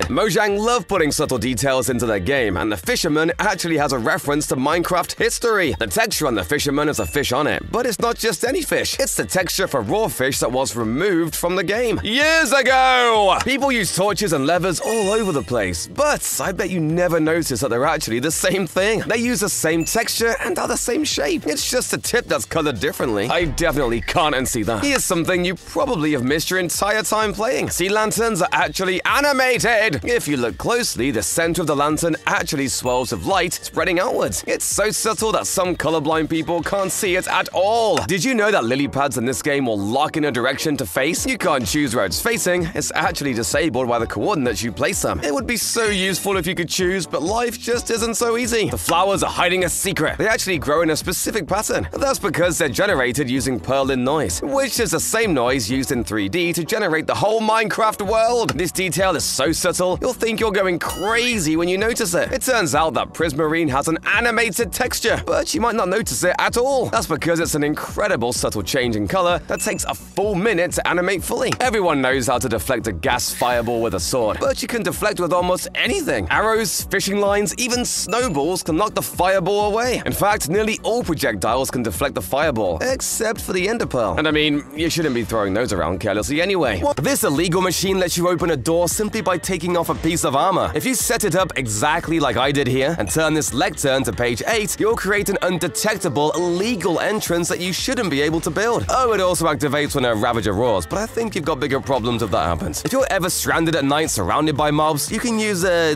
composter? But that's right, jumping inside a composter with a trapdoor on top protects you from skeletons, creepers, and all other mobs in a pinch, making this an illegal, completely portable base. But if you want a more permanent house that's just as quick to build, try bone mealing a red mushroom, chucking a floor in, adding some decorations, and you've got a perfect little fairy tale house that definitely wasn't meant to be a base. If you hide a leashed chicken underground, you can attach the lead to a fence and make what kinda looks like a floating balloon house. You can add some actual balloons up top, and you've basically got the house from up. You know those little waterfalls that come out of mountains? They're perfect for secret entrances. Just break one block behind the source and dig down a little, and then you're free to build anything you want down there. Just be careful not to place any lights too close to the entrance, because that looks sus. If you use invisible item frames with the fake block trick from before, you can create one-way glass that you can use to secretly spy on all of your friends. This one definitely feels illegal.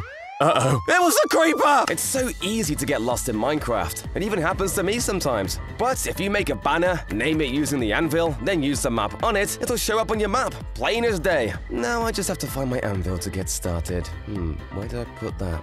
Want to loot a desert temple? Do not forget your water bucket. It's really useful if you accidentally step on that central pressure plate. Dig through it to expose the TNT, then pour that water on top. The first TNT will explode, but won't damage anything, or ignite the other TNT. This trident with Riptide is great for the high jump, but a big mistake people make is using it in deep water. You actually do much higher jumps in a one block deep puddle. The Sniper Duel achievement can be really hard to get normally, but this is Minecraft. Get creative! Trap a skeleton in a hole. Put a block above its head, shoot the block with arrows, put a sticky piston there, connect a switch 50 blocks away, pull the switch, the block moves, the skeleton dies, and you get your shiny new achievement. Are villager trades unfair to you? Then break the lectern, smash it to pieces, and then put a new one in. A villager loses their job and has to reapply, and when they do that, they get whole new trades. Once you like a trade, make the trade and it will get locked in permanently for that villager. Have you got a pet zombie or skeleton? Pros know the best way to keep your undead army alive is by giving them hats. This blocks out the sunlight so they don't burn, even in a desert. Want to break tough walls? Well, pros know that if you grow a mushroom using bone meal, it will literally delete almost any block it grows into. Make sure it's not exposed to the sun though. The fastest way to make a big hole in the ground is a TNT duplicator. Keep this design high above the ground because it's going to be dropping TNT down and blowing up everything below it until you tell it to stop. Personally, I think dogs in Minecraft need more customization. Yes, I know they are adding the wolf armor in the next update, but I want to dream bigger. In the Bedrock edition of Minecraft, there was a hilarious glitch that would actually let you dye the entire dog. Ugh, why did they need to have more dogs? Oh no! I'm gonna die in this lava! Well, actually, no. As I have an expert way to get out of this certain death situation, if you are burning in lava, quit the game and then relog. When you log back in, you will actually have 3 seconds of complete invincibility. But be warned, it won't get rid of the burning, so you may still burn to a crisp once you get out. Villages are a staple part of Minecraft, needed for everything from exploiting the trade market to summoning their iron protectors just for them to burn in your iron farm. However, when villagers were first added, they were only meant to spawn in the plains biome. But one mistake within Minecraft's code had them spawning in the ocean and having really nice wooden paths. Mojang realized the mistake and panicked, thinking of how to deal with it. So they decided to make it a feature instead. Yeah, it's now a feature, not a mistake. There is a secret item in Minecraft that Mojang really does not want you to know about. Certain blocks in Minecraft are unattainable without the use of commands. The command blocks, barriers, and this elusive item, the debug stick. This was actually introduced as Mojang kept adding blocks to the game that were becoming buggier and buggier. Hitting a block with this stick will actually change the state of a block. And the funniest part, this mistake is meant to fix other mistakes! No! This guy's gonna steal my diamonds! Quick, quick! Wait, what's in this chest? Oh, it's scaffolding! I can use this! I just have to place scaffolding like this, and then spam clicking, and then I can get away! Yes! This mistake is something that Minecraft seriously needs to remove as it can be very overpowered in these manhunt situations, but it is very fun to do. If you want to cause a more permanent problem for your friend though, this one might be for you. Using this setup of slime blocks and redstone, you can create a rocket that'll send your friend all the way up to the top of the world. Ever noticed that light gray stained glass truly ruin your friendship? Try building this in someone's roof and add a hopper and dispenser to shoot out the eggs the chicken lays. Their house will be filled with baby chicks in no time, and they'll have no idea why. Every Minecraft player knows the pain of panes look exactly the same as an empty inventory slot. This means you can secretly fill somebody's inventory with them, or worse, fill all their chests with them. And if you name them all differently, they'll have to slowly remove every single piece individually. Speaking of chests, they're a perfect way to test the strength of your friendship. With a comparator, some pistons, and a diamond, you can test exactly how much you should be trusting your friends. One of the best parts about pranking somebody is being able to see their reaction when they realize what's happening, and nothing does that better than this setup made by Grian. Nobody can resist the satisfaction of punching out a huge tower of scaffolding, so build one up above somebody's house, but have it hold just a single block of lava like this. When your friend goes to break it and realizes what's happened, it's already too late, and you'll get to watch them scramble to try and stop it. Another of Grian's devious inventions is the boat bomb, and this one's even simpler. All you've got to do is craft a ton, and I mean a ton of boats, and chuck them on top of a hopper, and dispense them all out like this. As soon as an unsuspecting explorer comes along and tries to get in, yeah, I'll make sure they find this themselves, so you don't have to help clean it up. Speaking of golden apples, apparently there's always one single golden apple in this chest right here, and it's actually the key to a secret room in the ancient city. If you take it down here and eat it in this exact spot, this door will open. All that's inside is a bunch of redstone stuff I don't understand, but hey, it's true. And if we head back up, there's this huge abandoned portal-looking thing right in the middle of the city. But have you actually seen anyone like this thing before? Here we go! It works! Let's see where it takes us. Oh, just the nether. Probably because this is actually just obsidian. This one's false. Apparently, you can actually make two block jumps with cactus or fire damage. You just have to time it perfectly.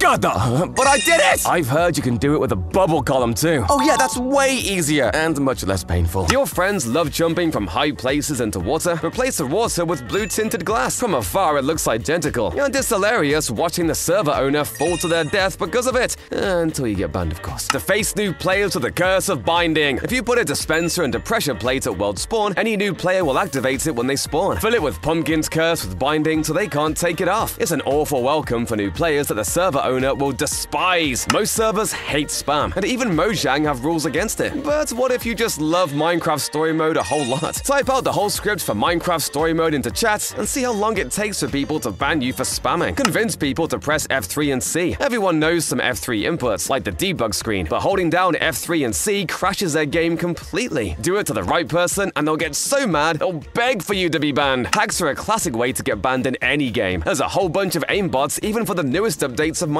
So take your pick and dominate PvP until the inevitable banhammer comes crashing down. Start a raid in the server's favorite village. If you kill a pillager captain, you'll get a bad omen, which will spawn a raid when you get to the village. Get as many bad omens as you can for an extra deadly raid that will wipe out the server's poor innocent villagers. If the server has a huge rail system, find an obscure section in the middle and direct it off into a death trap. It's almost impossible to see when you're going so fast, so they'll be dead before they know it, and we'll have to check tons of railing to find the one block you changed. Ever wanted to create a nuclear bomb? Well, you're in luck. All you gotta do is place a rail and stack multiple TNT minecarts top of each other. This glitches the game and creates an insane amount of explosive power. Just don't touch it, or you'll probably end an entire race of villager. When thinking of unbreakable Minecraft blocks, bedrock is probably first to come to mind. You can't break bedrock with lava, TNT, or even a literal nuke. So would it surprise you that all it really takes is snow? In 1.17, if you place a cauldron and fill it up with powdered snow, then place a block above it and click the cauldron, it just disappears. Wow, nice job, Mojang. The Wither can't swim, making it impossible to spawn them underwater. However, there's a catch. If you swim to the bottom of the ocean and build a little bunker, you can spawn the Wither boss at the bottom of the ocean. And when released, it will kind of just stay in the ocean like a weird fish. So hey, if you want an invincible, three-headed fish that does nothing, you know what to do. Did you know you can break Minecraft by predicting exactly where lightning strikes land? Well, most lightning strikes are spontaneous. If you load specific chunks at the right time, as discovered by a group called the Prototech server, you can actually predict and direct lightning strikes. This is extremely useful, making it really easy for you to farm OP mobs, such as Skeleton Horsemen. From there, you can collect all their loot and end up a rich man. You can also just farm your friends, which is another really good option. Feel free to add their dogs to spice things up a little. If you've ever been to a village, you'd know pillagers absolutely hate villagers. I mean, like, Mojang literally coded them to find and murder their babies. But you can actually use this to break Minecraft, as pillagers are programmed to be very dumb Very.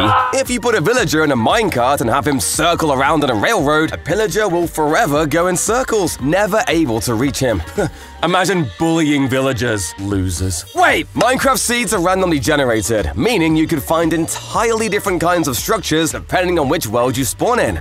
Normally, a good seed starts with spawning near a village or you finding yourself close to a desert temple. However, the best kind of seeds are the ones that absolutely defy all types of Minecraft logic, having weird lava structures like this or a literal glitched ender portal. These seeds completely break and defy every rule of Minecraft. So if you want to break Minecraft, try loading up one of these seeds. They'll give you a good excuse to blow up your friend's base. And their dogs. Don't forget the dogs.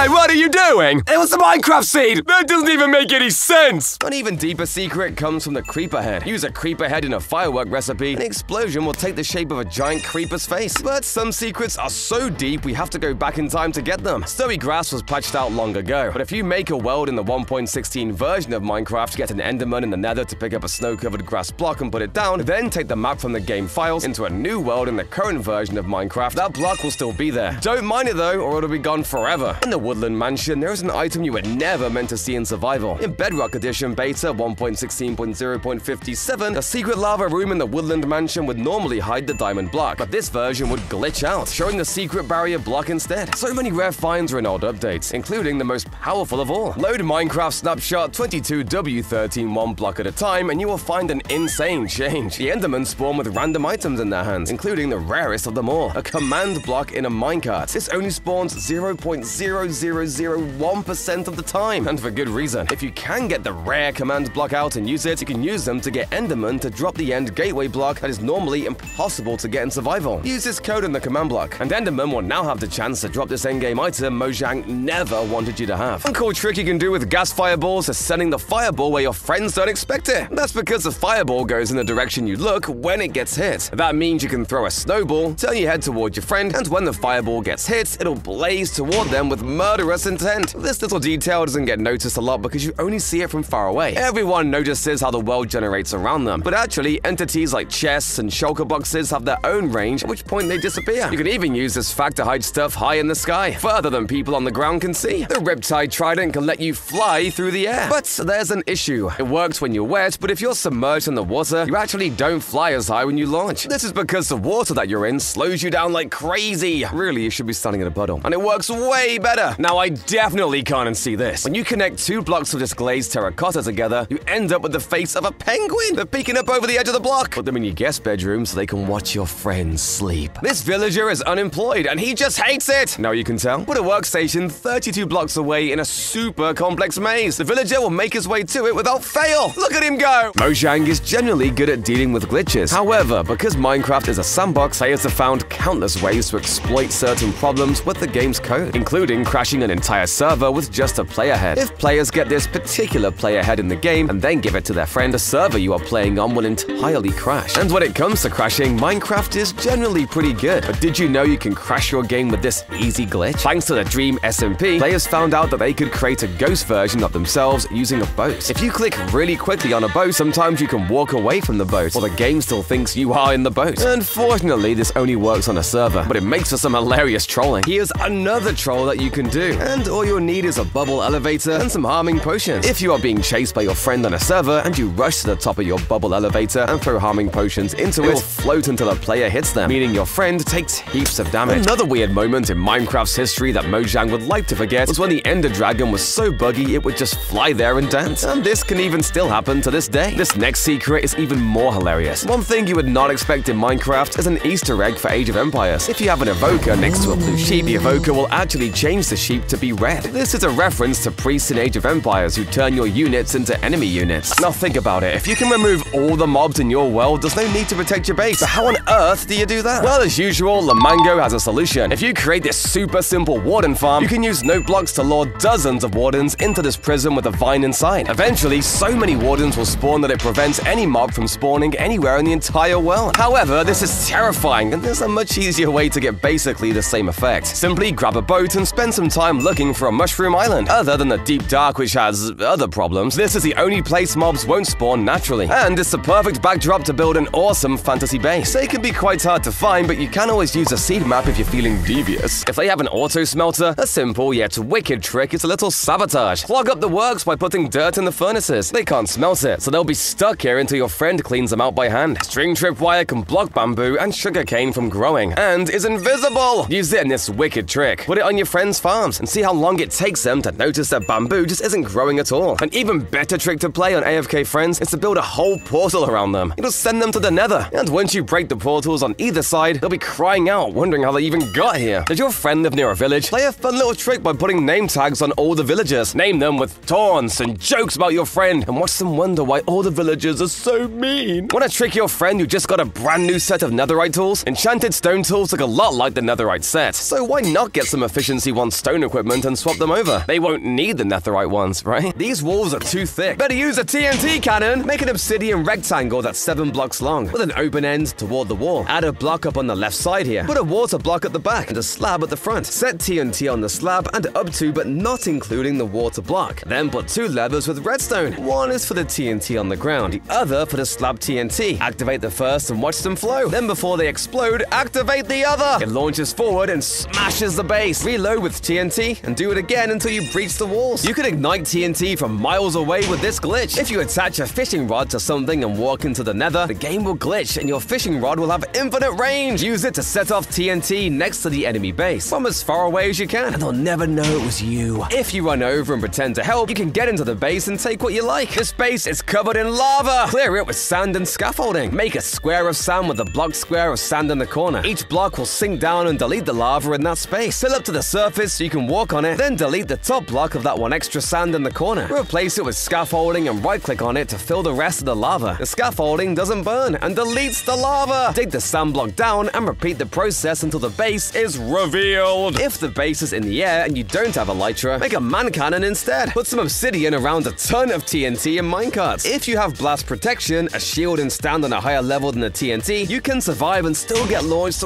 way into the air. Hit yourself with punch arrows and you can get real distance onto that floating building. Trapping mobs is a very difficult thing to do, whether it be for some kind of farm or to point and laugh at the enemy. But there is one easy way to trap these hostile mobs, and that is by using rails. This has a similar effect to if you had the mobs in Soul Sand, but with a lot more fun. There are a lot of rare mobs in Minecraft, but did you know one of the rarest is actually the pink sheep? The pink sheep only has a 0.1% chance to spawn naturally, making pink wool the hardest wool to find. But I bet you didn't know that there is a mob even rarer than the pink sheep, and that is a baby pink sheep. The baby pink sheep only has a spawn chance of 0.0082%, making it virtually a myth. Who is the strongest boss in Minecraft? The Wither or the Ender Dragon? Well, this is disheartening. Turns out that the Wither and the Ender Dragon cannot actually damage each other at all. Wait, that means that their attention is all on me! Minecraft has countless seasonal events. Presents as chests at Christmas, jack-o'-lanterns are mobs for Christmas, but the biggest seasonal changes come during the April Fool's event, where Mojang have done things like taking away your inventory, making you unable to craft, and even creating a huge multiverse for you to explore. I think I'm a bit lost. We all know about chains, and I mentioned a way to make much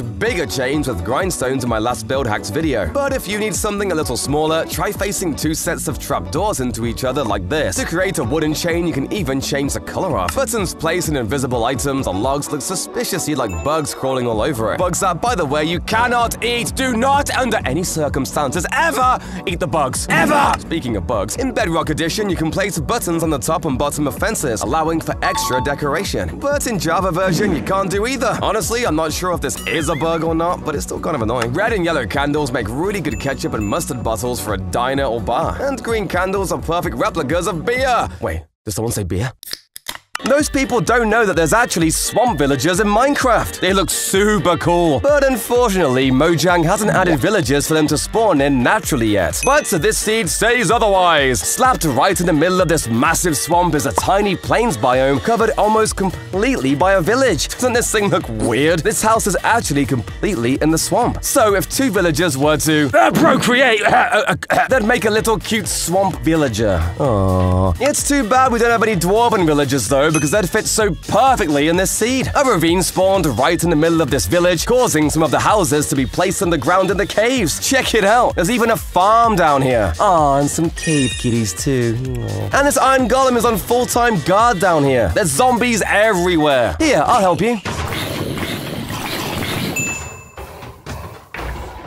Still, this underground village is nothing compared to the huge ancient cities that were added in the 1.19 update. Just one of these things can span for miles underground, and they feel even cooler when you have to sneak around wardens. But this seed has something even crazier an underground mega city? That's right, in just this one deep dark biome, there are 15 ancient cities that span over thousands of blocks. Check out the build of this seed. Each one of these lanterns is one city, and there's tons of them. Ancient cities are usually super super hard to find though, as they're already extremely rare. And it's even harder to find them when they're so far underground. But this other seed solves that problem. All you've got to do is walk a few blocks from your spawn, dig straight down, and you're there. Ta-da! Oh crap, I didn't bring any tools. I guess I'm stuck down here now. That's cool.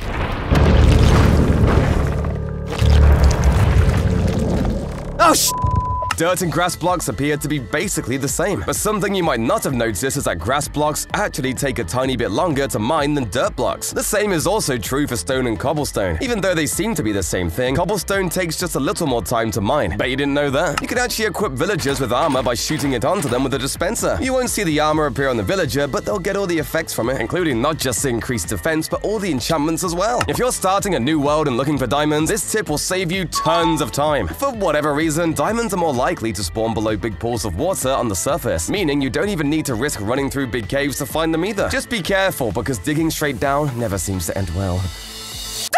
If you've got a cramped house like this one and you're trying to figure out where to put the ladder, try placing a line of trapdoors like this and putting the ladders on them. Alternatively, if you're in creative, try using the debug stick to create floating ladders that take up even less space. Now that's ingenuity. Here's a cool way to make an armor stand look like it's holding a sword. Start by placing an end rod with a candle on top, then pushing an armor stand into it from behind. Then put some armor on it and push two blocks down behind it, and you have your very own knight in shining armor. And since you're obviously building a sick castle if you make this, you can make awesome ornate carpets using a combination of shulker boxes and glazed terracotta. Hey, hey, I don't want to hear anything about how expensive shulkers are. You own a castle! As long as the colors are similar, it really doesn't matter how you lay out carpet. It'll look cool either way. If you're trying to make a dark, creepy cave, try adding shadowy cracks with signs inside. If you add this character to them, dye it red and add a glow ink sac. It'll create these super scary looking eyes that glow in the darkness. Come on, Grandma, take a look. Ah! Getting experience is very annoying in Minecraft. However, in Bedrock Edition, you could actually get unlimited XP. When the Sculk block was added, using a Silk Touch hoe on the block would both break the block and give you experience. But the Silk Touch would let you pick up the block, meaning that you had a free XP farm. Shields have become one of the most useful items in Minecraft. Defending yourself from a skeleton, use a shield. Blocking a massive nuclear explosion, use a shield. But what happens when you find yourself trapped in the middle of a raid, but you have no shield with a Ravager tearing down your door? Well, let's hope you grabbed a Pillager banner, as crafting this with your shield will actually restore it. This seems a bit game-breaking, but hey, I'm not gonna complain. Ah! Minecraft Java and Bedrock editions are the same in every way except for coding, right? Well, actually no. Since in Bedrock edition with the new sniffer plants, you actually get less value. If you were to craft a pitcher plant in Minecraft Java edition, you would get two cyan dye. However, on Bedrock edition, the exact same craft only gives you one. This feels very unfair to those on Bedrock. When Minecraft was still being developed, Mojang did not have any in-game commands to summon items or mobs. So what they would do was code a Minecraft player to have loads of items. The mistake with this, however, came from one of Minecraft's developers. Jeb came forward to tell the public how there was a bad glitch where players would spawn in with hundreds of new items simply because they forgot to remove the code. Jeb said that this even led to them creating a release document that said, remember to remove all the debug items. One hilarious mistake Mojang made came while creating the squid mob. Back when Minecraft was just a small indie game, the developers were struggling to code in the squid. Since they did not entirely understand how the system worked, they decided to copy the cow and just mess around with it. Copying a cow, however, led to squids being able to be milked milked, meaning that for a time, squid milk was actually a thing in Minecraft. Try this spooky trick with your good friend Johnny. Name tag a Vindicator with that name, and they go nuts, killing everything they see. Turn them invisible and set them loose in the neighborhood. First, your friends will see animals dying, then suddenly they'll start getting hit as Johnny turns on them. Hide behind a tree and play a goat horn to add scary sound effects. If your friend is showing off their riches with shiny gold blocks, play this funny trick by replacing them with yellow concrete blocks. See how long it takes for them to notice. Use an anvil to change change their name, and you can replace the blocks they hide in their chest too. Here's a secret way to make an awesome Japanese decoration. Place a warped trapdoor onto the top of the water, then place a glow item frame with a block of gold inside. Once you have done this, add a pink coral and surround it in lily pads, and you have a beautiful lotus flower for your nearby river. 1.20 introduced one of the funniest and best new mechanics to Minecraft, player head note blocks. However, with this also came some of the funniest death messages ever seen in Minecraft. If you wear a mob head and then die to the same mob, it will show the death message Mallow was killed by friendly fire. Speaking of player heads, there's actually a secret mob head currently hidden inside the game's code, and that is the Illager head. It has the same effect as all the other mob heads when put onto a note block as well. Warden hitboxes are absolutely pointless, and Warden, despite being one of the largest mobs in Minecraft, can just casually stroll through a one-block gap. Wait!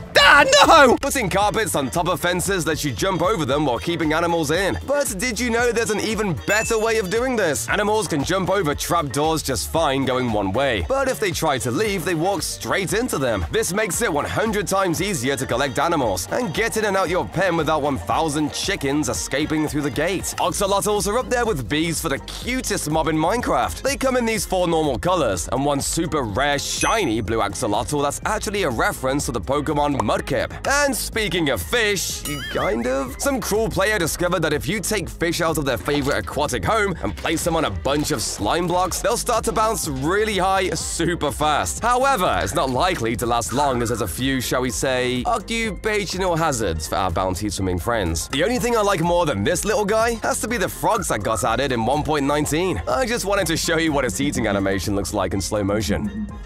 That's it. That's the fact. We're all pretty aware of Minecraft's food chain now. Creepers hate ocelots, foxes hate chickens and rabbits, Mallow hates dogs, but one toxic relationship you probably don't know about is that polar bears hate foxes. It doesn't usually go too well for the polar bears though, as foxes are way faster. And because foxes can step on powder snow just fine, the bears are sometimes baited in and get stuck. On the topic of foxes though, I have to know, am I stupid for not knowing this next one? Foxes don't just attack rabbits and chickens by walking up and biting them. They also sneak up and pounce on them by jumping super high into the air. What's crazier is that if they land on snow, they'll actually get stuck and shake around trying to free themselves. I swear these guys have been in the game for ages and I've never seen this. I must be an idiot, right? Slime blocks, honey blocks, and hay bales can all be used to reduce fall damage when using a drop chute. But they all have drawbacks. Instead, put a waterlogged chest at the bottom. You won't take any fall damage, you don't bounce, and it doesn't slow you down. The fastest way to get home is with an ender pearl stasis chamber. It's a fun technique where a pearl is kept hovering in a bubble elevator. If you connect it to a daylight sensor, when night comes, the bubble stream stops, and the pearl lands, teleporting you back home. This is a miracle. End portal frames have a 10% chance of spawning already filled with an eye. Having all of them filled only happens one in a trillion times. Did you know about Minecraft's secret F commands? Everyone knows about pressing F for all that info. But did you know about F3 plus B that shows everyone's hitboxes? What happens if I press F3 plus C? Ah! Behold, the mighty villager on his chicken steed. To get this secret villager, you have to find a baby villager riding a chicken. If you cure that baby, it will eventually grow up and become an adult villager on a chicken that works just like a normal villager. But you can attach a lead or lure them around with seeds. Most shulkers are easy to spot, but if you use the summon command, the shulker will be dyed a different color. They now look just like a dyed shulker box instead. You could replace your friend's box with one to freak them out when they try to get their stuff. This zombie is completely brain dead. That's because in this 1.9 snapshot, zombies spawn with the no AI tag set to 1, meaning nothing was going on inside their heads. Weird stuff started happening too, like sometimes they would float off in the air. If you've got a cramped house like this one and you're trying to figure out where to put the ladder, try placing a line of trapdoors like this and putting the ladders on them. Alternatively, if you're uncreative, try using the debug stick to create floating ladders that take up even less space. Now that's ingenuity. Here's a cool way to make an armor stand look like it's holding a sword. Start by placing an end rod with a candle on top, then pushing an armor stand into it from behind. Then put some armor on it and push two blocks down behind it, and you have your very own knight in shining armor. And since you're obviously building a sick castle if you make this, you can make awesome ornate carpets using a combination of shulker boxes and glazed terracotta. Hey, hey, I don't want to hear anything about how expensive shulkers are. You own a castle! As long as the colors are similar, it really doesn't matter how you lay out carpet. It'll look cool either way. If you're trying to make a dark, creepy cave, try adding shadowy cracks with signs inside. If you add this character to them, dye it red and add a glow ink sac. It'll create these super scary looking eyes that glow in the the darkness. Come on, Grandma, take a look. Ah! We've all felt the disappointment of not receiving rainbow wool from a Jeb sheep, but apparently if you surround a wool block with eight different dyes, you'll finally get it. Uh, never mind, there's that disappointment again. My bad. But speaking of dyes, I was told that the white tulip doesn't actually give you white dye. The red, orange, and pink tulips all give you the right dye. But yeah, the white one doesn't. I absolutely love allays, and it turns out they're even better than I thought. Apparently, they're totally immune to our attacks while holding an item. If you punch them normally, they'll just run away. But if you throw them an item, literally nothing can hurt them. These things are just so cute. But allays aren't the only mob that can pick up items. Zombies and foxes can too. So let's try giving each of them a totem of undying and see if they can use them. Okay, zombies can, which is just terrifying, and foxes can as well. But what about allays? I feel truly horrible doing this, but let's try it out. Oh, thank God. I wouldn't have been able to live with myself. Both rabbits and foxes are also scared of wolves and will be hunted down if they go anywhere near a pack of them. The scariest part is that the wolves don't even eat the meat the animals drop, meaning they only hunt for the fun of it. Now do you understand why I hate them? Oh yeah, and rabbits are also scared of cats and players too. Bats are easily the least dangerous mob in the game. These things are so stupid. In fact, that's actually their weakness. Bats are so dumb that sometimes when they're flying around a cave, they'll fly straight into a pool of lava. I get why they don't even drop XP now. Silverfish take the term strength in numbers to the next level. On their own, they're harmless, but if you're trapped in a room with 15 of them, it gets a little scarier. However, if you have a weapon strong enough to kill them in one hit, they won't call in support. Pirates are actually a super useful thing to have around as they warn you of nearby enemies and don't get attacked by mobs. They are, however, deathly allergic to cookies, and feeding one to a parrot will kill it instantly. This is actually because in real life, parrots are allergic to chocolate, so uh,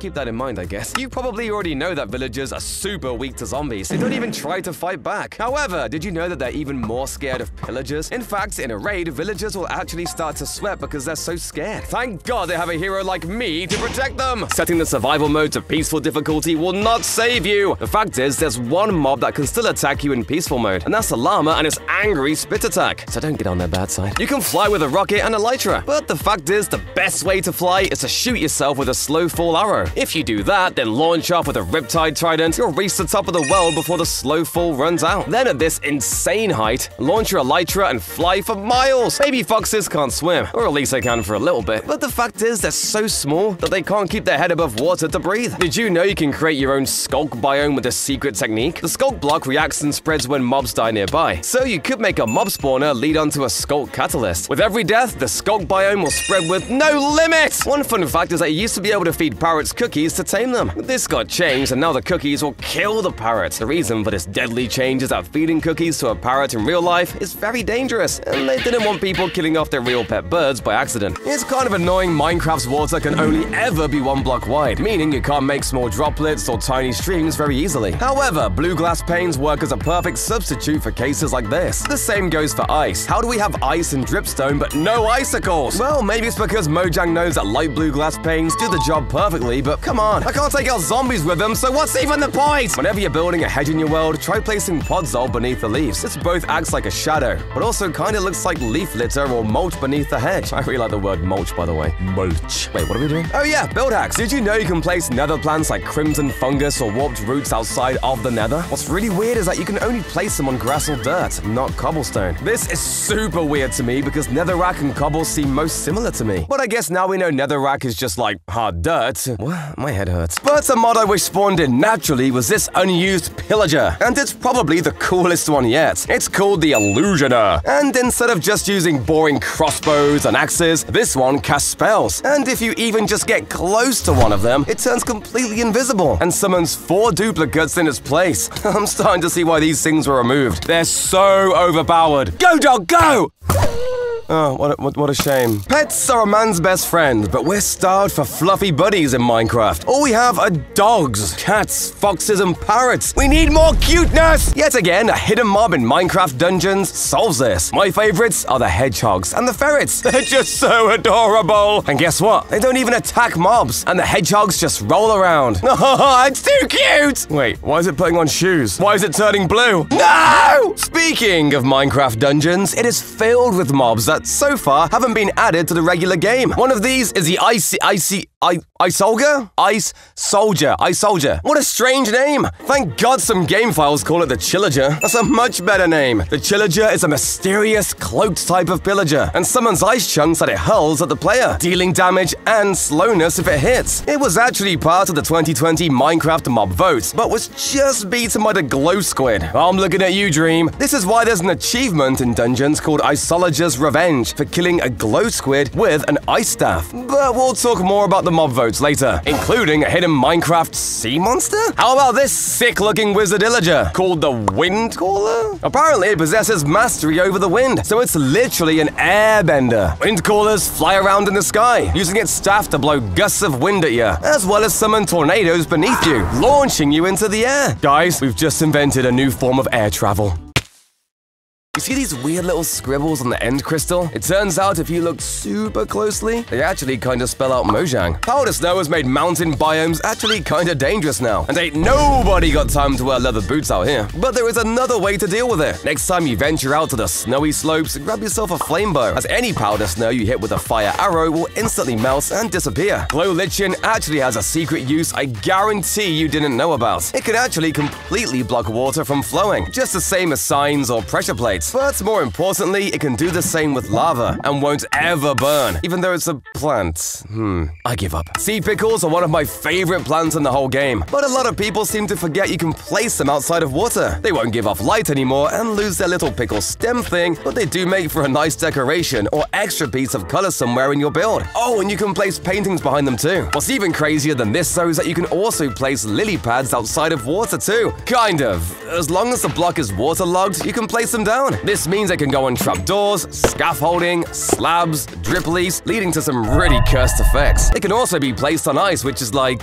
I guess, waterlogged? I really don't know anymore, man. Illagers are a team, and even the Ravagers share traits with them. As the first and third Ravager hurt sounds are actually the Pillager hurt sound, pitched to sound much lower. This secret TNT technique can save your life. If you place TNT on a slab, explosion damages much, much fewer blocks around it, making it much less scary to handle. You could even have TNT decorate your home, if you're brave. Fishing yanks fish out of the water at speed, but it's actually not an automatic animation. The fish are actually flying through the air, and if you step aside, they'll zip right past you. Use this secret to launch fish at your friends, slapping them in the face at high speed. Speaking of speed, normal slimes are slow, but this slime will catch you. Slime speed is based on slime size, so size 8 and above goes faster than even a player sprinting. Want a chair you can actually sit in? Try this secret technique by guiding a llama to your house, disguising it as a chair, and turning the llama invisible. All that will be left will be the carpet, which looks great as a cushion. Here's a fun fact that also happens in real life! In the game, axolotls will not follow you unless you have a live fish in a bucket. If the fish is just dead in your hand, they won't care. This is because real axolotls only eat live fish, and the developers wanted to show that in the game. Squid can survive out of water for about 15 seconds before it runs out of oxygen. But there's a secret fact here. The fact that the squid is a special change to its animation, slowing down as the oxygen runs out. Unfortunately, you can only get invisible item frames in creative, but there's sort of a solution in survival. If you place a block in an item frame on the floor, a snow layer will fully cover up the item frame but leave the block exposed, allowing you to, I don't know, make pebbles or something? You know how to make a bird cage? But how about an aquarium? This one's actually even easier, but probably just as cruel. All you have to do is surround a chest with trapdoors, place a glass block on top, then waterlog the chest with a bucket of fish, and boom! You've trapped him forever. Sorry, fishy. Cobwebs aren't just good for making a cave or mine shaft feel extra creepy. They're also good for adding custom smoke to chimneys and for adding a net to a basketball hoop. Most people know you can make a really convincing dead tree with stripped logs and mangrove roots. So instead, try creating a dead warped tree with muddy mangrove roots, dead coral, and hanging roots. Oh yeah, muddy mangrove roots with a candle on top makes a pretty convincing rotten melon if you ever need that for some reason. Rooted dirt finally gave us another dirt block that's not just gonna turn into grass instantly, giving us way more decoration options. One of my favorite ways to use this is to mix rooted and coarse dirt in a pattern like this to make wheel tracks through a forest. This quick hack lets you harvest an entire field in an instant. Plants need a certain light level, so if you have a redstone lantern to provide that, then switch it off when it's time to harvest, all the veg will burst out at once, ready to be picked up or collected in hoppers under the soil. This hack is a fresh twist on a classic. Paintings can be used to hide entrances, but that can be too obvious. Instead, hide a pressure plate behind it that activates when you drop an item through the painting, activating whatever secret mechanism you want to set up. Sometimes smart hacks use the weirdest items, like this stairway of dripstone and smaller and smaller cake slices. Use a horse which can travel over a single block height without jumping. And the weird hitboxes of the items will send you rocketing up the stairway at high speeds. Tired of creatures jumping fences? Try this hack where you set down a bunch of trapdoors and flip them up. They'll act as fences that the AI just can't understand and won't be able to escape from. Here's Johnny, the murderous vindicator, and here he is in this weird hack, killing these animals for our food. See, when you tag a vindicator with the name Johnny, he will kill anything in sight. And if you trap him in a mob farm, the animals he kills drop their loot into the chest without you having to lift a finger. You're an extra bit of detail to decorate with. No matter how many are nearby or how close they're watching you, if you one-shot a zombified piglin using something like a Smite 5 sword, other piglins won't get mad at you. Just make sure you don't have sweeping edge on too. Walls don't have much of a use other than, you know, being walls. And to be fair, nobody even really uses them for that either. Either way, they actually have a use in redstone. With a setup like this, you can place a single wall right here to instantly send a signal hundreds of blocks down. I know that doesn't sound that insane, but I know like 1% of you guys are freaking out right now. Mobs in Minecraft have gotten pretty good at pathfinding, but there's still one thing they can't seem to understand, and that's minecart rails. For whatever reason, if you surround yourself in tracks, zombies just don't know what to do and will freeze on the spot. The same goes for spiders, vindicators, iron golems, and even this spooky fact runs a chill down my spine. Because if you play the music discs 5, 11, and 13, after 5, 11, and 13 seconds, they combine to play the sounds of a survivor's terrifying story. This cool trick lets you explode TNT underwater. If you put a sand block on top and then ignite the TNT, the block will fall into it, making sure the water doesn't stop the explosion. Use this crazy secret to spook your friends. There is no limit to the amount of bats that can hang from one block. For other animals, the game stops this from happening, but you can pack the bats in as much as you want. Stick them in the walls and watch your friends unleash them all by accident. Creatures from the nether hate the water, except for the magma cubes. They can swim just fine in it without getting hurt. Worried about invisible players? Well, this little fact might save you, because enchanting tables will react to you even if you're invisible. Llamas are amazing, and even more so when they hit the water. Unlike pigs or horses, llama actually float on top of the water like a boat when you ride them.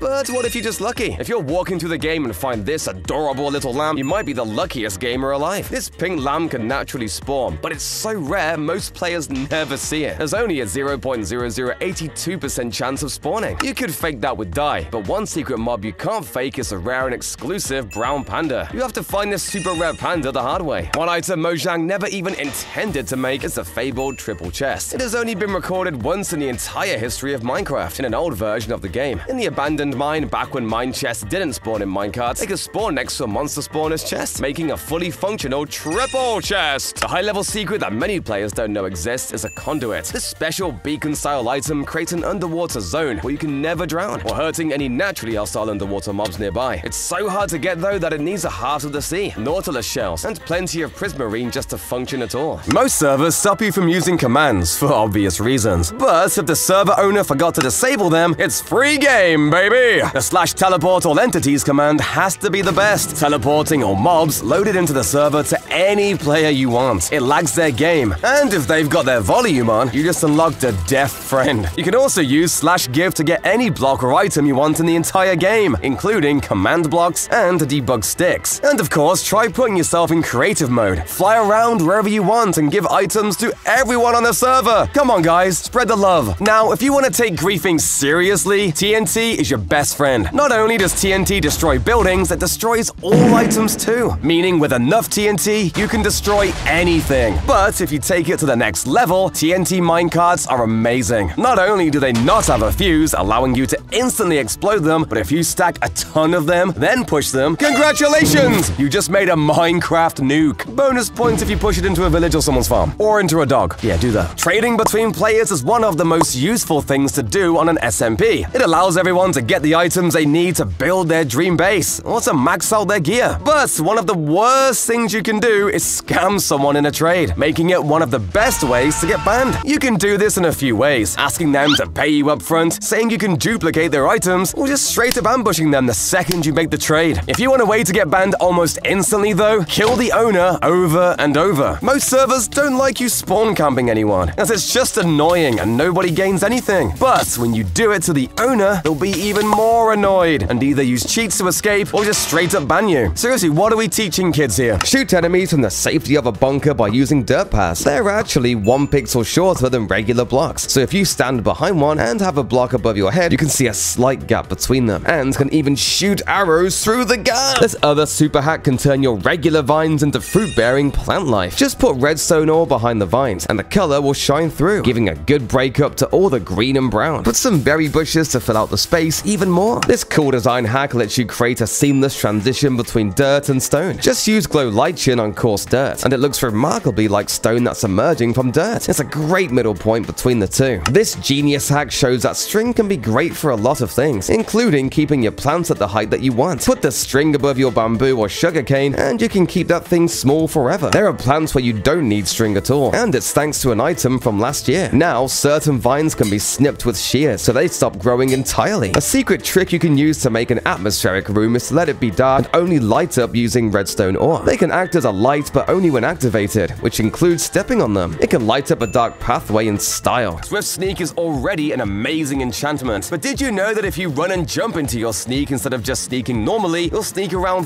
33% faster? I really like saying sneak, could you tell? Speaking of sneaking, I just really wanted to say that, you can create secret ladders out of powder snow that only you can use. It's literally as simple as placing a column of powder snow somewhere and chucking on some leather boots, and only you will be able to climb it. What item do you think is used in the most crafting recipes in the game? Wood? Maybe sticks? How about diamonds? Turns out it's actually iron ingots. They're used in 34 different recipes, which is more than anything else. Well, kind of. With the introduction of chiseled bookshelves in 1.20, wooden planks are now also used for 34 recipes in Java Edition. Riveting. What do you think the best item for fighting mobs is? Axes maybe? Some people prefer swords or bows, but you're all wrong! Boats are actually extremely powerful, as you can just chuck one down and completely immobilize any mob you want. They even stop Enderman from teleporting. You can name a chest and an anvil and the name will actually show up in the GUI. It even keeps its name when you break it, unlike any other block in the game. The light of a beacon looks great from close or far. The cool secret aspect is how it reacts to stained glass. Each glass put in the way of the beam changes the color, making millions of possible shades. Here's a fact you might not know. The Illusioner can't handle boats. They get so confused that when shooting their bows, the arrows go backwards. In the original trailer for Minecraft, way back in 2011, this mysterious other variant of Steve was present. He's not available as a choice in the launcher, so this is the only example of him that exists. The end wasn't always where it is now. During early developments, the end was supposed to be a sky dimension. Secretly, they saw the sky dimension as heaven and the nether as hell. Get fortune on all of your tools as soon as you can. A Fortune 3 hoe can get 5 potatoes from a single plant. Flint can come from every block of gravel, and diamonds are plentiful wherever you go. You're wasting resources the longer you don't have Fortune 3. Fill your pool instantly by using this pro strat using ICE towers and weird physics. Basically, two water source blocks with a gap between them turns that gap into a source block. So if you line an area with ice block towers with a space between them on two sides, then change them to water, they will fill the pool entirely with source blocks almost instantly. Respawning in the nether needs a respawn anchor, but it only has a certain amount of charge. It used to be that you had to manually recharge the anchor, but now you can simply dispense glowstone into it, and it will work. Make this setup filled with as much glowstone as you can get, and you can die a hundred times and not lose your respawn. You might use TNT to blow a hole in the ground, but that doesn't work underwater, unless you use this cool trick. Set a TNT block down, then put a gravity block like sand on top of it. When activated, the TNT doesn't count as a block anymore, and the sand will fall into it, making the game think the TNT isn't underwater at all. If it's not underwater, it can destroy terrain just fine. Waterlogging is amazing because pros know how to exploit it. Because TNT doesn't work underwater, that means if your chest is waterlogged, it counts as underwater and so is immune to explosions. Honey blocks are slightly smaller than regular blocks, and pros have learned that you can use them for all sorts of things. Put them in a wall and you can climb a sheer rock face like a mountain goat. Surround a water column and you can still use the water without exposing it to the world. Don't waste your bone meal on sea pickles. Pros know that you should only use bone meal when you have your sea pickle on a living coral block. Then when you use the bone meal, more and more will show up around you. When you catch fire in the nether, it seems like you are instantly going to die. However, did you know there is actually a way you can extinguish yourself in the nether? Just bring splash bottles of water with you, and whenever you catch fire, splash yourself with them. The ghast scream is one of the most terrifying sounds in all of Minecraft. But have you ever wondered where this sound came from? Well, it was actually made by the original and best sound designer Minecraft ever had, C418. He got the sounds from a sleeping cat, and then changed the audio to sound super scary. If you are speedrunning the game, make sure you turn subtitles on. This makes finding things like lava pools or caves so much easier as it will notify you whenever lava is nearby. Lush caves can make for some amazing locations to build your base, but finding them can sometimes be a challenge. Well, there are actually a few biomes that are guaranteed to have a lush cave underneath them. These are the huge growth taiga, jungle, and dark forest, which is might seem like one of the most dangerous mobs in the game, but they're actually completely completely defenseless against ranged attacks. If you want to abuse this the most, try grabbing a crossbow and a power 5 bow, and shooting them right after each other. The witch dies instantly. Not so powerful now, are you? Striders obviously feel most comfortable in lava. I mean, you've seen what they look like on land, so predictably, if you go to all the effort to bring one from the nether into the overworld, first of all, you're a monster! But secondly, they'll take damage in water. So if you need an unconventional string farm, you know what to do. Magma cubes are more dangerous than slimes, but they still have the same issue. However, the only danger they'll really face is those big cliffs in the nether since they're immune to fire damage. You may think they're also weak to water like Striders, but for some reason they just like chilling it. I guess there's no water in the nether, so it kinda makes sense. Sand or gravel count as entities when falling down, meaning dropping it into a portal will build a nice little sandcastle. Not only that, but you can do the same with lit TNT and even dripstone. If you hit a zombie piglin next to a nether portal in the overworld, an extra zombie piglin can spawn from the nether, even if one isn't nearby. So how does that work, Mojang? Hmm? Care to explain yourself on that one? Your trident will always come back, as you have the loyalty enchantment. However, if your entire inventory is full while throwing it, it won't come back to you, and will leave you forever.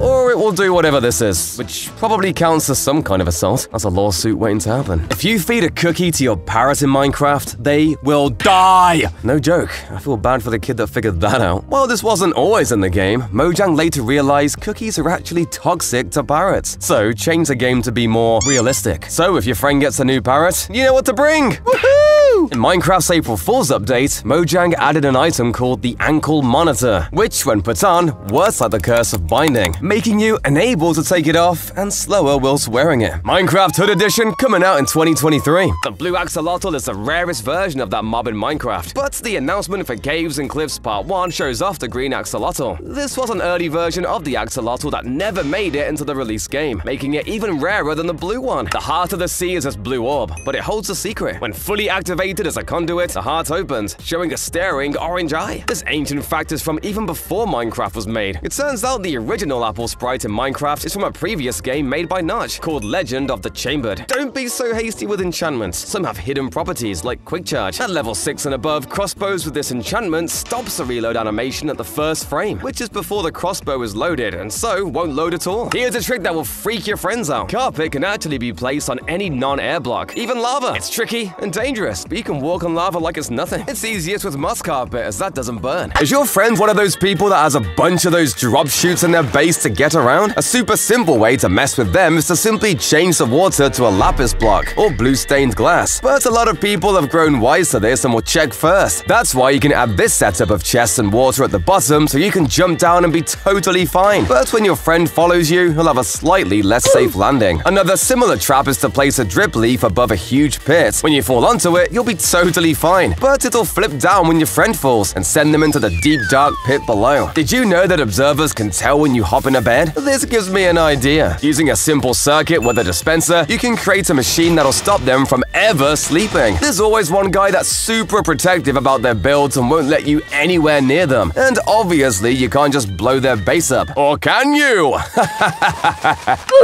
Well, that didn't work. So instead, if you've got any copper in their build, try using an axe on it to change the color, and then waxing it with honeycomb. Or if they have logs, simply strip them with an axe to change the color. Such a simple troll that will easily ruin any friendships you may have left. But when you've got this many nether stars, what do you even use them for? You obviously don't need this many beacons. Well, this myth says that if you use a nether star and a beacon instead of iron or emeralds, you'll actually receive double the effects. Unfortunately, that doesn't seem to work, but come on, Mojang, you may as well add this for the people that are insane enough to use netherite to power their beacons. They deserve something! Even though it's easily the scariest biome in the game, it's said that mobs won't spawn in the deep dark at all. I spent about five minutes flying around here and I didn't see any, so I'll just call this confirmed. Obviously, there's still one mob that can spawn here, but you can even totally disable this as well with this command. Suddenly, this place isn't so scary. Skeletons are the most broken mobs in the game with their aimbots. If you don't move, they are practically guaranteed to hit you. But did you know that you can trick a skeleton into shooting itself? When you come face to face with a skeleton, build up a couple of blocks and have the skeleton skeleton shoot directly up at you. If you position it just right, you can have the skeleton shoot itself. Did you know the beacon has had four different textures in its history? Initially, it was just a slightly smaller glass block. Then they added in this weird little crystal, much like an end crystal. Then they changed it to be this weird diamond-coated glass block, before finally settling on what we have today. In survival, you cannot get end portal frames. Well, you can't get them anymore. As back in 1.9, you actually used to be able to obtain these frames. All you have to do is find this weird blue end portal frame and then place one TNT in the middle and voila! You have an end portal flame. Back in 1.19, Mojang had an amazing idea. Have frogs jump through the air to catch and eat fireflies. It seemed perfect to Mojang and everyone was super excited. However, this is when Mojang found out that fireflies can actually be poisonous to a lot of frogs. So they decided that it was best to remove it from the game. Name tags are a very useful but very difficult to find item, only coming from villages and dungeons. But did you know that there is a way to name multiple mobs with just one name tag? Simply find a giant slime and name it whatever you want. Then defeat it and all of the baby slimes will have the same name. Crazy, right? We all know about chains, and I mentioned a way to make much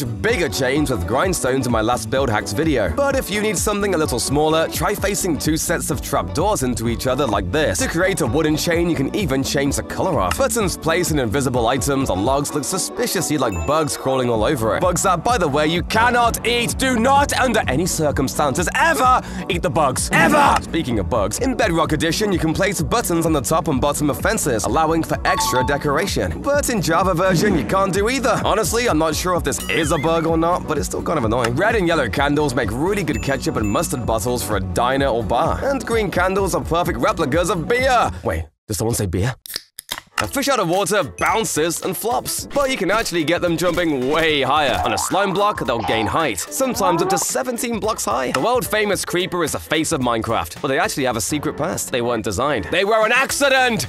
Like my birth. The developers were trying to make pigs, but instead of making them long, they made them extra tall. This created the frightening creature we know today. Did you know that spiders never touch the ground? That's because of how the model is made. Even though it's on the floor, the legs never actually reach the block below it. A secret, dirty little trick you can do is build an end portal above your friend's bed. So when they respawn, they'll instantly teleport to the end and will have to live there until the bed or the portal is broken. Evokers are a super powerful mob despite never hitting you themselves, but you can actually predict what spell they're gonna cast next. If he sends out white particles, it means he's spawning Vexes, and you can run and get some hits in. But if they're grey, it means he's summoning Fangs, and you should probably run! And before you head through the portal, make sure you bring some TNT, as you can use it to farm Ender Pearls really easily. Simply build a pillar above a small pit like this, and stare at as many Endermen as possible. Once you've trapped enough, place the TNT down and light it for near infinite pearls. You can even hold a looting sword while the TNT explodes to get even more. But what if you're like me, you struggle to even find the stronghold? Speedrunners have a solution. Once you're fairly sure you're nearby, try throwing just a single eye and placing a line of blocks until you think you've run past it. Then head to the side of a line and throw another eye. Follow the path until you hit the blocks from before, mine down, and you'll be right where the stronghold is. You know those huge annoying trees you sometimes get from oak saplings? If you place a single block seven blocks above the sapling, they'll never grow again. You can also use this setup to only get the big ones if you're a psychopath. Speedrunners even have ways to make nether portals instantly without diamonds. Find a lava pool like this, then place a block here with water next to it. Break that and place blocks exactly like this on the side of the pool. Place water right here and place lava in the formation of a portal around the side. Remove the water and you've got an instant nether portal with just a single bucket. There's also a way to do it in an underwater ravine, but I'll leave that one to the pros. It's not because I can't do it, okay? Speaking of mansions, Vindicators will stop at nothing to murder entire villages worth of villagers, but they're not completely heartless. Even though they're happy to kill tons of adult villagers, Vindicators will actually refuse to target baby villagers. But that isn't going to slide in my book, because there's actually a way around this. If you're on Bedrock Edition, naming a Vindicator Johnny will turn him into a psychopath, and he'll go on a rampage, regardless of age. That's more like it! Cave noises have been the number one enemy of my soiled underpants. But did you know you can actually predict exactly when these will happen? Simply press F3 and wait for the mood percentage to hit 100%, and when it does, the sound will play. Or just turn your sound off. I'm still not taking the risk. When it's snowing outside, snow layers will pile up on top of all the blocks around you, sometimes even stacking up to the size of a full block. But for some reason, there are two blocks in the entire game that this doesn't happen to. Both ice and packed ice are immune to snowfall, and even trying to manually place snow on them doesn't work. This isn't the case with blue ice though, even though they're almost the exact same. Chests usually can't be opened when they've got a block above them, so explain how this works. It's actually just a stair placed backwards. This also works with any other block that's not just as big as a normal block, such as farmland or path blocks, and leaves you a bunch of new opportunities to hide away your goodies. Skeletons can usually see you from about this far. It's around 16 blocks, which, to be fair, is pretty good for a life form with bones for eyeballs. But if you chuck on a mob head like a zombie or skeleton skull, this distance gets much smaller and allows you to get as close as 8 blocks away without them seeing you. The only problem is that now I can't see anything. Speaking of skeletons, there's actually a super clever way to get music discs that I bet you didn't know. The arrows will turn to fireballs when shot through lava, and can even light TNT. This means you can collect a bunch of creepers in a pit and blow them all up with a skeleton like this, and end up with dozens of music discs almost instantly. Hitting a mob with a channeling trident in a thunderstorm makes possibly the worst noise in the game. It's so loud! Luckily, this crazy lightning generator isn't quite as loud. You can make it with a piston, lightning rod, and channeling trident, and having a bunch of them allows you to do, well, not much really. But I guess you can trap your friend in a box like this and give them an electrifying experience.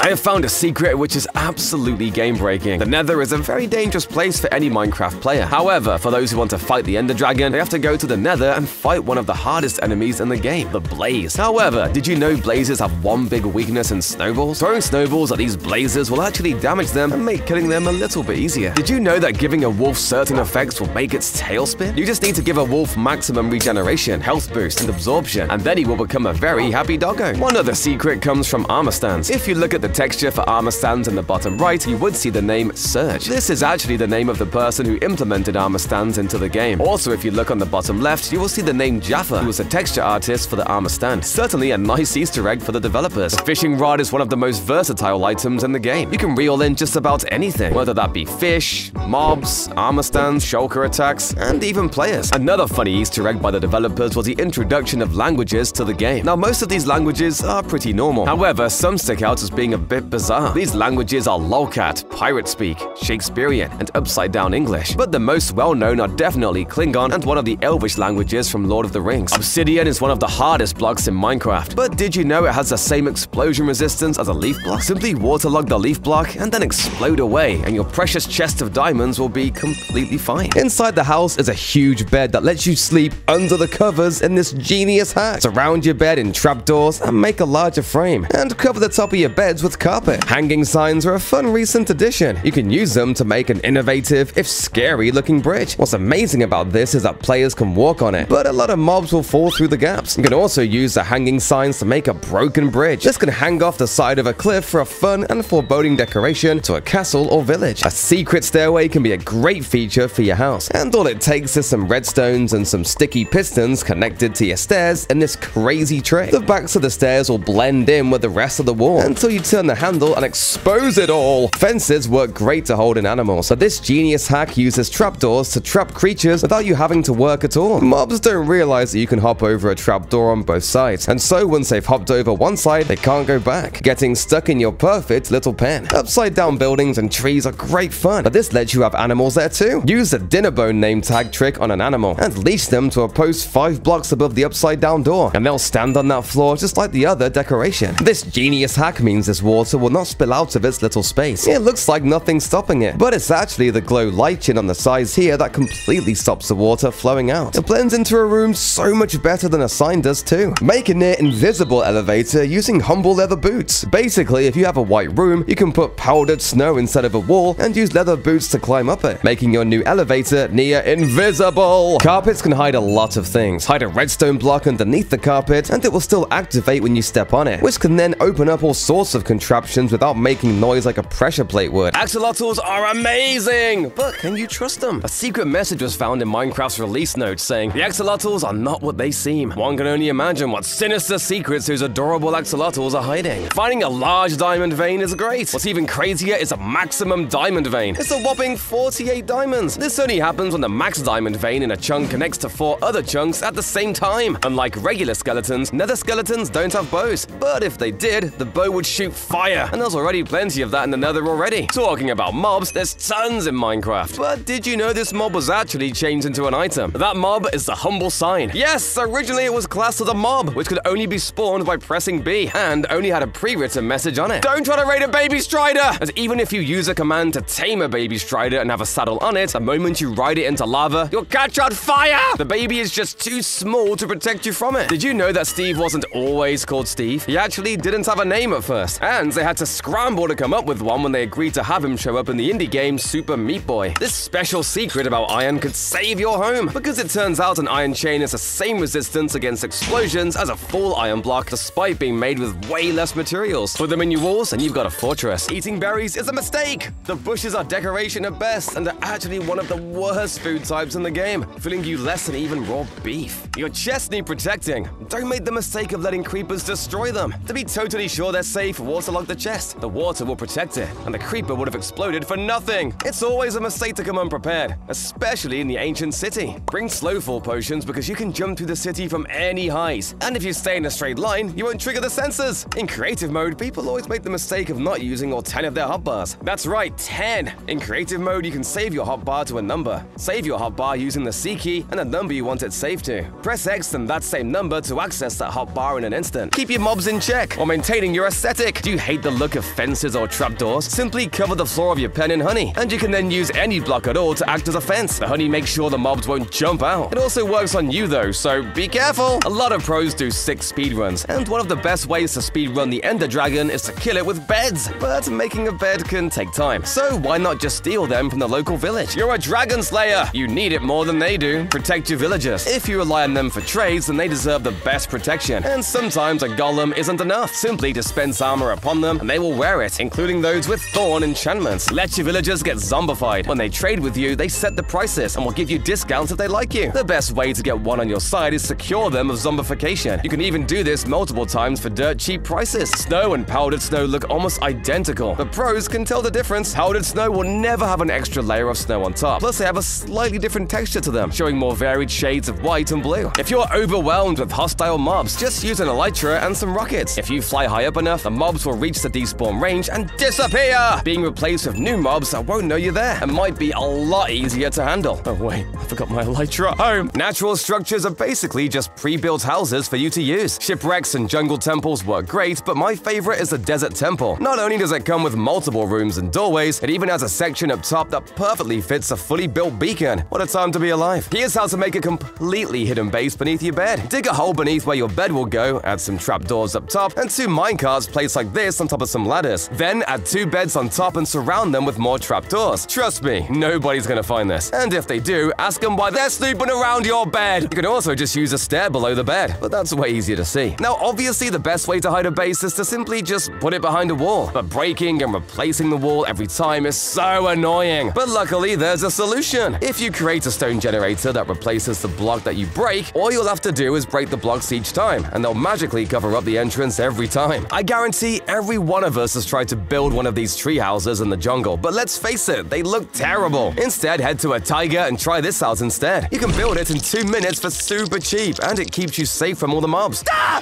Except phantoms! The cold biomes offer a bunch more cool houses too, including this ice spike base I built when I was just a lad. It's even simpler than the last one. Just clear out some ice, chuck a door on, and now you can pretend you're Superman! The powder snow you can find in these biomes makes for an awesome hidden entrance too. Not only can you hide some in the ground like the scaffold entrance, you can create a hidden ladder up a cliff with it that you can only climb with leather boots. We can take another of Etho's ideas and use a lava curtain to make a hidden entrance. He uses ender pearls, but come on, it's a man cave! Be a man! Ow, ow, it's so hot, ow! Did you know that mob heads fit perfectly on top of wall blocks? Skeleton skulls also match really well with andesite or diorite walls, zombie skulls with mossy cobble, and wither skulls with deepslate walls. I don't know what you could use this for other than making gravestones, but hey, you again! Stop taking my job! The nerve of some people.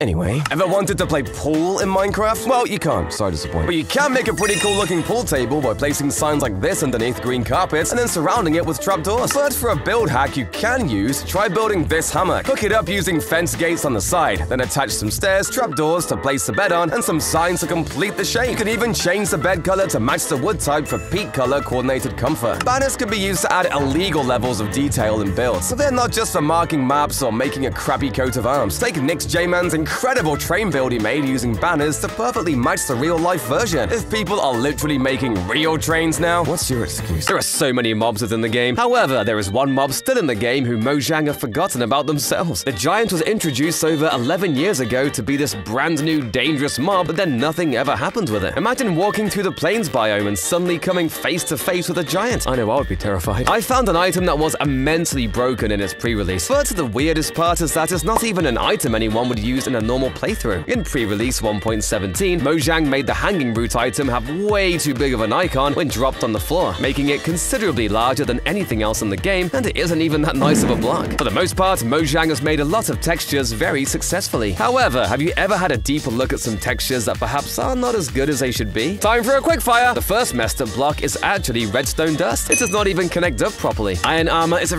really useful early game armor set, but have you ever noticed how the iron helmet does not even match what it looks like in your inventory? Or my personal favorite, the cauldron being misaligned by one pixel. I have ruined Minecraft for a lot of people today. Your friend keeps cutting down your favorite tree? Get revenge with this new trick. Hide anvils in the trunk among the leaves. If someone cuts through enough of the tree, the anvil will fall right on top of them. This silky little trick is great if your friend has a fear of spiders. Fill their house with cobwebs, making them slowly trudge through their own home. Then put a single spider in their bedroom to attack. When they complain, just blame the spider. Lava doesn't burn scaffolding, so try this trick on a friend trying to break your stuff. Put scaffolding in your house that looks like you use it as a ladder. At the top, put some lava and hide it from view. If your friend wants to be mean and break your scaffold, they'll be greeted with a face full of lava. This next evil trick is quick and easy. Wait at the top of a bubble stream shaft. Shoot a bunch of arrows of harming into the top. And when your friend gets to the top, they'll get hit and maybe even die. This naughty little trick is also really simple. If your friend boasts about their log cabin, go around their house, stripping a block here and there at random. It will look dreadful. A secret base can be hidden underwater, and it can be very hard to see. The easiest way to find it is to get in a boat and do this weird vision trick. When in the boat on the water, if you go into third person view, you can angle the camera to just about touch the water surface. The vision will glitch and show you everything under the water without that underwater filter, making any odd structure or entity easy to find. Watch out for pitfall traps. If the floor disappears under you and the trap is revealed, do this crazy flying glitch. To do it, have the game in windowed mode. And when the floor falls away, right click on the window bar at the top. You'll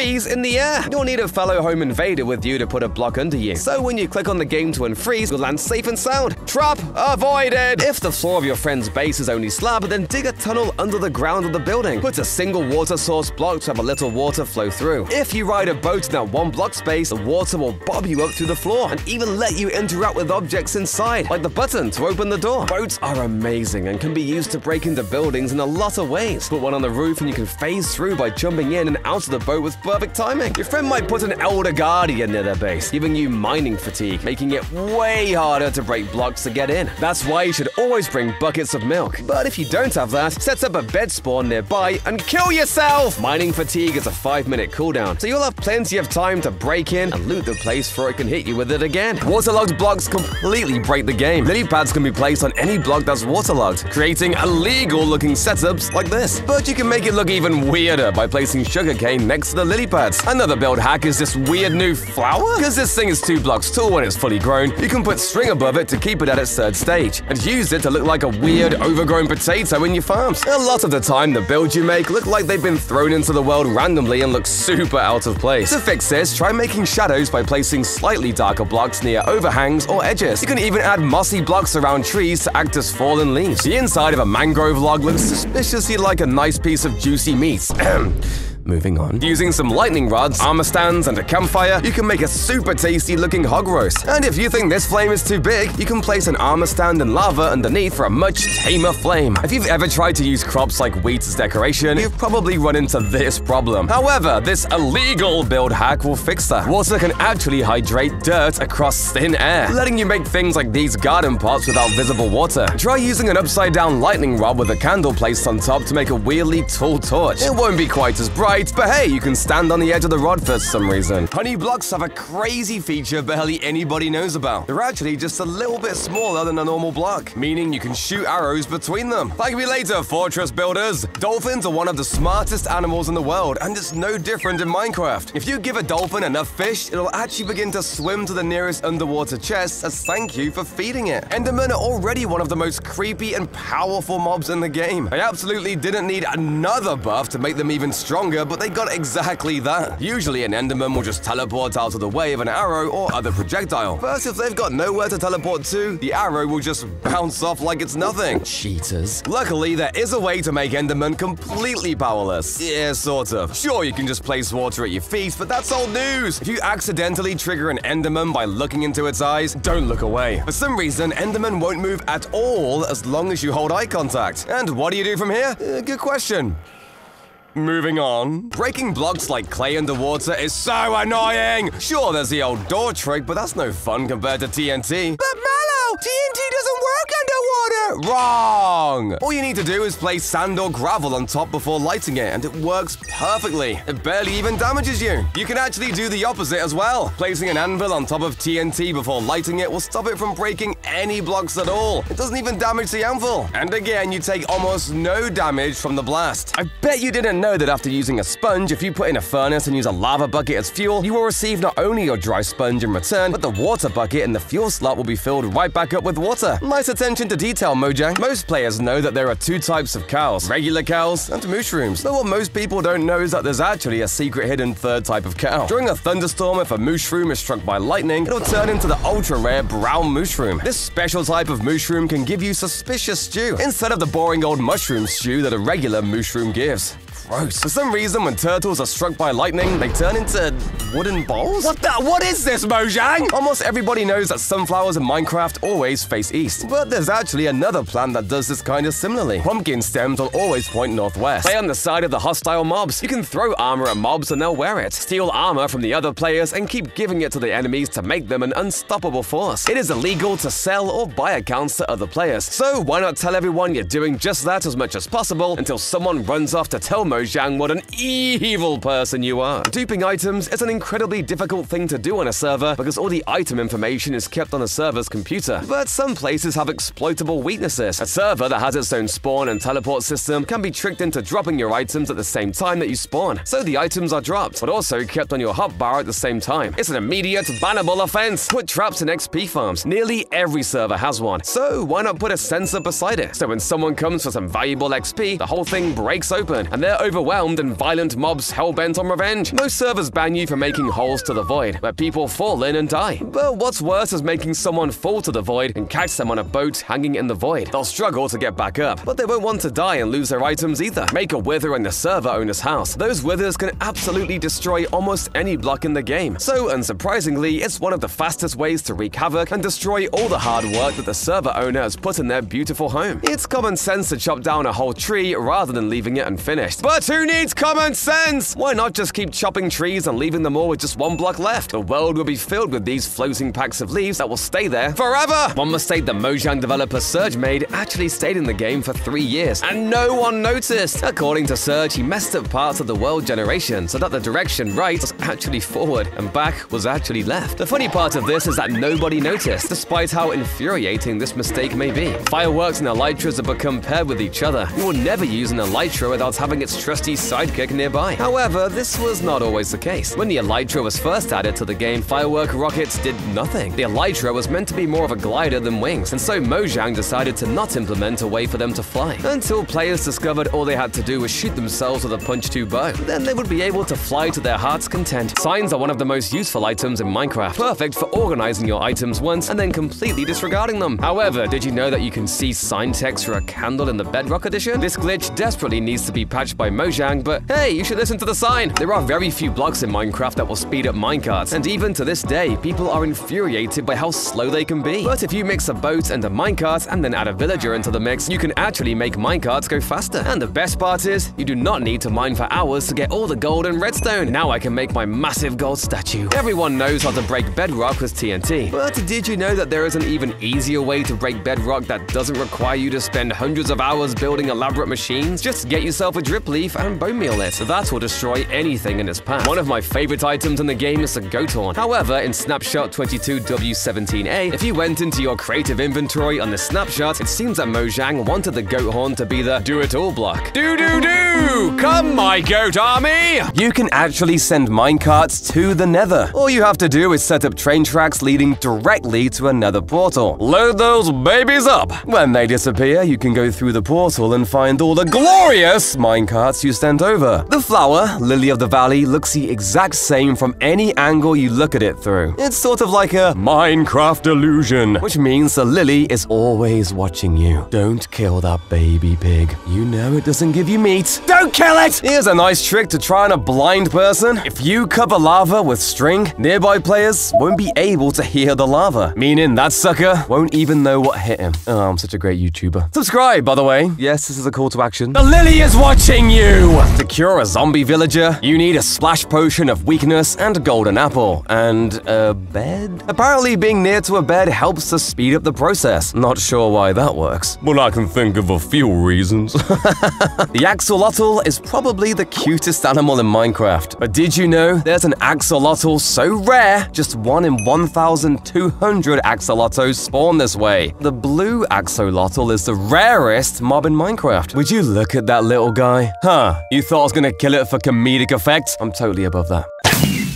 I lied! Does blowing up ores give you XP? I know it gives you 100% of the resources now, but I've never dared to mine diamonds with it. Oh yeah, it does give XP. I think I'll stick to my pickaxe though. This just feels wrong. Apparently, you can't spawn withers in snowy biomes. Yeah, snowy taiga, frozen peaks, even snowy beaches don't work. Wait, what if you break the snow layers below? Ah, there! Myth busted! It works! I should probably run away now. According to this myth, there's actually a time where looking in an enderman's eyes is a good idea. Obviously, they became aggressive when you first look at them, but from now on, whenever you lock eyes, or freeze completely in place. I don't know what you do from here, but hey, this myth is true. Speaking of enchantment, it's a mistake not to get the mending enchantment first. If you get other enchantments first and leave mending too late, you could break that item accidentally or get that too expensive message, stopping you from enchanting it at all. Nether gold can be really useful in getting gold for the piglins, but it's a mistake to mine it normally because all you get are nuggets. Use a silk touch pickaxe and smelt the ore in a furnace, and you'll get a whole ingot instead, which you can trade to the piglins directly. Burning a lot of coal in your furnace? Don't just put a big stack of coal in the furnace. Combine 9 coal into a block and use that in the furnace. It actually burns longer than 9 coal on their own. Don't get lost in your new mine. The best way to keep track of where you've been, where you're going, and what you're going to do next is to put down signs. Seems simple, but so many people make the mistake of exploring without leaving a trail of signs telling you how to get home. It can also make a great to-do list. Did you know snow golems are the hardest mob to trap in Minecraft? They will always be looking for a way out of anything you trap them in, leading to some hilarious